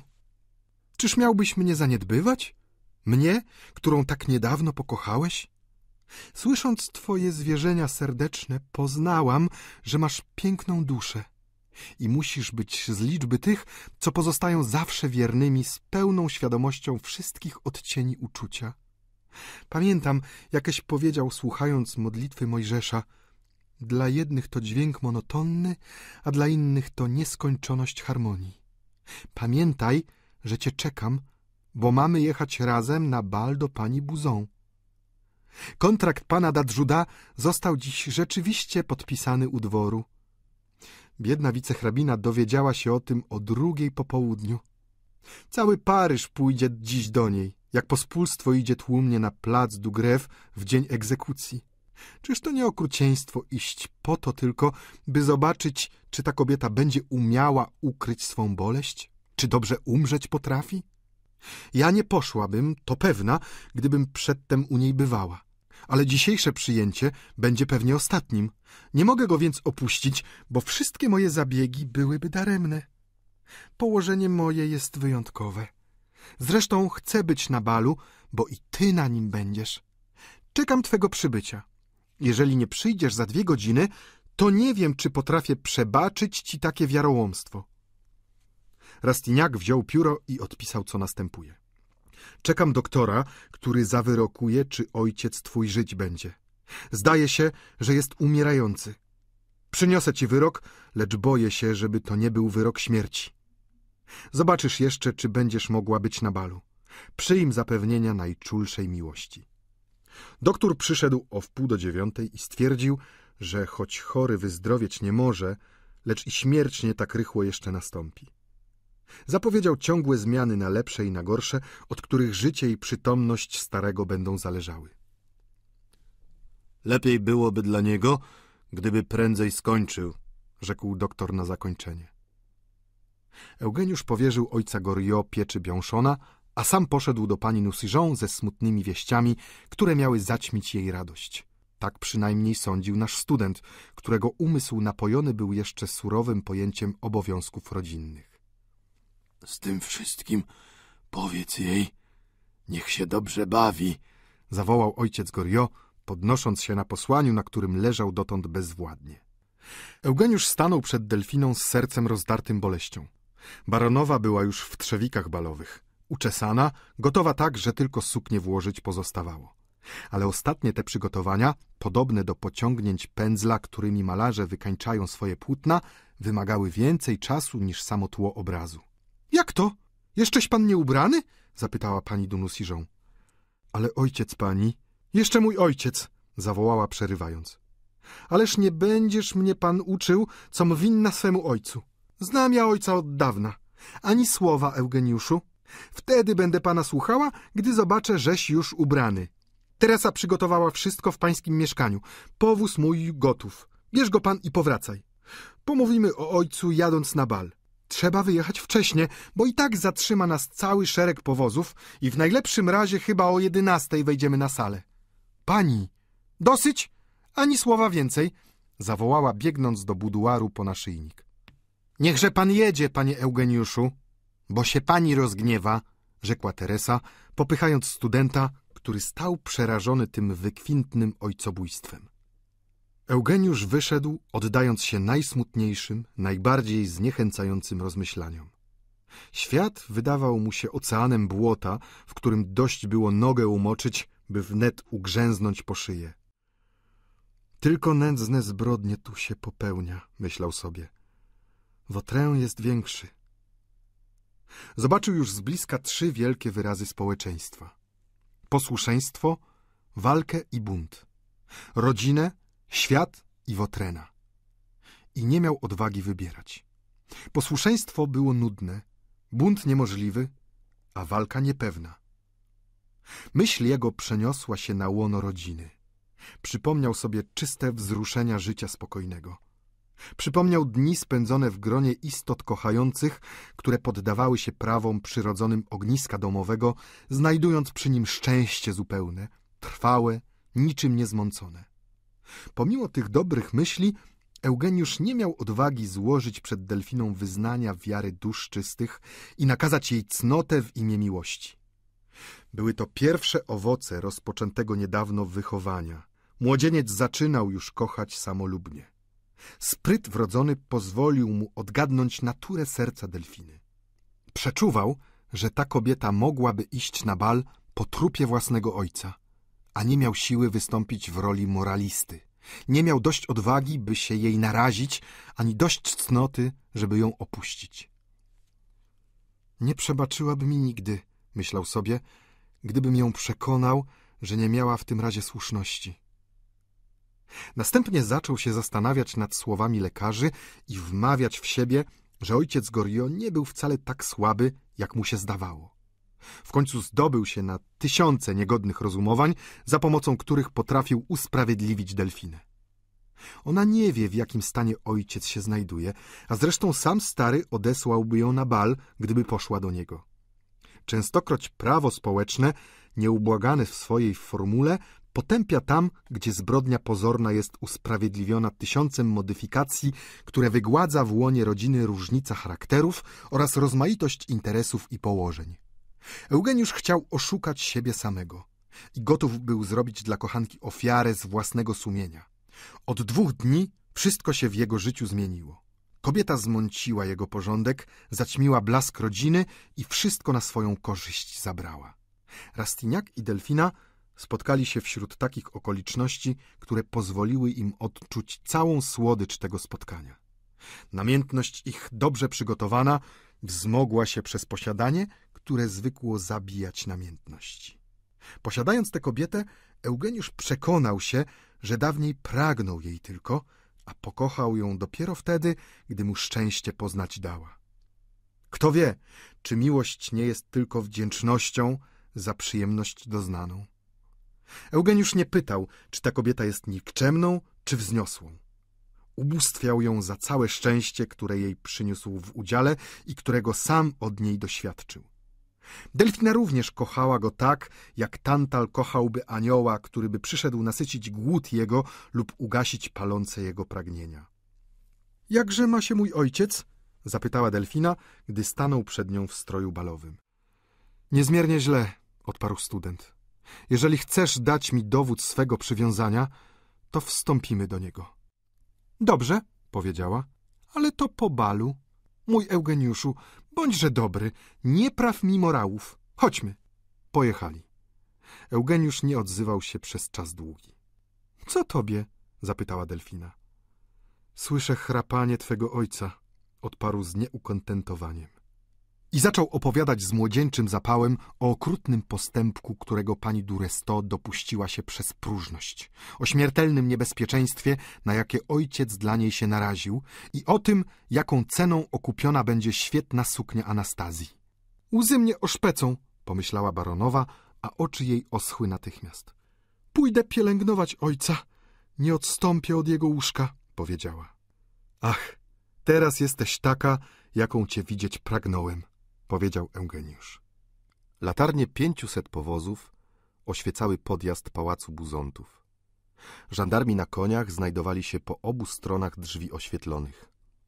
Wyborowe towarzystwo napływało tak obficie, a każdemu tak pilno było zobaczyć tę wielką kobietę w chwili upadku, że parterowe salony pałacu były już napełnione, gdy pani Dunusi-Jean przybyła z Rastignakiem. Od chwili, gdy cały dwór cisnął się do wielkiej panny, której Ludwik XIV wydzierał kochanka, żadne nieszczęście serdeczne nie miało tyle rozgłosu, co przygoda pani Dubuzon. Ale ostatnia córa prawie królewskiego domu burgundzkiego okazała się wyższa od swego nieszczęścia i panowała aż do ostatniej chwili światu, od którego przyjęła próżność tylko dlatego, że ta miała dopomóc do triumfu jej miłości. Najpiękniejsze kobiety Paryża ożywiały salon świetnością stroju i wdziękiem swych uśmiechów. Dokoła wicehrabiny cisnęli się doradcy najbardziej dystyngowani, znakomitości wszelkiego rodzaju, ambasadorowie i ministrowie obwieszani krzyżami, gwiazdami i wstęgami różnych kolorów. Orkiestra brzmiała pod złocistymi stropami pałacu, który zmienił się dla swej królowej w pustynię bezludną. Pani Dubuzon stała na środku pierwszego salonu, przyjmując mniemanych swoich przyjaciół. Ubrana biało, bez żadnych ozdób, w gładko zaplecionych włosach. Wydawała się spokojna i nie zdradzała ani boleści, ani dumy, ani radości kłamanej. Nikt nie mógł wyczytać, co się działo w jej duszy. Rzekłbyś, że to niobę wyciosana z marmuru.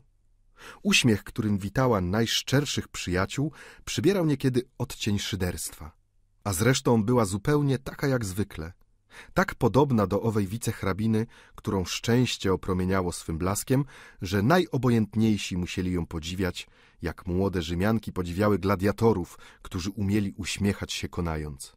Rzekłbyś, że świat przystroił się odświętnie na pożegnanie jednej z władczyń swoich. Obawiałam się, że pan nie przyjedziesz, rzekła do Rastiniaka. Pani, odparł głosem wzruszonym, biorąc jej słowa za wymówkę. Przyszedłem i wyjdę ostatni. Dobrze, powiedziała, biorąc go za rękę. Pan jesteś tu może jedyną istotą, której mogę zaufać. Przyjacielu, kochaj tylko taką kobietę, którą będziesz mógł kochać wiecznie, a nigdy żadnej nie opuszczaj. Wsparła się na ramieniu Rastiniaka i poprowadziła go do salonu, w którym grano w karty. Jedź pan do markiza, rzekła siadając z nim na kanapie. Jakub, kamerdyner mój, pojedzie razem i wręczy ci list do markiza, w którym upominam się o swoją korespondencję. Chcę wierzyć, że odda ci ją w całości.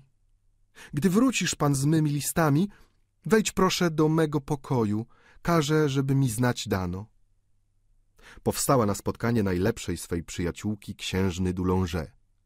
Rastignac pojechał do pałacu Rofidów, gdzie margrabia Dadżuda miał spędzić wieczór. Jakoż był tam rzeczywiście, lecz dowiedziawszy się o co chodzi, pojechał ze studentem do swego mieszkania i wręczył mu szkatułkę, mówiąc — tu są wszystkie listy. Zdawało się, że chce coś jeszcze mówić. Może pragnął dowiedzieć się szczegółów o balu u wicehrabiny. A może chciał wyznać przed Eugeniuszem, że już zaczyna rozpaczać z powodu swego małżeństwa, co później rzeczywiście miało miejsce, lecz błyskawica dumy zapaliła mu się w oczach i miał smutną odwagę zamilczeć o najszlachetniejszych swych uczuciach.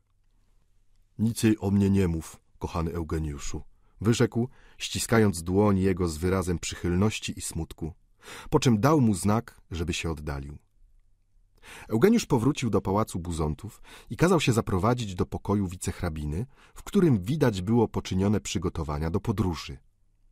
Usiadł przy ogniu, a utkwiwszy wzrok w szkatułkę cedrową, pogrążał się w głęboką i smutną zadumę. Pani Dubuzon przybierała w jego oczach rozmiary bogiń Iliady. Ach, przyjacielu, rzekła wicehrabina, wchodząc i opierając rękę na ramieniu Rastiniaka. Stała cała przed nim we łzach, z oczyma wzniesionymi. Jedną rękę drżącą wyciągnęła ku niemu, a drugą podniosła ku górze. Pochwyciła nagle szkatułkę, rzuciła ją do ognia i śledziła okiem, aż póki nie spłonęła. Tańczą. Wszyscy przyszli punktualnie. Tylko śmierć przyjdzie za późno. Cyt, przyjacielu, zawołała, kładąc palec na ustach Rastiniaka, który chciał coś powiedzieć. Nigdy już nie zobaczę ani Paryża, ani świata. O piątej z rana odjeżdżam stąd, żeby zagrzebać się w głębi Normandii.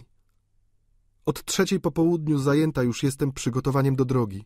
Musiałam podpisywać akta, wejrzeć w interesy. Nie miałam kogo posłać do... Zatrzymała się. Byłam pewna, że można go znaleźć u... Zatrzymała się znowu, przejęta boleścią. W takiej chwili wszystko jest cierpieniem, a niektórych słów wymówić nawet niepodobna. Wreszcie, poczęła znowu, liczyłam na pana, że zechcesz mi oddać tę ostatnią przysługę. Chciałabym dać ci jakiś zadatek przyjaźni. Będę myślała często o tobie, boś mi się wydał dobry i szlachetny, młody i czysty wśród tego świata, w którym podobne przymioty tak rzadko się spotykają. Pragnę, żebyś o mnie czasem pomyślał. Obejrzała się dokoła. Oto jest, powiedziała, pudełko, w którym chowałam rękawiczki.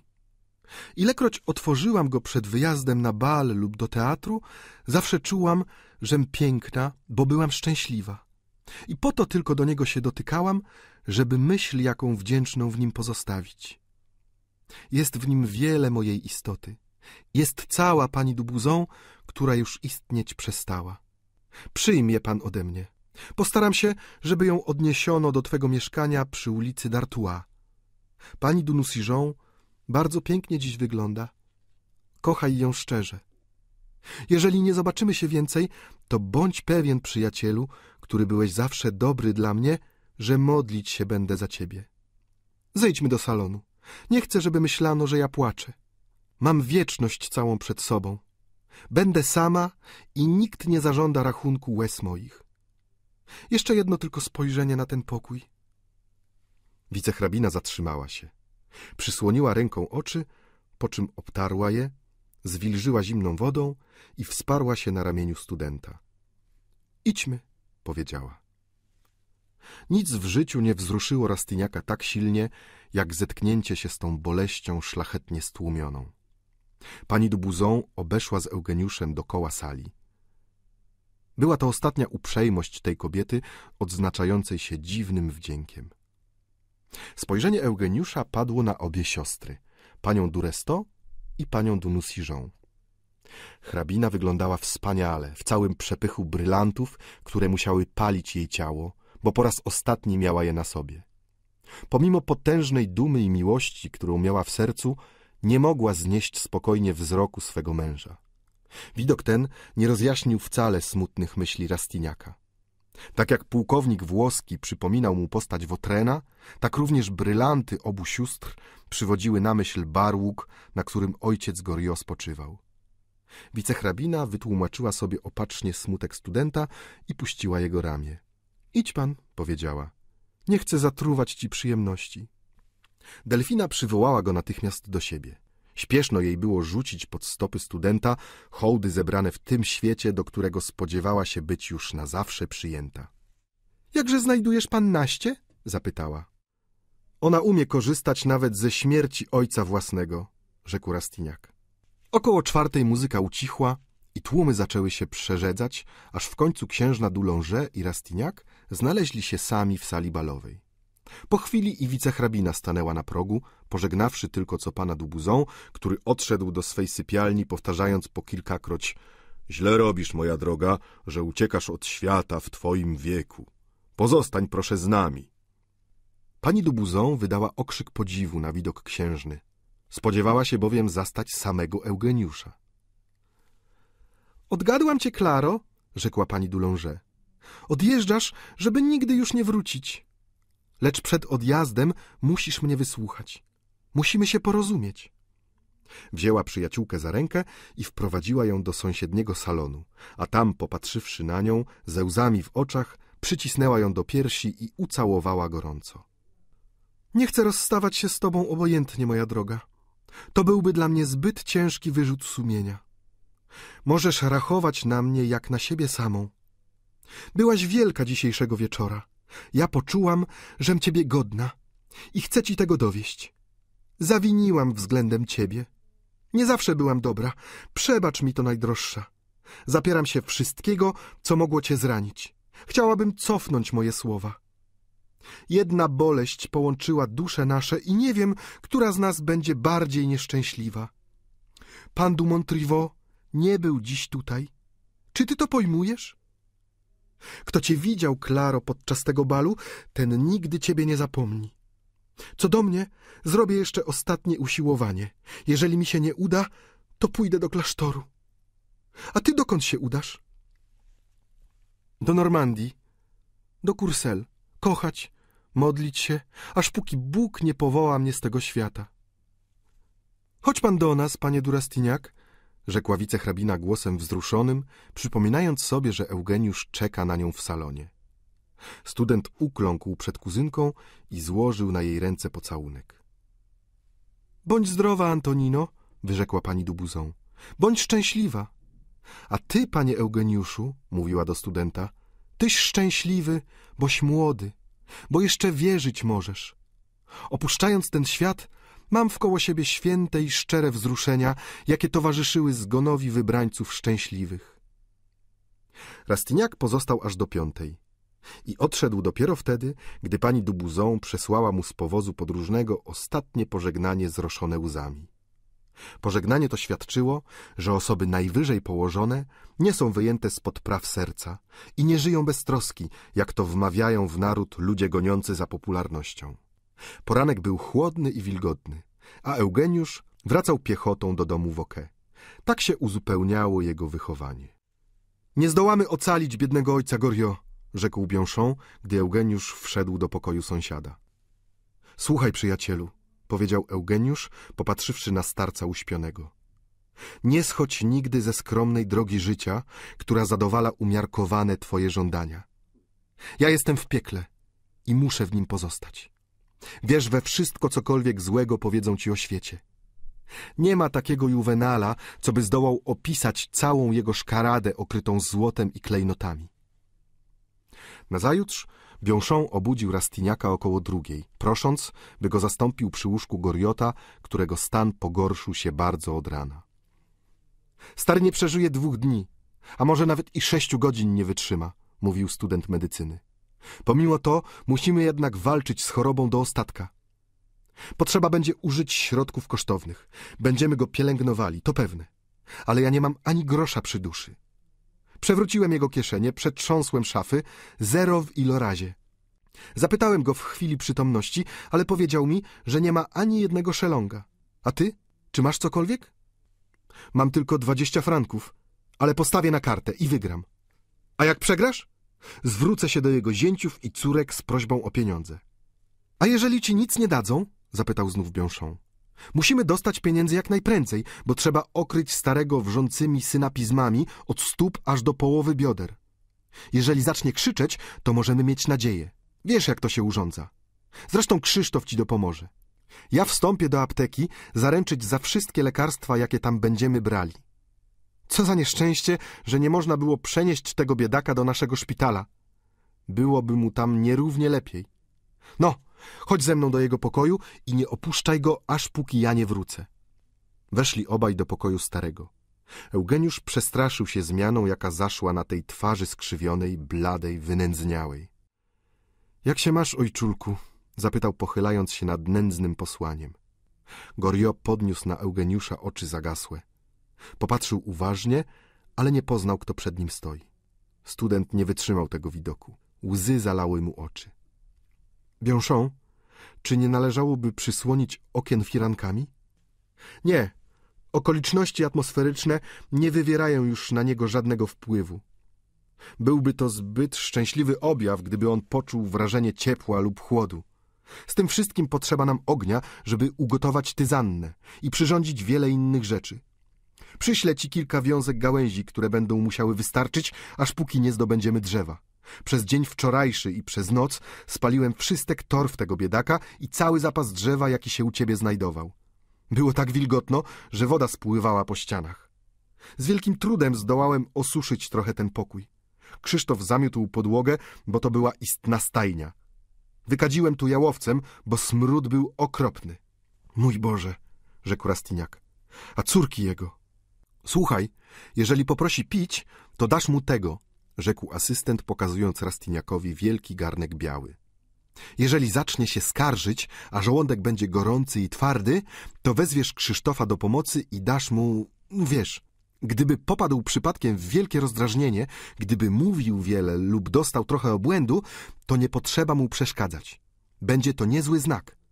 Przyślesz w takim razie Krzysztofa do szpitala Koszę.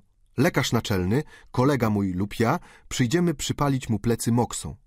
Z rana, gdy spałeś jeszcze, zrobiliśmy wielką naradę z jednym uczniem doktora Galla, z naszym doktorem naczelnym i z lekarzem z Hotel. Panowie ci upatrują ciekawe symptomy. Mamy więc śledzić przebieg choroby, żeby wyjaśnić kilka kwestii naukowych dosyć wielkiej wagi. Jeden z tych panów utrzymuje, że krew naciskająca na jeden organ więcej niż na drugi mogłaby wywołać szczególne objawy. Słuchaj więc dobrze, gdy zacznie mówić, żebyś potrafił określić, jakiego rodzaju wyobrażenia będą przemagały w jego mowie. Czy to będą objawy pamięci, przenikliwości lub rozwagi? Czy będzie się zajmował rzeczami materialnymi czy uczuciami?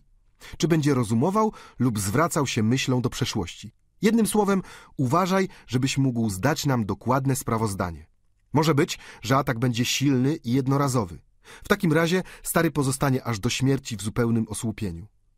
Gdyby nieszczęście tu się kierowało, mówił Biąszą, wskazując na tylną część głowy chorego, to bywają przykłady dziwnych zjawisk. Mózg odzyskuje niektóre władze i śmierć nie tak rychło następuje. Krew może odstąpić od mózgu i obrać sobie drogi, których kierunek sekcja chyba może wykazać. W szpitalu chorób nieuleczalnych znajduje się pewien starzec idiota, u którego odpływ nastąpił wzdłuż kości pacierzowej. Cierpi on straszliwie, ale żyje.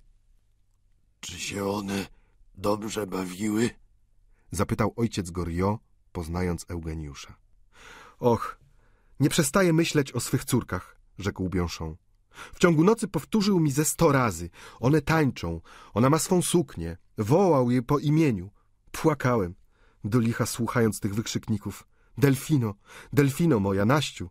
Słowo daję, mówił student medycyny. Nie można się było od łez powstrzymać. Delfina, zawołał starzec. Ona jest tu, nieprawdaż? Nie wątpiłem o tym. I oczy jego zaczęły biegać z szaloną ruchliwością po drzwiach i ścianach. Idę powiedzieć Sylwii, żeby przyrządziła synapizmy, zawołał Biąszą. Teraz jest najwłaściwsza chwila.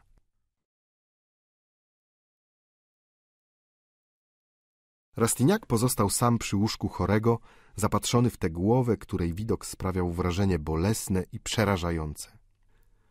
Pani de Buzon ucieka, ten umiera, mówił do siebie. Piękne dusze nie mogą przebywać długo na tym świecie, bo jakże w rzeczy samej wielkie uczucia mogą się pogodzić ze społeczeństwem nędznym, płytkim i małym. W myśli jego obudziły się wspomnienia balu, odbijające jaskrawo od łoża śmierci, które miał przed oczyma. Biąszą ukazał się nagle we drzwiach. Słuchaj, Eugeniuszu, spotkałem naszego lekarza naczelnego i przybiegam co tchu z powrotem. Jeżeli będą jakie oznaki rozsądku, jeżeli zacznie mówić, to położysz go na długim kawale synapizmu w ten sposób, żeby okryć go musztardą od karku aż do bioder, a potem przyślesz zaraz po nas. Drogi Biąszą. O, tu chodzi o fakt naukowy, zawołał student medycyny z całym zapałem neofity. Jak to? rzekł Eugeniusz. Czyżbym ja jeden tylko pielęgnował tego starca przez przyjaźń? Nie mówiłbyś tak, gdybyś widział mnie dzisiaj rano, odparł Biąszą, nieobrażony przymówką Eugeniusza. Lekarze praktykujący od dawna widzą tylko chorobę, a ja, mój drogi, widzę jeszcze chorego. Eugeniusz pozostał znowu sam na sam z chorym w oczekiwaniu przesilenia, które rzeczywiście dość prędko nastąpiło. Ach, to ty, drogie dziecię, rzekł ojciec Gorio, poznając Eugeniusza. Czy ci lepiej, ojcze? zapytał student, biorąc go za rękę. Ach, tak. Miałem głowę ściśniętą, jak w kleszczach, ale teraz już się wyswobadza. Czy widziałeś moje córki? One przyjdą nie za długo, przybiegną, jak tylko dowiedzą się, żem chory. One mnie tak pielęgnowały, gdyśmy mieszkali przy ulicy Dula Jussien. Boże, chciałbym, żeby mój pokój był czysty na ich przyjęcie. Był tu jakiś młody człowiek, który wypalił mi cały zapas torfu. Słyszę, że Krzysztof przychodzi, rzekł Eugeniusz. Przynosi on właśnie drzewo, które panu ten młody człowiek przysyła. Ba, a czymże zapłacić za drzewo? Ja nie mam ani grosza, mój synu. Wszystko, wszystko oddałem. Jestem w domu przytułku. Czy przynajmniej suknia ze złotogłowu pięknie wyglądała? Ach, jak ja cierpię. Dziękuję, Krzysztofie. Bóg ci zapłaci, mój chłopcze. Ja nic już nie mam. Bądź spokojny, ja zapłacę i tobie, i Sylwii, szepnął mu Eugeniusz do ucha. Moje córki mówiły ci, że zaraz przyjdą, nieprawdaż, Krzysztofie? Pójdź do nich raz jeszcze. Dam ci za to sto sołus. Powiedz, że mi niedobrze, że chciałbym je ucałować, zobaczyć raz jeszcze przed śmiercią. Powiedz tak. Tylko uważaj, żebyś ich zbytecznie nie przeraził. Krzysztof wyszedł na znak Rastiniaka. Zaraz przyjdą. Począł znów starzec. Już ja je znam. Dobra Delfina. Jak się ona zmartwi, jeżeli ja umrę. I Naścia także. Nie chciałbym umrzeć, żeby one nie płakały. Umrzeć, dobry mój Eugeniuszu, to znaczy nie widzieć ich więcej. Będzie mi nudno tam, gdzie ludzie idą po śmierci. Dla ojca nie mieć dzieci, to znaczy być w piekle. A ja zaprawiałem się już od tego czasu, jak one wyszły za mąż. Mój raj był przy ulicy de Jussienne. Powiedz proszę, wszak poszedłszy do raju, mógłbym powracać na ziemię i być jako duch przy nich. Nieraz o tym słyszałem. Czy to prawda? Zdaje się, że widzę je takimi, jakimi były przy ulicy de la Jussienne. Przychodziły co rano powiedzieć mi Dzień dobry, tatku. Brałem je na kolana, nagabywałem je, robiłem różne figielki, a one pieściły mnie wdzięcznie. Jadaliśmy razem śniadanie i obiad. Słowem, byłem ojcem. Cieszyłem się swymi dziećmi. One jeszcze nie rozumowały, gdyśmy mieszkali przy ulicy de la. Nie wiedziały jeszcze nic o świecie i kochały mnie szczerze. Mój Boże, czemuż na zawsze małymi nie zostały? Och, cierpię, głowa mi pęka. Ach, ach, darujcie mi, dzieci moje, cierpię okrutnie. Musi to być jakiś ból straszliwy, bom ja wytrwały na cierpienie. Wyście mnie dobrze zahartowały. Mój Boże, nie czułbym wcale tego bólu, gdybym mógł ręce ich trzymać w swojej dłoni. Czy sądzisz, że one przyjdą? Krzysztof taki głupi. Należało mi pójść samemu. On je zobaczy, a ja... Ale ty byłeś wczoraj na balu. Powiedz mi, jak one wyglądały? One nie wiedziały nic o mojej słabości. Biedaczki moje. Nie tańczyłyby pewnie, gdyby wiedziały. O, nie chcę być dłużej chory. One mnie potrzebują. Mienie ich zagrożone.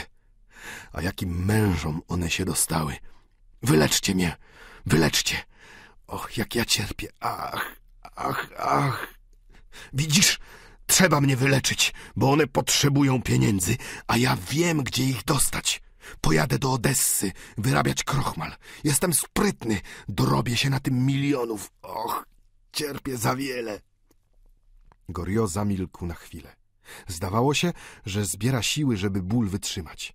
Nie skarżyłbym się, gdyby one tu były, powiedział. Po cóż się skarżyć?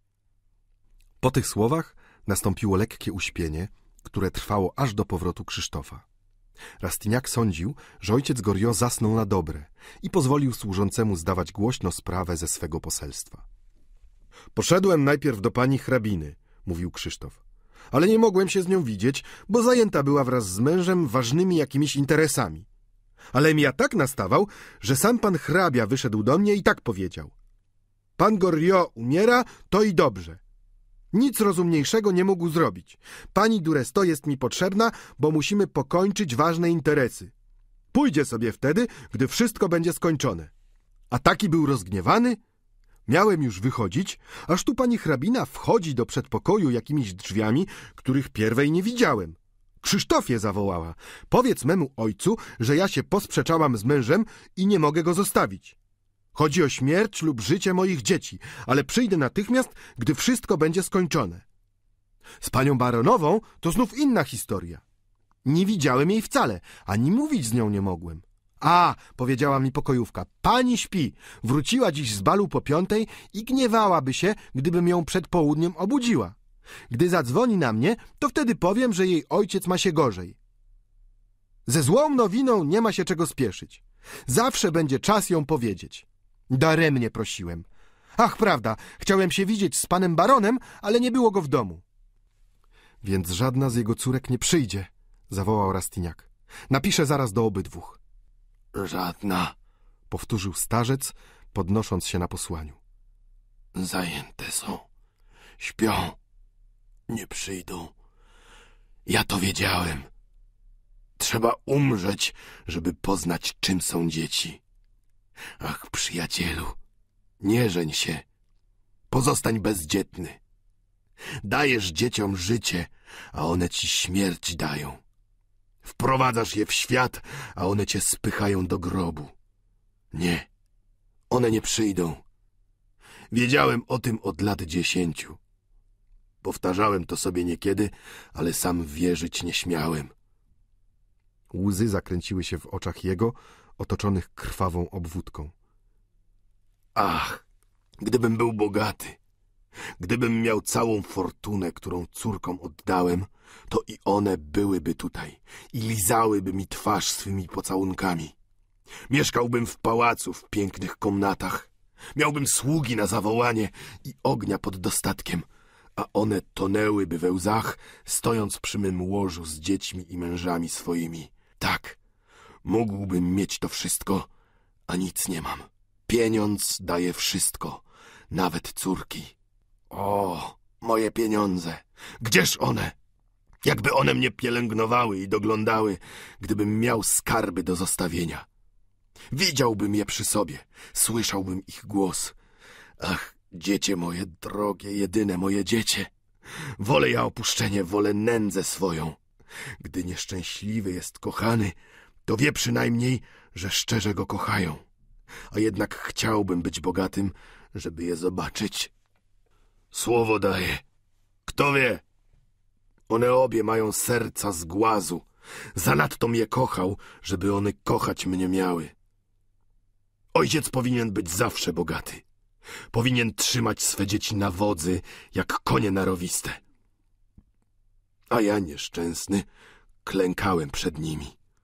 Nędznice chcą godnie uwieńczyć swoje dziesięcioletnie postępowanie ze mną. Gdybyś wiedział, jak one mi nadskakiwały zaraz po wyjściu za mąż. Och, cierpię mękę okrutną. Dałem wtedy każdej z nich do ośmiuset tysięcy franków, więc ani one, ani ich mężowie nie mogli obchodzić się ze mną niegrzecznie. A jak mnie przyjmowano! Dobry ojcze, proszę tędy, proszę tamtędy, ojcze kochany. Na stole ich było zawsze jedno nakrycie dla mnie. Obiadowałem z ich mężami, którzy okazywali mi głęboki szacunek. Zdawało się im, że ja mam jeszcze cośkolwiek. A dlaczego? Jam nic nie mówił o swoich interesach.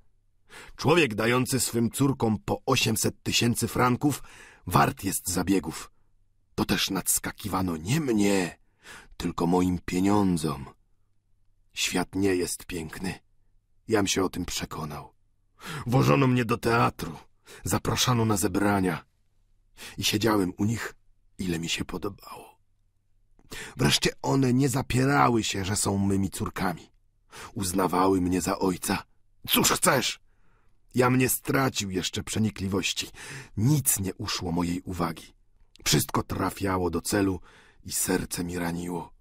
Wiedziałem doskonale, że wszystko to było udane, ale już rady nie było. Nie byłem u nich tak swobodny, jak tu przy naszym stole. Nie umiałem nic powiedzieć. To też ludzie światowi pytali nieraz, pochylając się do ucha mych zięciów, kto jest ten jegomość. To ojciec z dukatami. Bardzo jest bogaty. Ach, do licha, mówiono, patrząc na mnie z szacunkiem, jaki wzbudzało wspomnienie o dukatach. Krępowałem i ich niekiedy, ale płaciłem drogo za swe błędy. A zresztą, któż jest doskonały? Głowa moja jest jedną raną. Cierpię w tej chwili tyle, ile trzeba cierpieć, aby umrzeć. A jednak, drogi mój panie Eugeniuszu, to jedno nic wobec boleści, której doznałem, gdy Anastazja dała mi po raz pierwszy poznać spojrzeniem, żem powiedział głupstwo, które ją upokorzyło. Wzrok jej otworzył mi wszystkie żyły. Zapragnąłem wszystko umieć, a pojmowałem jedno tylko, żem już zbyteczny na ziemi.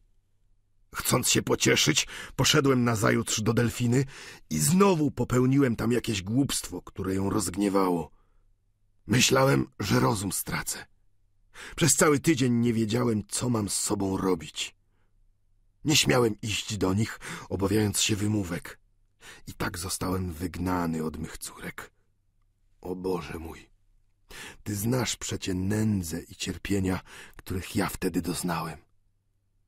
Tyś porachował, ile sztyletów przeszyło mnie w owym czasie, który mnie postarzył, zmienił, zabił i po cóż każesz mi cierpieć jeszcze?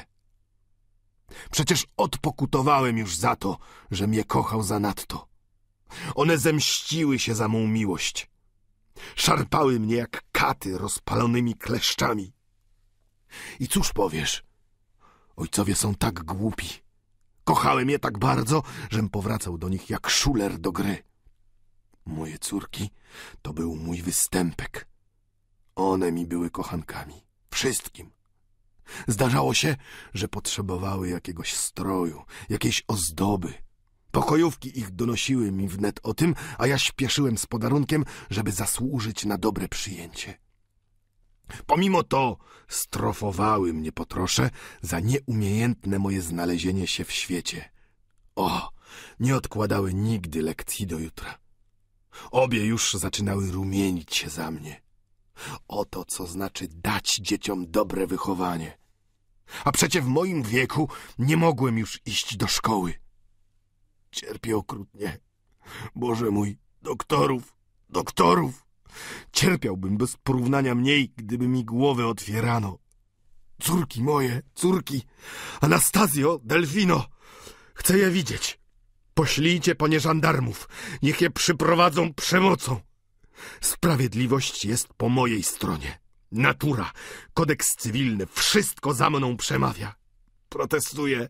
Ojczyzna zginie, jeżeli ojców będą potrącać nogami. To jasne przecie. Społeczeństwo, świat cały stoi na ojcostwie. Wszystko więc runie, gdy dzieci nie będą ojców kochały. O, chcę je widzieć, słyszeć. Mniejsza o to, co mi powiedzą, bylebym głos ich usłyszał. Zwłaszcza głos delfiny, bo to uśmierzy moje boleści. Ale powiedzcie im, gdy przyjdą, żeby nie patrzyły na mnie ze zwykłą oziębłością. Ach, panie Eugeniuszu, dobry mój przyjacielu, nie wiesz, co to znaczy, gdy złoto spojrzenia zmienia się dla nas nagle w ołów szary. Wieczna zima otoczyła mnie od chwili, gdy oczy ich przestały oblewać mnie swymi promieniami. Boleść sama była mym udziałem. Żyłem po to, by znosić ciągłe upokorzenia. A kochałem je tak bardzo, że połykałem tysiąc zniewag, byle za tę cenę kupić sobie jaką biedną, ukradkową przyjemność. Ja, ojciec, musiałem widywać swe córki po kryjomu. Dałem im życie, a one nie dadzą mi dziś jednej godziny. Pragnę i łaknę, i serce mi się pali, a one nie przyjdą ochłodzić mego zgonu, bo umieram już, czuję to dobrze. Ależ one nie wiedzą chyba, co to znaczy deptać po trupie ojca. Jest Bóg w niebie. On mści się za ojców wbrew ich woli. Och, one przyjdą Przyjdźcie, moje kochane, przyjdźcie ucałować mnie raz jeszcze. Dajcie ostatni pocałunek, jak wiatyk waszemu ojcu, który będzie modlić się za was do Boga i bronić was będzie i powie, żeście były dobrymi córkami. Bo wyście przecie niewinne. One niewinne, przyjacielu.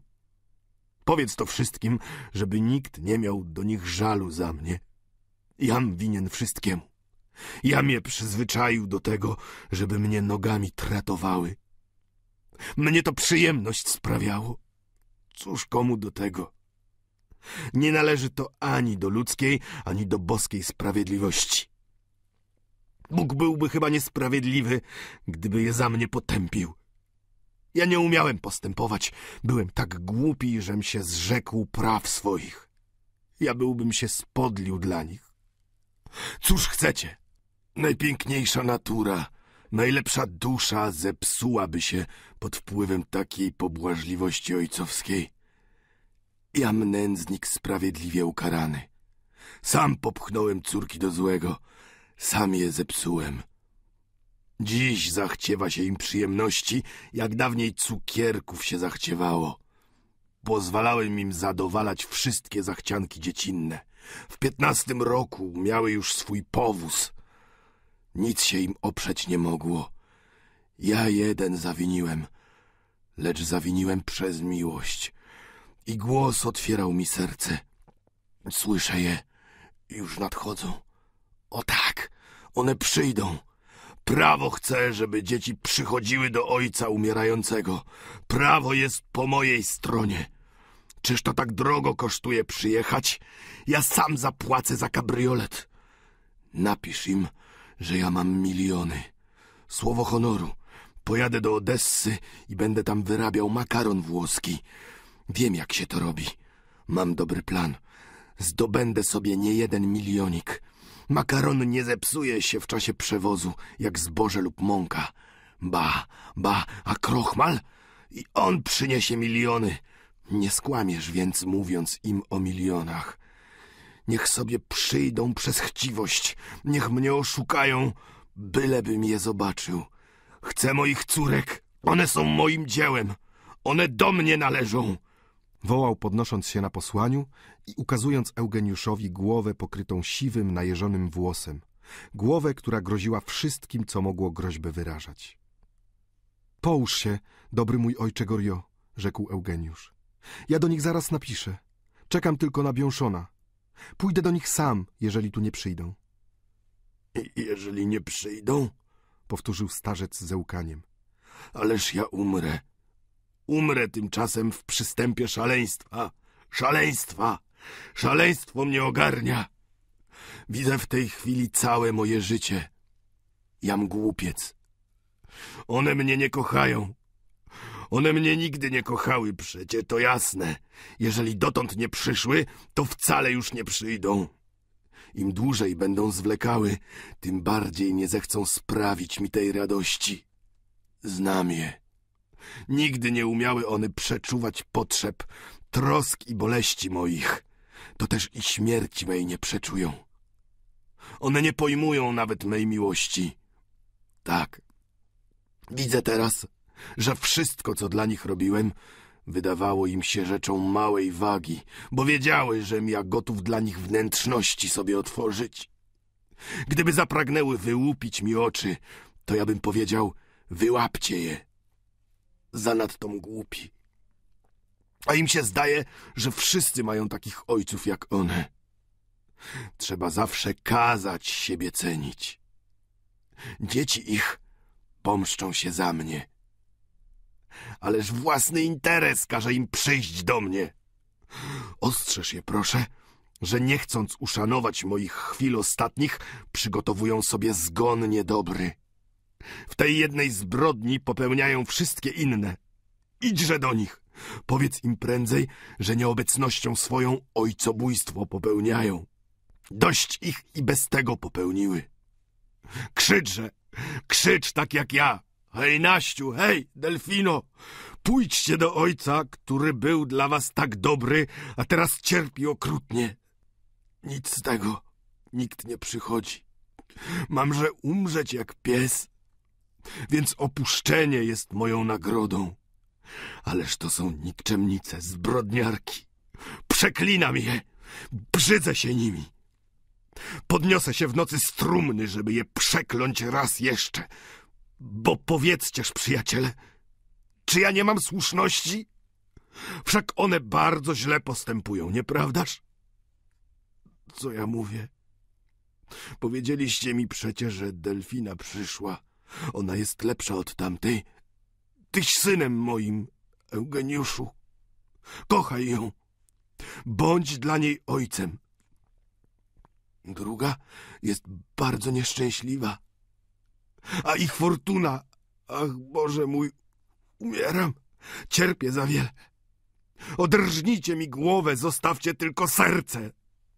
Krzysztofie, biegnij pobiąszona i sprowadź mi kabriolet, zawołał Eugeniusz, przerażony gwałtownością skarg i krzyków starego. Pojadę po córki twoje, dobry ojcze Gorio, i przywiozę je tutaj. Przemocą, przemocą! Wezwij na pomoc straż, armię, wszystko, wszystko! Zawołał, rzucając na Eugeniusza ostatnie spojrzenie, w którym zaświeciła jeszcze iskra rozumu. Udaj się do władz, do prokuratora królewskiego. Powiedz, żeby mi je tutaj przyprowadzili, bo ja tego żądam. Ależ przeklinałeś je, ojcze, Któż to powiedział? zawołał starzec zdumiony. Wiesz przecie, że je kocham, ubóstwiam. Ozdrowieję natychmiast, gdy je zobaczę. Idź, dobry sąsiedzie, idź, drogie moje dziecię. Jesteś taki dobry.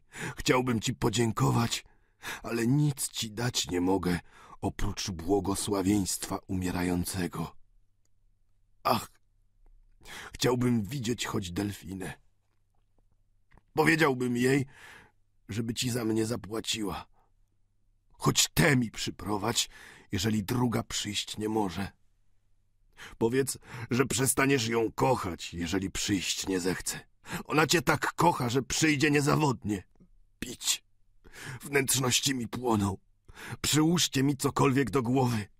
Dajcie tu rękę mej córki, to mnie zbawi. Czuję, mój Boże, któż im powróci dobrobyt, gdy ja umrę? Chcę pojechać dla nich do Odessy. Do Odessy robić makaron włoski. Napij się, ojcze, rzekł Eugeniusz, podnosząc chorego. Objął go lewym ramieniem, a drugą ręką podniósł mu do ust filiżankę pełną tyzanny. O, ty musisz kochać ojca swego i matkę swoją. Mówił starzec, ściskając słabnącymi rękami dłoń Eugeniusza. Czy ty pojmujesz, że ja umrę, nie zobaczywszy mych córek? Życie moje było od lat dziesięciu ciągłym, nieugaszonym pragnieniem. Zięciowie zabili mi córki. Tak jest. Nie miałem już córek od czasu, jakem je za mąż powydawał. Ojcowie, powiedzcie izbom, że potrzeba nowego prawa o małżeństwie. Albo nie wydawajcie córek za mąż, jeżeli je kochacie. Zięć to nikczemnik, który psuje nam córkę. Dosyć małżeństw. One wydzierają nam dzieci i nie mamy ich później przy sobie w ostatniej godzinie. Wydajcie prawo o śmierci ojców. To rzecz okropna. Zemsty. Zięciowie nie puszczają mych córek do mnie. Zabijcie ich. Na śmierć Restoda, na śmierć Alzatczyka to są moi mordercy. Dajcie mi śmierć lub córki. Ach, już po wszystkim. Umieram bez nich. Naściu, Fifinko, prędzej chodźcie. Tatko wasz umiera. Uspokój się, dobry ojcze Gorio. Nie wzruszaj się, nie myśl. Nie widzieć ich to śmierć moja. Zaraz je zobaczysz, Doprawdy. zawołał starzec obłąkany. O, zobaczyć je. Ja je zobaczę. Posłyszę ich głos. Umrę szczęśliwy. A tak, nie proszę o dłuższe życie. Nie dbałem już o nie, bo troski moje rosły z dniem każdym. Ale zobaczyć je, dotknąć się ich sukien. Ach, tylko sukien. to tak niewiele, lecz dość bym wziął w ręce jaki przedmiot, który do nich należy. Pozwólcie mi wziąć włosy z... Upadł na poduszkę, jak gdyby powalony uderzeniem maczugi. Ręce jego zaczęły coś chwytać po kołdrze. Widocznie szukał włosów swych córek. Błogosławię je, Rzekł z wysiłkiem błogosławię. i osłabł raptownie. Biąszą ukazał się w tej chwili we drzwiach. Spotkałem Krzysztofa. Zaraz ci fiakra sprowadzi, powiedział. Popatrzył na chorego, podniósł mu przemocą powieki i obaj studenci ujrzeli oko, w którym już ani blasku, ani ciepła nie było. Zdaje mi się, że to już nie przejdzie, rzekł Biąszą. Wziął starego za puls, następnie przyłożył mu rękę do serca. Maszyna jeszcze iść nie przestała, ale w takim stanie, w jakim on się znajduje, jest to prawdziwe nieszczęście. Lepiej byłoby, gdyby umarł. To prawda, rzekł Rastiniak. Co tobie? Jesteś blady jak śmierć. Ach, przyjacielu, słuchałem wciąż skarg i krzyków. Jest Bóg, o tak. Jest Bóg i jest świat lepszy, który On dla nas przygotował, bo inaczej ziemia nasza byłaby nonsensem. Tonąłbym we łzach, gdyby to było mniej tragiczne. Ale coś mi okropnie ściska serce i żołądek. Słuchaj, trzeba będzie wiele rzeczy. Skądże weźmiemy pieniądze? Rastiniak wyciągnął zegarek. Masz, zastaw to prędko. Ja nie mogę zatrzymać się po drodze, bo każda chwila jest droga, a teraz czekam na Krzysztofa. Nie mam ani szelonga. Trzeba będzie zapłacić woźnicy, gdy odwiezie mnie z powrotem. Rastiniak zbiegł pędem po schodach i pojechał na ulicę Duelde do pani Duresto. W drodze wyobraźnia uderzona straszliwym obrazem, na który patrzył przed chwilą, podniecała coraz bardziej jego oburzenie.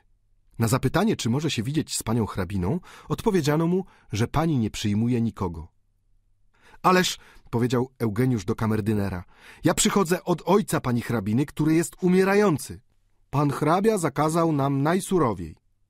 Jeżeli pan Duresto jest w domu, to proszę powiedzieć mu, w jakich okolicznościach znajduje się teść jego oraz oświadczyć, że ja potrzebuję koniecznie rozmówić się z nim w tej chwili. Eugeniusz czekał długo, nie mogąc pozbyć się myśli straszliwej, że stary może umrzeć tymczasem. Kamerdyner wprowadził go do pierwszego salonu, gdzie pan Duresto stał przed wygasłym kominkiem. Hrabia przywitał studenta o i nie prosił go siadać.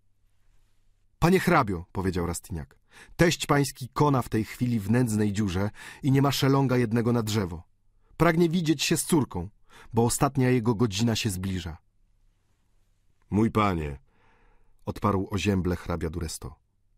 mogłeś pan zauważyć, że ja nie mam zbyt wiele sympatii dla pana Goriot. Naraził mi się przez swoje postępowanie z panią Duresto. Zakłócił szczęście mego życia. Jednym słowem, widzę w nim nieprzyjaciela mojego spokoju. Może sobie umierać lub żyć. Wszystko mi to jedno. Oto jakie są moje uczucia dla niego. Świat może mnie ganić. Ja gardzę opinią. Mam w tej chwili zbyt ważne rzeczy do spełnienia, żeby zajmować się tym, co pomyślą o mnie głupcy lub obojętni. Pani Duresto nie jest w stanie wyjść z domu. Zresztą ja nie chcę, żeby się teraz oddalała. Proszę oświadczyć jej ojcu, że przyjdzie do niego wtedy, gdy spełni swe obowiązki względem mnie i względem mego dziecka. Jeżeli kocha ojca, to może być swobodna za chwilę. Panie hrabio, nie do mnie należy sądzić postępowanie pańskie. Jesteś panem swej żony, lecz mogę rachować na pańską uczciwość i proszę, żebyś mi przyrzekł jedno tylko, że powiesz hrabinie, iż ojciec jej nie przeżyje dnia dzisiejszego. I przeklął już ją za to, że nie przyszła czuwać u jego wezgłowia. Powiedz jej pan to osobiście, rzekł hrabia, tknięty wyrazem oburzenia, które dźwięczało w głosie Eugeniusza. Rastyniak wszedł z nim do salonu, w którym hrabina zwykle przebywała. Znalazł ją zalaną łzami i zagłębioną w fotelu z takim jakimś wyrazem przygnębienia, jak gdyby śmierć już tylko wyglądała. Żal mu się jej zrobiło, gdy podniosła na męża wzrok bojaźliwy, w którym malował się zupełny upadek sił wyczerpanych tyranią moralną i fizyczną. Hrabia skinął głową. Znak ten ośmielił ją do mówienia. Słyszałam wszystko, wyrzekła. Powiedz pan ojcu, że przebaczyłby mi, gdyby wiedział, w jakim położeniu ja się znajduję. Nie spodziewałam się tej męczarni. Przechodzi ona moje siły. Lecz pomimo to wytrwam do końca, mówiła zwracając się do męża. Matką jestem. Powiedz pan memu ojcu, że mnie zasłużyła na jego wyrzuty, chociaż pozory mnie potępiają, wykrzyknęła z rozpaczą. Eugeniusz złożył ukłon i cofnął się zdumiony, odgadując, jak straszliwie hrabina cierpiała w tej chwili. Z mowy pana Duresto pojął, że usiłowanie jego było daremne i że Anastazja nie była już swobodna. Pośpieszył z kolei do pani Dunusiżą, którą znalazł w łóżku. Jestem cierpiąca, biedny mój przyjacielu, powiedziała Delfina. Zaziębiłam się przy wyjściu z balu i obawiam się, czy nie dostałam kataru płuc. Czekam doktora. Choćbyś pani stała jedną nogą w grobie, to i tak powinna byś zawlec się do ojca. On woła ciebie, pani. Zapomniałabyś pewnie o swym cierpieniu, gdybyś mogła słyszeć najsłabszy krzyk jego. Eugeniuszu, ojciec mój nie jest może tak chory, jak ty mówisz, ale chcę być w twych oczach bez zarzutu i postąpię według twej woli. Wiem, że ojciec umarłby sam ze zmartwienia, gdybym ja, wyszedłszy z domu, naraziła się na śmiertelną chorobę. Pomimo to pójdę, tylko muszę zobaczyć się wpierw z doktorem. Ach, dlaczegoż tu nie masz zegarka? zapytała, widząc, że na piersi Eugeniusza nie ma złotego łańcuszka. Eugeniusz się zarumienił. Eugeniuszu, Eugeniuszu, jeżeliś go już sprzedał lub zgubił, o, to byłoby bardzo niedobrze. Student pochylił się nad łóżkiem delfiny i szepnął jej do ucha. Chcesz wiedzieć? Dobrze więc, słuchaj. Ojciec twój nie ma za co kupić sobie całunu, w który go dziś jeszcze uwinął. Zastawiłem twój zegarek, bo nie miał już nic więcej. Delfina wyskoczyła nagle z łóżka i pobiegła do biurka. Jadę, jadę natychmiast, Eugeniuszu, zawołała, podając mu sakiewkę, którą z biurka wyjęła. Zadzwoniła. Pozwól mi się ubrać. Byłabym chyba potworem, gdybym nie pojechała. Idź, ja cię uprzedzę. Tereso, zawołała na pokojową, powiedz panu Dunusiżą, żeby przyszedł natychmiast rozmówić się ze mną. Eugeniusz był tak uszczęśliwiony dobrą nowiną, którą miał zwiastować umierającemu, że powrócił prawie wesół na ulicę Nów Saint-Junvive. Stanąwszy przed domem, sięgnął co prędzej do sakiewki, żeby zapłacić woźnicy. Niestety, sakiewka bogatej i eleganckiej baronowej zawierała tylko 66 franków. Eugeniusz wbiegł szybko na schody i stanął przy łóżku Goriota. Bianchon podtrzymywał w tej chwili chorego, a felczer szpitalny przypalał mu plecy moksą według wskazówki lekarza. Ostatni ten środek, na jaki nauka mogła się zdobyć, nie wywierał już żadnego skutku. — Czy pan czujesz palenie? — pytał lekarz. Ojciec Gorios spostrzegł w tej chwili studenta i powiedział. — Przyjdą, nieprawdaż? — Kiedy mówi, to jeszcze nadzieja nie stracona — rzekł felczer. — Tak — odparł Eugeniusz. Delfina wnet przyjdzie. Ba, rzekł Bianchon. On mówił o swych córkach, których pragnie, jak człowiek wbity na pal pragnie wody. Przestań, rzekł lekarz do felczera. To próżna robota, nic mu już nie pomoże. Bianchon i felczer złożyli znów chorego na wstrętnym barłogu. Należałoby jednak zmienić mu bieliznę, rzekł lekarz.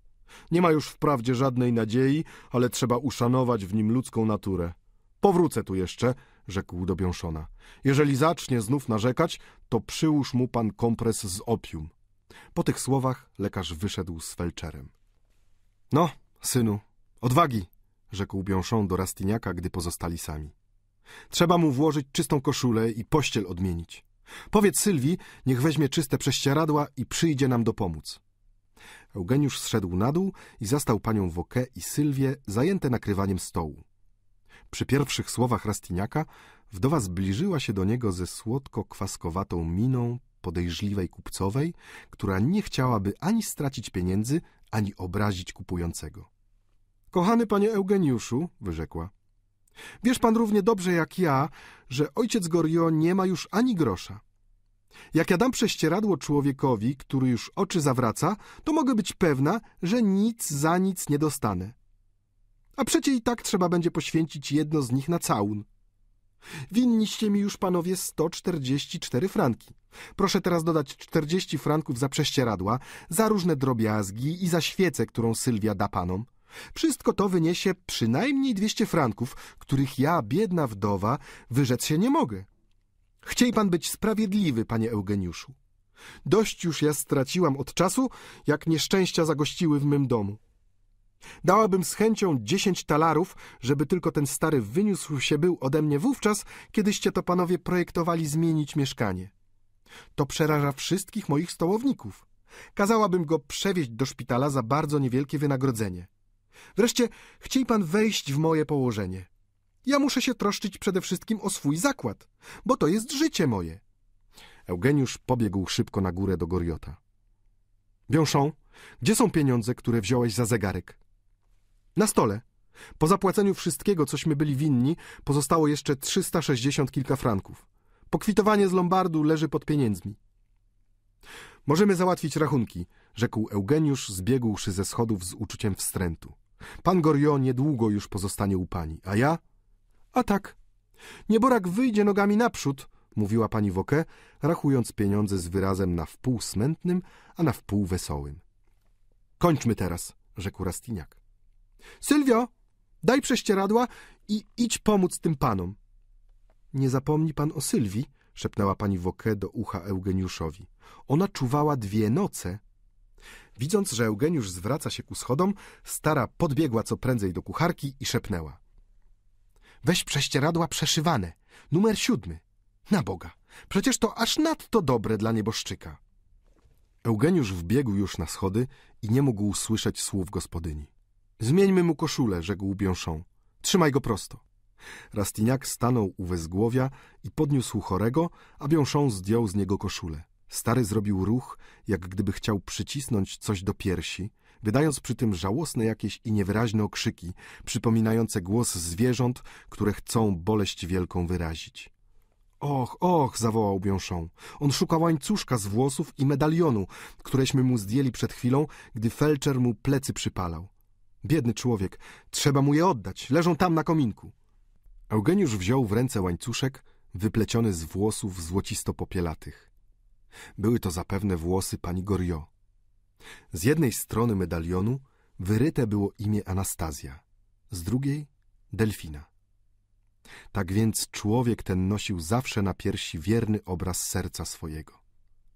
Włosy zamknięte w medalionie były tak cienkie, że musiały należeć do młodziuchnych główek dziecinnych. Przy dotknięciu medalionu z piersi starca wyrwało się westchnienie przeciągłe, świadczące o głębokim zadowoleniu. W westchnieniu tym był ostatni oddźwięk uczucia, które zdawało się cofać do owego środka nieznanego, z którego wychodzą i ku któremu zwracają się nasze sympatie. Twarz jego konwulsyjnie skrzywiona przybrała wyraz radości chorobliwej. Ten wybuch potężnego uczucia, które przetrwało nawet myśl samą, wzruszył do głębi obu studentów. Z oczu ich popłynęły łzy gorące i spadły na umierającego, który wydał przeraźliwy okrzyk zadowolenia. Naściu, Fifinko! zawołał. Żyje jeszcze, rzekł Biąszą. Do czego mu się to zdało? zapytała Sylwia. Żeby cierpieć, odparł Rastiniak. Biąszą ukląkł po jednej stronie łóżka i wziął chorego pod kolana, a Rastiniak ukląkł z drugiej strony i podsunął mu ręce pod plecy. Obaj unieśli go w górę, a Sylwia ściągnęła brudne prześcieradła i zastąpiła je czystymi. Goriot, zwiedziony zapewne łzami studentów, zebrał resztki sił i wyciągnął ręce, a napotkawszy dwie głowy po obu stronach łóżka, schwycił je gwałtownie za włosy, przy czym usta jego wyszeptały słabo. Ach, moje anioły! Były to niby słowa, niby szmer jakiś, z którym i dusza razem uleciała. Biedny, kochany człowiek, zawołała Sylwia, wzruszona tym wykrzyknikiem, w którym malowało się najwyższe uczucie, obudzone po raz ostatni kłamstwem najstraszliwszym i najniewinniejszym zarazem. Ostatnie westchnienie tego ojca miało być westchnieniem radości. Było w nim streszczenie życia całego. Człowiek ten mylił się jeszcze, mylił się po raz ostatni. Studenci złożyli go ze czcią na posłaniu. Od tej chwili twarz jego wyrażała wciąż walkę bolesną między życiem a śmiercią, która toczyła się w machinie pozbawionej już tego rodzaju samowiedzy mózgowej, z której wynika dla istoty ludzkiej wrażenie przyjemności i bólu. Zniszczenie zupełne było już tylko kwestią czasu. Pozostanie tak kilka godzin. Nie będzie nawet chrapał i skona nieznacznie. Mózg musi być zupełnie zaatakowany. W tej chwili dały się słyszeć szybkie kroki młodej kobiety. Za późno przychodzi, rzekł Rastiniak. Zamiast delfiny ukazała się we drzwiach pokojówka jej, Teresa. Panie Eugeniuszu, wyrzekła zadyszana, wynikła u nas gwałtowna scena między panem i panią z powodu pieniędzy, których biedna moja pani żądała dla swego ojca. Pani zemdlała, sprowadzono doktora, trzeba było krew jej puszczać. A ona ciągle krzyczała, ojciec mój umiera, chcę go zobaczyć. Serce pękało, słuchając tych krzyków. Dosyć, Tereso. Pani nie miałaby już po co przychodzić, bo pan Goriot stracił przytomność. Biedny, kochany pan, czyż on już taki słaby? Rzekła Teresa. Ja tu niepotrzebna. Pójdę lepiej doglądać obiadu, bo już pół do piątej, powiedziała Sylwia, zwracając się ku schodom, gdzie omal nie potrąciła pani Duresto. Hrabina ukazała się jak zjawisko pełne grozy i powagi. Zwróciła oczy na łoże śmierci, oświetlone niepewnym blaskiem jednej świecy i zalała się łzami na widok zmienionej twarzy ojca, po której przechodziły jeszcze ostatnie dreszcze życia. Biąszą wycofał się dyskretnie. Nie wymknęłam się dość wcześnie, rzekła hrabina do Rastiniaka. Student odpowiedział jej pełnym smutku skinieniem. Pani Duresto ujęła rękę ojca i przycisnęła ją do ust. Przebacz mi, ojcze. Mówiłeś, że głos mój wywołałby cię z grobu. Wróć więc, wróć na chwilę do życia, by pobłogosławić twą córkę skruszoną. Usłysz mnie, to coś okropnego. Twoje błogosławieństwo jest jedynym, jakie ja mogę otrzymać tu na ziemi. Wszyscy mnie nienawidzą, ty jeden mnie kochasz. Nawet dzieci własne nienawidzić mnie będą. Uprowadź mnie z sobą, ojcze. Ja cię otoczę miłością i staraniem. On już nie słyszy. Jam szalona. Upadła na kolana i patrzyła nań nieprzytomnie.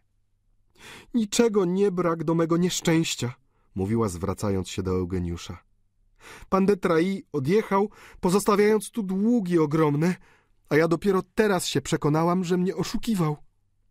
Mąż trzyma w ręku cały mój fundusz i nie przebaczy mi nigdy mego postępowania. Pierzchły wszystkie moje złudzenia, niestety. Dla kogóż zdradziłam jedyne serce, wskazała na ojca, które mnie ubóstwiało.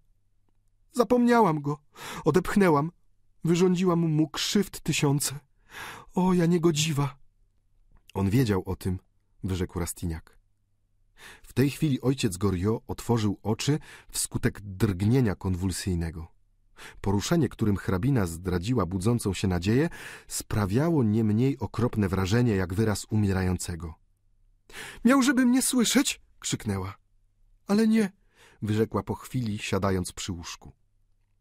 Eugeniusz zostawił panią Duresto przy ojcu, a sam zbiegł na dół, żeby się trochę posilić. Stołownicy byli już zgromadzeni. No cóż, rzekł malarz, będziemy mieli podobno małą śmiercioramę tam na górze.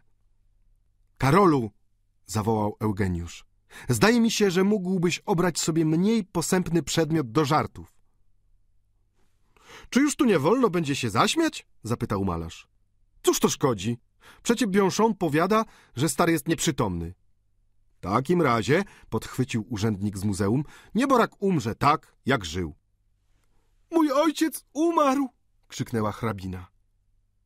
Na ten krzyk straszliwy Sylwia, Rastyniak i Biąszą rzucili się na górę. Hrabina leżała zemdlona. Zaczęto ją cucić i przeniesiono do fiakra, który czekał u drzwi gospody. Eugeniusz powierzył hrabinę pieczy Teresy, zalecając, by ją odwiozła do pani Dunusiżą. O, teraz już umarł rzeczywiście, rzekł Biąszą schodząc na dół. Panowie, siadajmy do stołu, bo zupa ostygnie, zawołała pani Wokę. Dwaj studenci siedli obok siebie. Cóż teraz zrobimy? rzekł Eugeniusz do Biąszona. A cóż? Zamknąłem mu oczy, i położyłem go jak się należy. Pójdziemy teraz do ratusza donieść o jego śmierci. Dostaniemy poświadczenie lekarza, po czym zaszyją trupa w całun i pogrzebią. A cóż z nim więcej robić? Nie będzie już wąchał chleba w ten sposób, rzekł jeden ze stołowników, naśladując grymas starego. Do licha, panowie, zawołał korepetytor. Dajcież pokój ojcu Gorio i nie traktujcie nas ciągle tym samym. Dość go już mamy, bo od dwóch godzin o niczym więcej nie mówicie. Jest to jeden z przywilejów dobrego miasta Paryża, że można się w nim urodzić, żyć i umrzeć, nie zwracając niczyjej uwagi. Korzystajmyż z wygód cywilizacji. Sześćdziesiąt osób umarło dziś w mieście. Czyż będziecie się rozczulali nad tymi hekatombami paryskimi? Ojciec Goriot przeniósł się na tamten świat. Tym lepiej dla niego. Jeżeli go ubóstwiacie, to siedźcie sobie przy nim, a nam pozwólcie jeść spokojnie. O tak, rzekła wdowa. Lepiej mu, że umarł. Zdaje się, że nieborak miał w swym życiu wiele nieprzyjemności. Była to jedyna mowa pogrzebowa nad zwłokami istoty, która była dla Eugeniusza uosobieniem ojcostwa. Piętnastu stołowników zaczęło rozmawiać zwykłym trybem. Skończywszy jeść, Eugeniusz i Bianchon nie mogli znieść panującej wrzawy. Brzęk widelców i łyżek, rozmowa przeplatana śmiechem, wesołość biesiadujących, wszystko to przejmowało zgrozą naszych studentów. Wstali obaj od stołu i poszli po księdza, który miał czuwać i modlić się w nocy przy umarłym. Musieli stosować ostatnią posługę, którą mieli oddać staremu do niewielkiego zapasu pieniędzy. Około dziewiątej wieczorem położono ciało na ramię od łóżka między dwiema świecami w pustym pokoju, w którym tylko ksiądz pozostał przy nieboszczyku. Przed odejściem na spoczynek Rastignac zapytał duchownego, ile będzie kosztowało nabożeństwo i pogrzeb, po czym napisał parę słów do barona Dunusijon i do hrabiego Duresto, prosząc, by zechcieli przysłać swych pełnomocników dla zaspokojenia wszystkich kosztów pogrzebu. Posłał listy przez Krzysztofa, a sam położył się i usnął prędko po całodziennym znużeniu. Nazajutrz rano Rastignac i Bianchon musieli pójść sami zawiadomić o śmierci, którą zaświadczono około południa. Czekali następnie dwie godziny, lecz zięciowie nie przysłali ani pieniędzy, ani pełnomocnika upoważnionego do działania w ich imieniu. I Rastignac musiał zapłacić księdzu z własnej kieszeni. Sylwia podejmowała się zaszyć nieboszczyka w całun za dziesięć franków, lecz Eugeniusz i Bianchon zmiarkowali, że i bez tego trudno im będzie podołać kosztom, jeżeli krewni nieboszczyka umyją ręce od wszystkiego. Student medycyny postanowił w końcu, że sam złoży nieboszczyka do trumny żebraczej, którą kupił w swym szpitalu za tanie pieniądze. Wypłataj tym łotrom figla, mówił do Eugeniusza. Kup na Père Lachaise kawałek ziemi na pięć lat i zamów obrządek pogrzebowy trzeciej klasy. Jeżeli zięciowie i córki nie zechcą ci kosztów powrócić, to każ wyryć na grobie tu spoczywa pan Goriot, ojciec hrabiny Duresto i baronowej Dunusijon, pochowany kosztem dwóch studentów. Eugeniusz nie chciał pójść za radą przyjaciela, póki nie spróbował udać się nadaremnie do państwa Dunusijon i państwa Duresto. Nie chciano go za próg wpuścić. Odźwierni mieli surowe rozkazy. Państwo nie przyjmują nikogo, powiadali. Stracili ojca i pogrążeni są w najgłębszej boleści. Eugeniusz znał już tak dobrze świat paryski, że pojął, iż nie było po co dłużej nastawać. Serce ścisnęło mu się boleśnie, gdy zobaczył, że nie ma sposobu dostać się do Delfiny. Sprzedaj pani jaki klejnot, pisał do niej w mieszkaniu odźwiernego, żeby ojciec twój mógł być przyzwoicie odprowadzony na miejsce wiecznego spoczynku. Zapieczętował kartkę, prosząc odźwiernego, żeby oddał ją Teresie dla wręczenia pani baronowej lecz odźwierny odniósł ją do samego barona, który po przeczytaniu wrzucił ją do ognia. Spełniwszy wszystko, co było potrzeba, Eugeniusz wrócił do domu około trzeciej po południu i uronił łzę na widok trumny zaledwie przykrytej czarnym suknem, którą postawiono przy drzwiach wśród pustej ulicy. Przy trumnie w miedzianym, posrebrzanym półmisku znajdowała się woda święcona, a w niej mizerne kropidełko, którego nikt jeszcze nie poruszył. Nawet drzwi kirem nie pokryto. Była to śmierć biedaków, nie znająca ani wystawy, ani orszaku. Pozbawiona przyjaciół i krewnych. Bianchon musiał odejść do szpitala i zostawił tylko parę słów do Eugeniusza, donosząc mu, że był w kościele i dowiedział się, że zakupienie mszy przechodziło ich środki. Trzeba więc było poprzestać na mniej kosztownym nabożeństwie nieszpornym. Donosił mu też, że przed wyjściem posłał Krzysztofa do bractwa pogrzebowego. Skończywszy czytać Bazgraninę Biąszona, Eugeniusz spostrzegł w ręku pani Woke medalion oprawiony w złoto, w którym były włosy córek Goriota. — Jak pani mogłaś wziąć ten medalion? — zawołał. — Masz tobie — rzekła Sylwia. — Alboż mieliśmy go z tym pochować? Przecie to złoto. — Naturalnie — odparł Eugeniusz z oburzeniem. Niech zabierze z sobą choć to jedno, co może przypomnieć jego córki.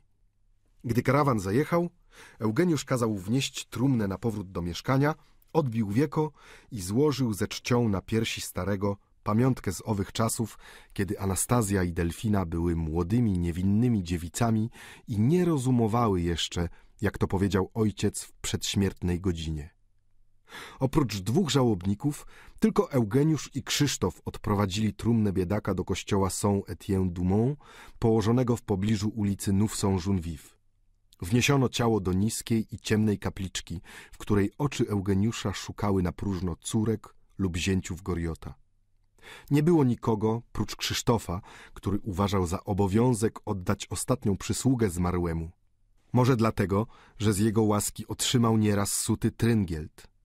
Czekając przyjścia księży, chłopaka z chóru i posługacza kościelnego, Eugeniusz wzruszony uścisnął w milczeniu dłoń Krzysztofa. Tak, panie Eugeniuszu, powiedział Sabautczyk. Był to człowiek dobry i poczciwy, który nigdy słowa za głośno nie powiedział. Nic złego nie zrobił i nikomu nie zaszkodził. Dwaj księża, chłopak z chóru i posługacz kościelny przyszli, by dać wszystko, co można mieć za siedemdziesiąt franków w epoce, kiedy religia nie jest dość bogata, by modlić się darmo. Odśpiewano psalm Libera i De Profundis. Nabożeństwo trwało dwadzieścia minut. Był tylko jeden powóz żałobny dla księdza i chłopaka z chóru, którzy zgodzili się zabrać z sobą Eugeniusza i Krzysztofa. Nie ma żadnego orszaku, rzekł ksiądz. Pojedziemy prędzej, żeby się nie spóźnić, bo już jest pół do szóstej.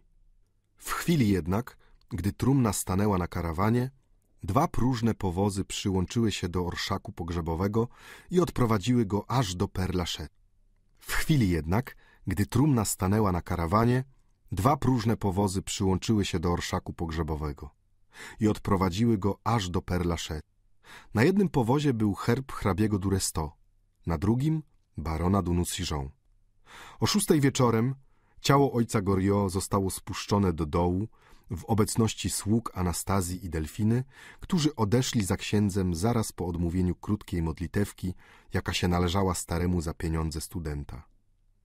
Dwaj grabarze rzucili trochę ziemi na trumnę i przyszli do Rastiniaka, prosząc, by im dał na piwo. Eugeniusz sięgnął do kieszeni, lecz nic w niej nie znalazł i musiał pożyczyć dwadzieścia soldów u Krzysztofa. Drobna ta okoliczność obudziła w sercu studenta uczucie głębokiej żałości. Zmrok zapadał. Powietrze wilgotne rozstrajało nerwy. Eugeniusz zwrócił oczy na grób świeży i pogrzebał w nim ostatnią łzę młodzieńczą, wywołaną świętym wzruszeniem serca niepokalanego. Jedną z tych łez, co upadłszy na ziemię, wytryskują z niej aż ku niebiosom. Krzysztof odszedł zwolna, pozostawiając studenta w głębokiej zadumie, z rękoma skrzyżowanymi i wzrokiem wzniesionym ku górze. Rastyniak postąpił kilka kroków ku brzegom cmentarza, skąd odkrywał się Paryż rozłożony nierówno po obu stronach sekwany. Światła połyskiwały już gdzieniegdzie. Zmierzył ten ul brzęczący spojrzeniem, które zdawało się od razu wszystek miód z niego wysysać i wyrzekł te wielkie słowa. Teraz my się spróbujemy. Rzuciwszy światu takie wyzwanie, Rastignac poszedł na obiad do pani Dunusijon. Sasz we wrześniu 1834. Koniec tomu trzeciego. Czytał Wiktor Korzeniewski.